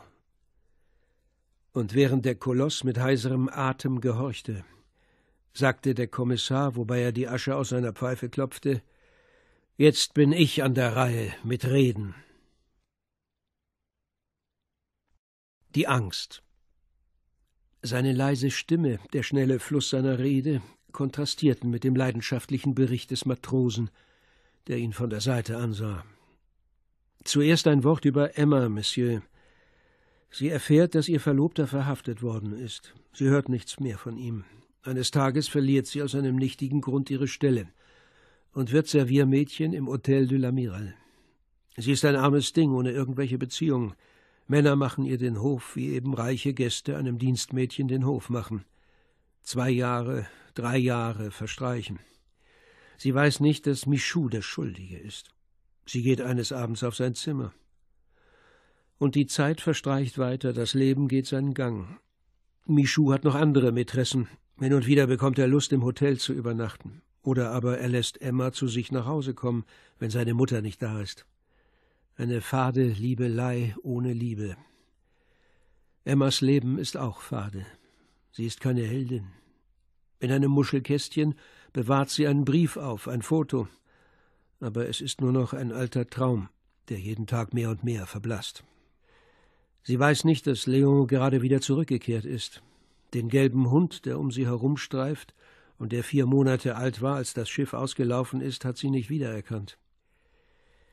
Eines Nachts diktiert ihr Michou einen Brief, ohne ihr zu sagen, an wen er gerichtet ist. Es geht darum, sich mit jemandem um elf Uhr abends in einem unbewohnten Haus zu verabreden. Sie schreibt Ein Serviermädchen, verstehen Sie. Léon Le Glérec hat sich nicht getäuscht. Michou hat Angst. Er wähnt sein Leben in Gefahr. Er will den umherstreifenden Gegner aus dem Weg räumen. Aber er ist ein Feigling. Er selbst hat es mir gegenüber immer wieder betont. Er bindet den Brief mit einer Schnur dem Hund um den Hals, um ihn so seinem Opfer zukommen zu lassen, dem er im Flur des Hauses hinter der Eingangstür auflauern will. Ob Leon misstrauisch werden wird? Aber ob er nicht trotz allem seine ehemalige Braut wiedersehen will? In dem Augenblick, da er an die Tür klopfen würde, könnte Michou durch den Briefkasten schießen und über die Gasse davonlaufen. Und das Verbrechen würde umso mehr ein Rätsel bleiben, als niemand das Opfer wiedererkennen würde. Aber Leon ist misstrauisch. Vielleicht streift er schon über den Platz. Ob er sich dazu entschließt, zu der Verabredung zu kommen? Der Zufall will, dass Monsieur Mostagain in diesem Moment leicht angetrunken das Café verlässt und am Hauseingang stehen bleibt, um sich eine Zigarre anzuzünden. Er schwankt, er stößt an die Tür, das ist das Zeichen. Eine Kugel trifft ihn mitten in den Bauch. Das ist der erste Fall. Der Anschlag von Michou ist gescheitert. Er ist nach Hause gegangen. Goyard und Le Pommeret, die Bescheid wissen und die am Verschwinden desjenigen, der sie alle drei bedroht, das gleiche Interesse haben, sind entsetzt. Emma hat begriffen, welches Spiel man mit ihr getrieben hat. Ob sie Leon gesehen hat, ob sie nachgegrübelt und den gelben Hund endlich erkannt hat? Tags darauf bin ich an Ort und Stelle. Ich sehe die drei Männer. Ich fühle ihr Entsetzen. Sie sind auf ein Verbrechen gefasst. Und ich will herausfinden, von welcher Seite sie den Anschlag erwarten. Ich will unbedingt sicher sein, dass ich mich nicht täusche. Ich selbst vergifte also eine Flasche Aperitif wie ein Stümper. Ich bin bereit einzugreifen, falls jemand trinken sollte. Aber nein, Michou ist auf der Hut.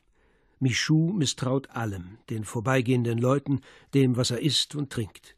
Er traut sich nicht einmal, das Hotel zu verlassen. Emma war in eine solche Starre gefallen, dass man sich ein ergreifenderes Bild der Verblüffung schwer vorstellen konnte. Und Michou hatte für einen Moment den Kopf gehoben, um Maigret in die Augen zu sehen. Jetzt schrieb er fieberhaft mit. Das war das zweite Verbrechen, Herr Bürgermeister. Und unser Trio ist noch immer am Leben, hat noch immer Angst. Goyard ist der sensibelste von den dreien. Bestimmt ist er auch der kleinste Schuft. Die Sache mit dem Giftanschlag hat ihn außer sich gebracht. Er spürt, dass er eines schönen Tages dran glauben wird. Er ahnt, dass ich ihm auf der Spur bin. Und er beschließt, sich aus dem Staub zu machen. Sich aus dem Staub zu machen, ohne eine Spur zu hinterlassen. Er wird ein Verbrechen fingieren, wird vortäuschen, dass er tot sei und dass man seine Leiche ins Wasser des Hafens geworfen habe. Zuvor treibt ihn die Neugier dazu, bei Michou herumzustöbern, vielleicht auf der Suche nach Leon, um ihm eine Aussöhnung anzubieten. Dort stößt er auf Spuren, die der Rohling auf seinem Weg hinterlassen hat. Er begreift, dass es nicht lange dauern wird, bis auch ich diese Spuren entdecke. Schließlich ist er Journalist. Er weiß außerdem, wie leicht beeindruckbar die Massen sind. Er weiß, dass er, solange Leon am Leben ist, nirgends in Sicherheit sein kann. Und er kommt auf etwas wirklich Geniales. Auf den Artikel. Geschrieben mit der linken Hand. Eingesandt an den Phare de Brest. Darin ist von dem gelben Hund, von dem Vagabunden die Rede. Jeder Satz zielt darauf ab, Angst und Schrecken in Concarneau zu verbreiten und somit bestehen Aussichten, dass der Mann mit den großen Füßen eine Ladung Blei in den Leib bekommt, wenn ihn die Leute erblicken. Um ein Haar wäre es geschehen. Zuerst hat man auf den Hund geschossen. Genauso hätte man auf den Mann geschossen. Eine aufgebrachte Bevölkerung ist zu allem fähig. Am Sonntag beherrscht nämlich tatsächlich der Schrecken die Stadt. Michou verlässt das Hotel nicht, er ist krank vor Angst aber er bleibt fest entschlossen, sich bis zum Schluss zur Wehr zu setzen mit allen Mitteln. Ich lasse ihn mit Le Pommeret allein. Ich weiß nicht, was dann zwischen ihnen vorfällt. Goyard hat sich aus dem Staub gemacht. Le Pommeret selbst, der einer ehrbaren einheimischen Familie angehört, muss wohl versucht sein, die Polizei einzuschalten, eher alles auffliegen lassen, als weiterhin diesen Albtraum durchmachen. Was riskiert er schon? Eine Geldstrafe, ein bisschen Gefängnis, höchstens. Das Hauptverbrechen ist in Amerika verübt worden.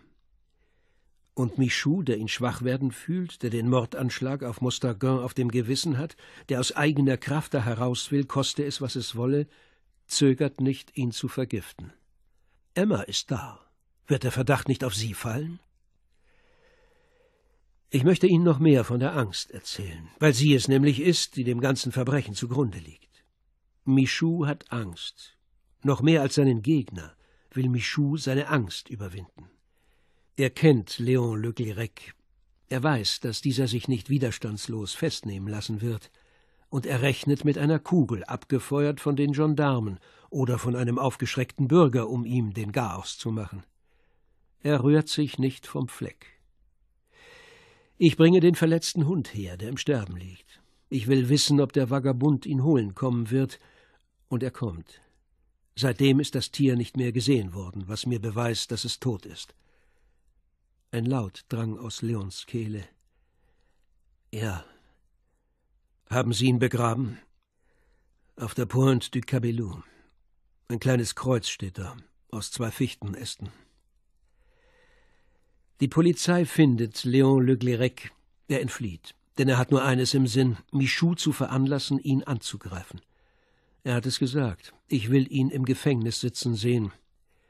Meine Pflicht ist es, ein weiteres Verbrechen zu verhindern, und deshalb verhafte ich Michou, wobei ich ihm versichere, dass es geschieht, um ihn in Sicherheit zu bringen. Es ist keine Lüge, aber gleichzeitig hindere ich Michou daran, weitere Verbrechen zu verüben. Er ist am Ende. Er ist zu allem fähig. Er sieht sich von allen Seiten verfolgt. Trotzdem ist er noch in der Lage, Komödie zu spielen, mir von seiner Konstitutionsschwäche zu erzählen, seine Heidenangst mit Aberglauben und einer alten Wahrsagung zu begründen, die erstunken und erlogen ist. Er muss erreichen, dass die Bevölkerung beschließt, seinen Gegner zur Strecke zu bringen. Er weiß, dass man ihn logischerweise verdächtigen kann, an allem schuld zu sein, was bisher geschehen ist. Allein in dieser Zelle grübelt er nach, ob es etwa kein Mittel gibt, den Verdacht endgültig abzulenken. Wenn ein weiteres Verbrechen geschehen würde, jetzt wo er hinter Schloss und Riegel sitzt, hätte er da nicht das stichhaltigste Alibi, das man sich vorstellen kann? Seine Mutter kommt ihn besuchen. Sie weiß alles. Sie darf weder verdächtigt noch von Verfolgern eingeholt werden. Sie muss ihn retten. Sie ist beim Bürgermeister zu Abend. Sie lässt sich zu ihrer Villa zurückfahren, wo sie das Licht den ganzen Abend brennen lässt. Sie geht zu Fuß zur Stadt zurück. Ob alles schläft? Nur im Café noch nicht. Es genügt darauf zu warten, dass jemand herauskommt, ihm an einer Straßenecke aufzulauern. Und um diese Person am Laufen zu hindern, zielt sie auf die Beine. Dieses Verbrechen in seiner ganzen Sinnlosigkeit wäre die schwerste Belastung von Michou, hätten wir nicht schon weitere. Am Morgen, als ich hierher komme, hat er Fieber. Er weiß nicht, dass Goya in Paris verhaftet worden ist. Vor allem weiß er nicht, dass ich zu dem Zeitpunkt, als der Schuss auf den Zöllner abgegeben worden ist, den Vagabunden vor meinen Augen hatte. Denn Leon, verfolgt von der Polizei und der Gendarmerie, ist in der Häuserzeile geblieben. Er will es schnell zu Ende bringen. Er will Michou nicht aus den Augen lassen. Er übernachtet in einem Zimmer des leerstehenden Hauses. Von ihrem Zimmer aus bemerkt ihn Emma, und da sucht sie ihn auf. Sie beteuert flehentlich ihre Unschuld, sie wirft sich ihm zu Füßen, hängt sich an ihn. Zum ersten Mal steht sie wieder vor ihm, vernimmt er wieder ihre Stimme. Sie hat einem anderen gehört, anderen. Aber was hat er nicht alles durchgemacht? Sein Herz wird weich, er packt sie mit brutaler Hand so, als wolle er sie zermalmen, aber es sind ihre Lippen, die er unter den seinen zerdrückt. Er ist nicht mehr der Mann, der allein und nur für sich ein Ziel, eine Idee verfolgt. Unter Tränen spricht sie von einem möglichen Glück mit ihm, von einem neuen Leben. Und sie brechen miteinander auf, ohne einen Heller, mitten in der Nacht, ganz gleich wohin. Sie überlassen Michou seinem Schrecken. Irgendwo wollen sie versuchen, glücklich zu werden. Maigret stopfte gemächlich seine Pfeife und betrachtete die anwesenden Personen, eine nach der anderen. Sie werden entschuldigen, Herr Bürgermeister, dass ich Sie bei meinen Ermittlungen nicht auf dem Laufenden gehalten habe, aber als ich hier eintraf, wurde mir klar, dass das Drama erst am Anfang stand. Um seine Fäden zu entwirren, musste man ihm erst ermöglichen, sich zu entwickeln, und man musste dabei Schäden möglichst zu vermeiden suchen. Le Pommeret ist tot, ermordet von seinem Komplizen. Aber so wie ich ihn erlebt habe, bin ich überzeugt, dass er sich am Tag seiner Verhaftung selbst umgebracht hätte. Ein Zöllner hat eine Kugel ins Bein erhalten, in einer Woche ist nichts mehr davon zu merken. Dafür kann ich nun einen Haftbefehl auf Dr. Ernest Michou ausstellen, wegen versuchten Mordes und Körperverletzung an Monsieur Mostagin sowie wegen vorsätzlicher Vergiftung seines Freundes Le Pommeret dazu einen weiteren Haftbefehl auf Madame Michou wegen nächtlichen Überfalls. Was Jean Goyard, genannt Servier, angeht, so glaube ich, dass er höchstens wegen Irreführung der Behörden belangt werden kann, weil er diese Komödie gespielt hat. Da ereignete sich ein komischer Zwischenfall. Ein Seufzer. Ein glücklich beschwingter Seufzer aus dem Munde des rundlichen Journalisten. Und dreist stammelte er: Ich nehme an, dass ich in diesem Falle gegen Kaution auf freien Fuß gesetzt werden kann. Ich bin bereit, 50.000 Francs zu zahlen. Darüber wird das Gericht entscheiden, Monsieur Goyard. Madame Michou war auf ihrem Stuhl zusammengesunken. Ihr Sohn aber besaß mehr Energie als sie. Haben Sie nichts hinzuzufügen? fragte ihn Maigret. Pardon, ich werde im Beisein meines Anwalts antworten. Inzwischen mache ich alle Vorbehalte gegen die Rechtmäßigkeit dieser Konfrontation geltend. Und wie ein junger Gockel reckte er seinen dürren Hals, aus welchem ein gelblicher Adamsapfel hervorragte. Seine Nase wirkte schiefer denn je. Das Heft, in das er sich Notizen gemacht hatte, hatte er nicht losgelassen. Und die beiden da, murmelte der Bürgermeister beim Aufstehen. Ich habe nicht das geringste gegen sie vorzubringen. Léon Le Clérec hat zugegeben, dass er Michou veranlassen wollte, auf ihn zu schießen. Dazu hat er nichts weiter getan, als sich zu zeigen. Es gibt keinen Paragraphen, der höchstens wegen Landstreicherei, fiel ihm der Inspektor der Gendarmerie ins Wort. Aber der Kommissar zuckte auf eine Weise mit den Schultern, dass der Inspektor vor Verlegenheit rot wurde. Obwohl es schon längst Zeit zum Mittagessen war, stand draußen eine große Menschenmenge, und der Bürgermeister hatte eingewilligt, seinen Wagen zur Verfügung zu stellen, dessen Vorhänge nahezu hermetisch schlossen. Emma stieg als erste ein dann Léon Le Glérec und schließlich Maigret, der mit der jungen Frau im Fond Platz nahm, während sich der Seemann linkisch auf einem Klappsitz niederließ. Schnell fuhr man durch die Menge hindurch. Wenige Minuten später war man auf dem Weg nach Quimper und Léon, verlegen mit unsicherem Blick, fragte: Warum haben Sie das gesagt? Was? Dass Sie die Flasche vergiftet hätten. Emma war leichenblass. Sie traute sich nicht, sich an die Polster zu lehnen, und es war bestimmt das erste Mal in ihrem Leben, dass sie in einer Limousine fuhr. So eine Idee, murmelte Maigret, wobei er den Stiel seiner Pfeife mit den Zähnen festhielt. Und da begann das junge Mädchen verzweifelt loszujammern. Ich schwöre Ihnen, Kommissar, ich wusste nicht mehr, was ich tat. Michou hatte mich den Brief schreiben lassen.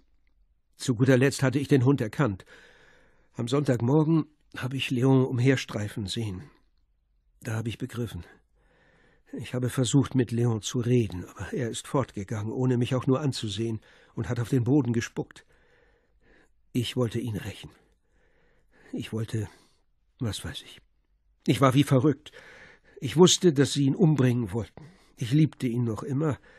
Den ganzen Tag habe ich mir alles Mögliche durch den Kopf gehen lassen. Am Mittag bin ich während des Essens zur Villa Michou gelaufen, um das Gift zu holen. Ich wusste nicht, welches ich aussuchen sollte. Er hatte mir schon einmal die Fläschchen gezeigt und mir gesagt, dass man ganz Concarneau damit umbringen könnte. Aber ich schwöre Ihnen, sie hätte ich nicht trinken lassen. Zumindest glaube ich es nicht. Sie schluchzte. Leon tätschelte ihr unbeholfen das Knie, um sie zu beruhigen. Ich werde es Ihnen nie genug danken können, Kommissar, rief sie unter Schluchzen aus. Was Sie getan haben, das ist. das ist. mir fehlen die Worte. Das ist so wunderbar. Maigret schaute die beiden an. Ihn mit seiner aufgesprungenen Lippe, seinem kurzgeschorenen Haar und seiner Verbrechervisage, die begann wieder menschliche Züge anzunehmen, sie mit ihrem armseligen Gesicht, das in diesem Aquarium von Kaffee verblasst war. Was haben Sie vor? Keine Ahnung. Weg aus dieser Gegend. Vielleicht nach Le Havre. Immerhin habe ich auch im Hafen von New York schon Mittel und Wege gefunden, meinen Lebensunterhalt zu verdienen. Hat man Ihnen Ihre zwölf Francs zurückgegeben? Leon wurde rot und antwortete nicht. Was kostet der Zug von hier nach Le Havre? Nein, tun Sie das nicht, Kommissar. Denn dann wüssten wir nicht, Verstehen Sie? Maigret klopfte mit dem Finger gegen die Trennscheibe des Wagens, denn man fuhr gerade an einem kleinen Bahnhof vorbei. Er zog zwei Scheine zu hundert Francs aus seiner Tasche. Nehmen Sie sie. Ich werde sie auf meine Spesenrechnung setzen. Und er schob sie schon fast hinaus und schlug die Tür wieder zu, während sie noch versuchten, sich zu bedanken. Nach Concarneau, aber schnell. Ganz allein im Wagen zuckte er mindestens dreimal mit den Achseln, wie ein Mann, der sich unbedingt über sich selber lustig machen will. Der Prozess dauerte ein Jahr. Ein Jahr lang erschien Dr. Michou bis zu fünfmal wöchentlich beim Untersuchungsrichter mit einer Saffian-Aktentasche vollgestopft mit Unterlagen. Und jede Vernehmung erbrachte weiteren Stoff für Rechtsverdrehung. Jedes Dokument der Akten führte zu Kontroversen, Beweisaufnahmen und Gegenbeweisaufnahmen. Michou wurde immer magerer, immer gelber, immer kränklicher, aber die Waffen streckte er nicht. Gestatten Sie einem Mann, der höchstens noch drei Monate zu leben hat, lautete sein Lieblingssatz. Er verteidigte sich Schritt für Schritt mit hinterhältigen Tricks, unerwarteten Gegenstößen. Und er hatte einen Anwalt gefunden, der noch galliger war als er selber, mit dem er sich ablöste. Verurteilt zu zwanzig Jahren Zwangsarbeit durch das Schwurgericht des Departements Finistère, wartete er volle sechs Monate darauf, dass sein Fall in die Revision ginge. Aber auf einem Foto, das höchstens einen Monat alt war und in allen Zeitungen erschien, konnte man ihn dann sehen, noch immer mager und gelb mit schiefer Nase, den Sack auf dem Buckel, die Kappe auf dem Kopf, wie er auf der Ile de Ré an Bord der Lamartine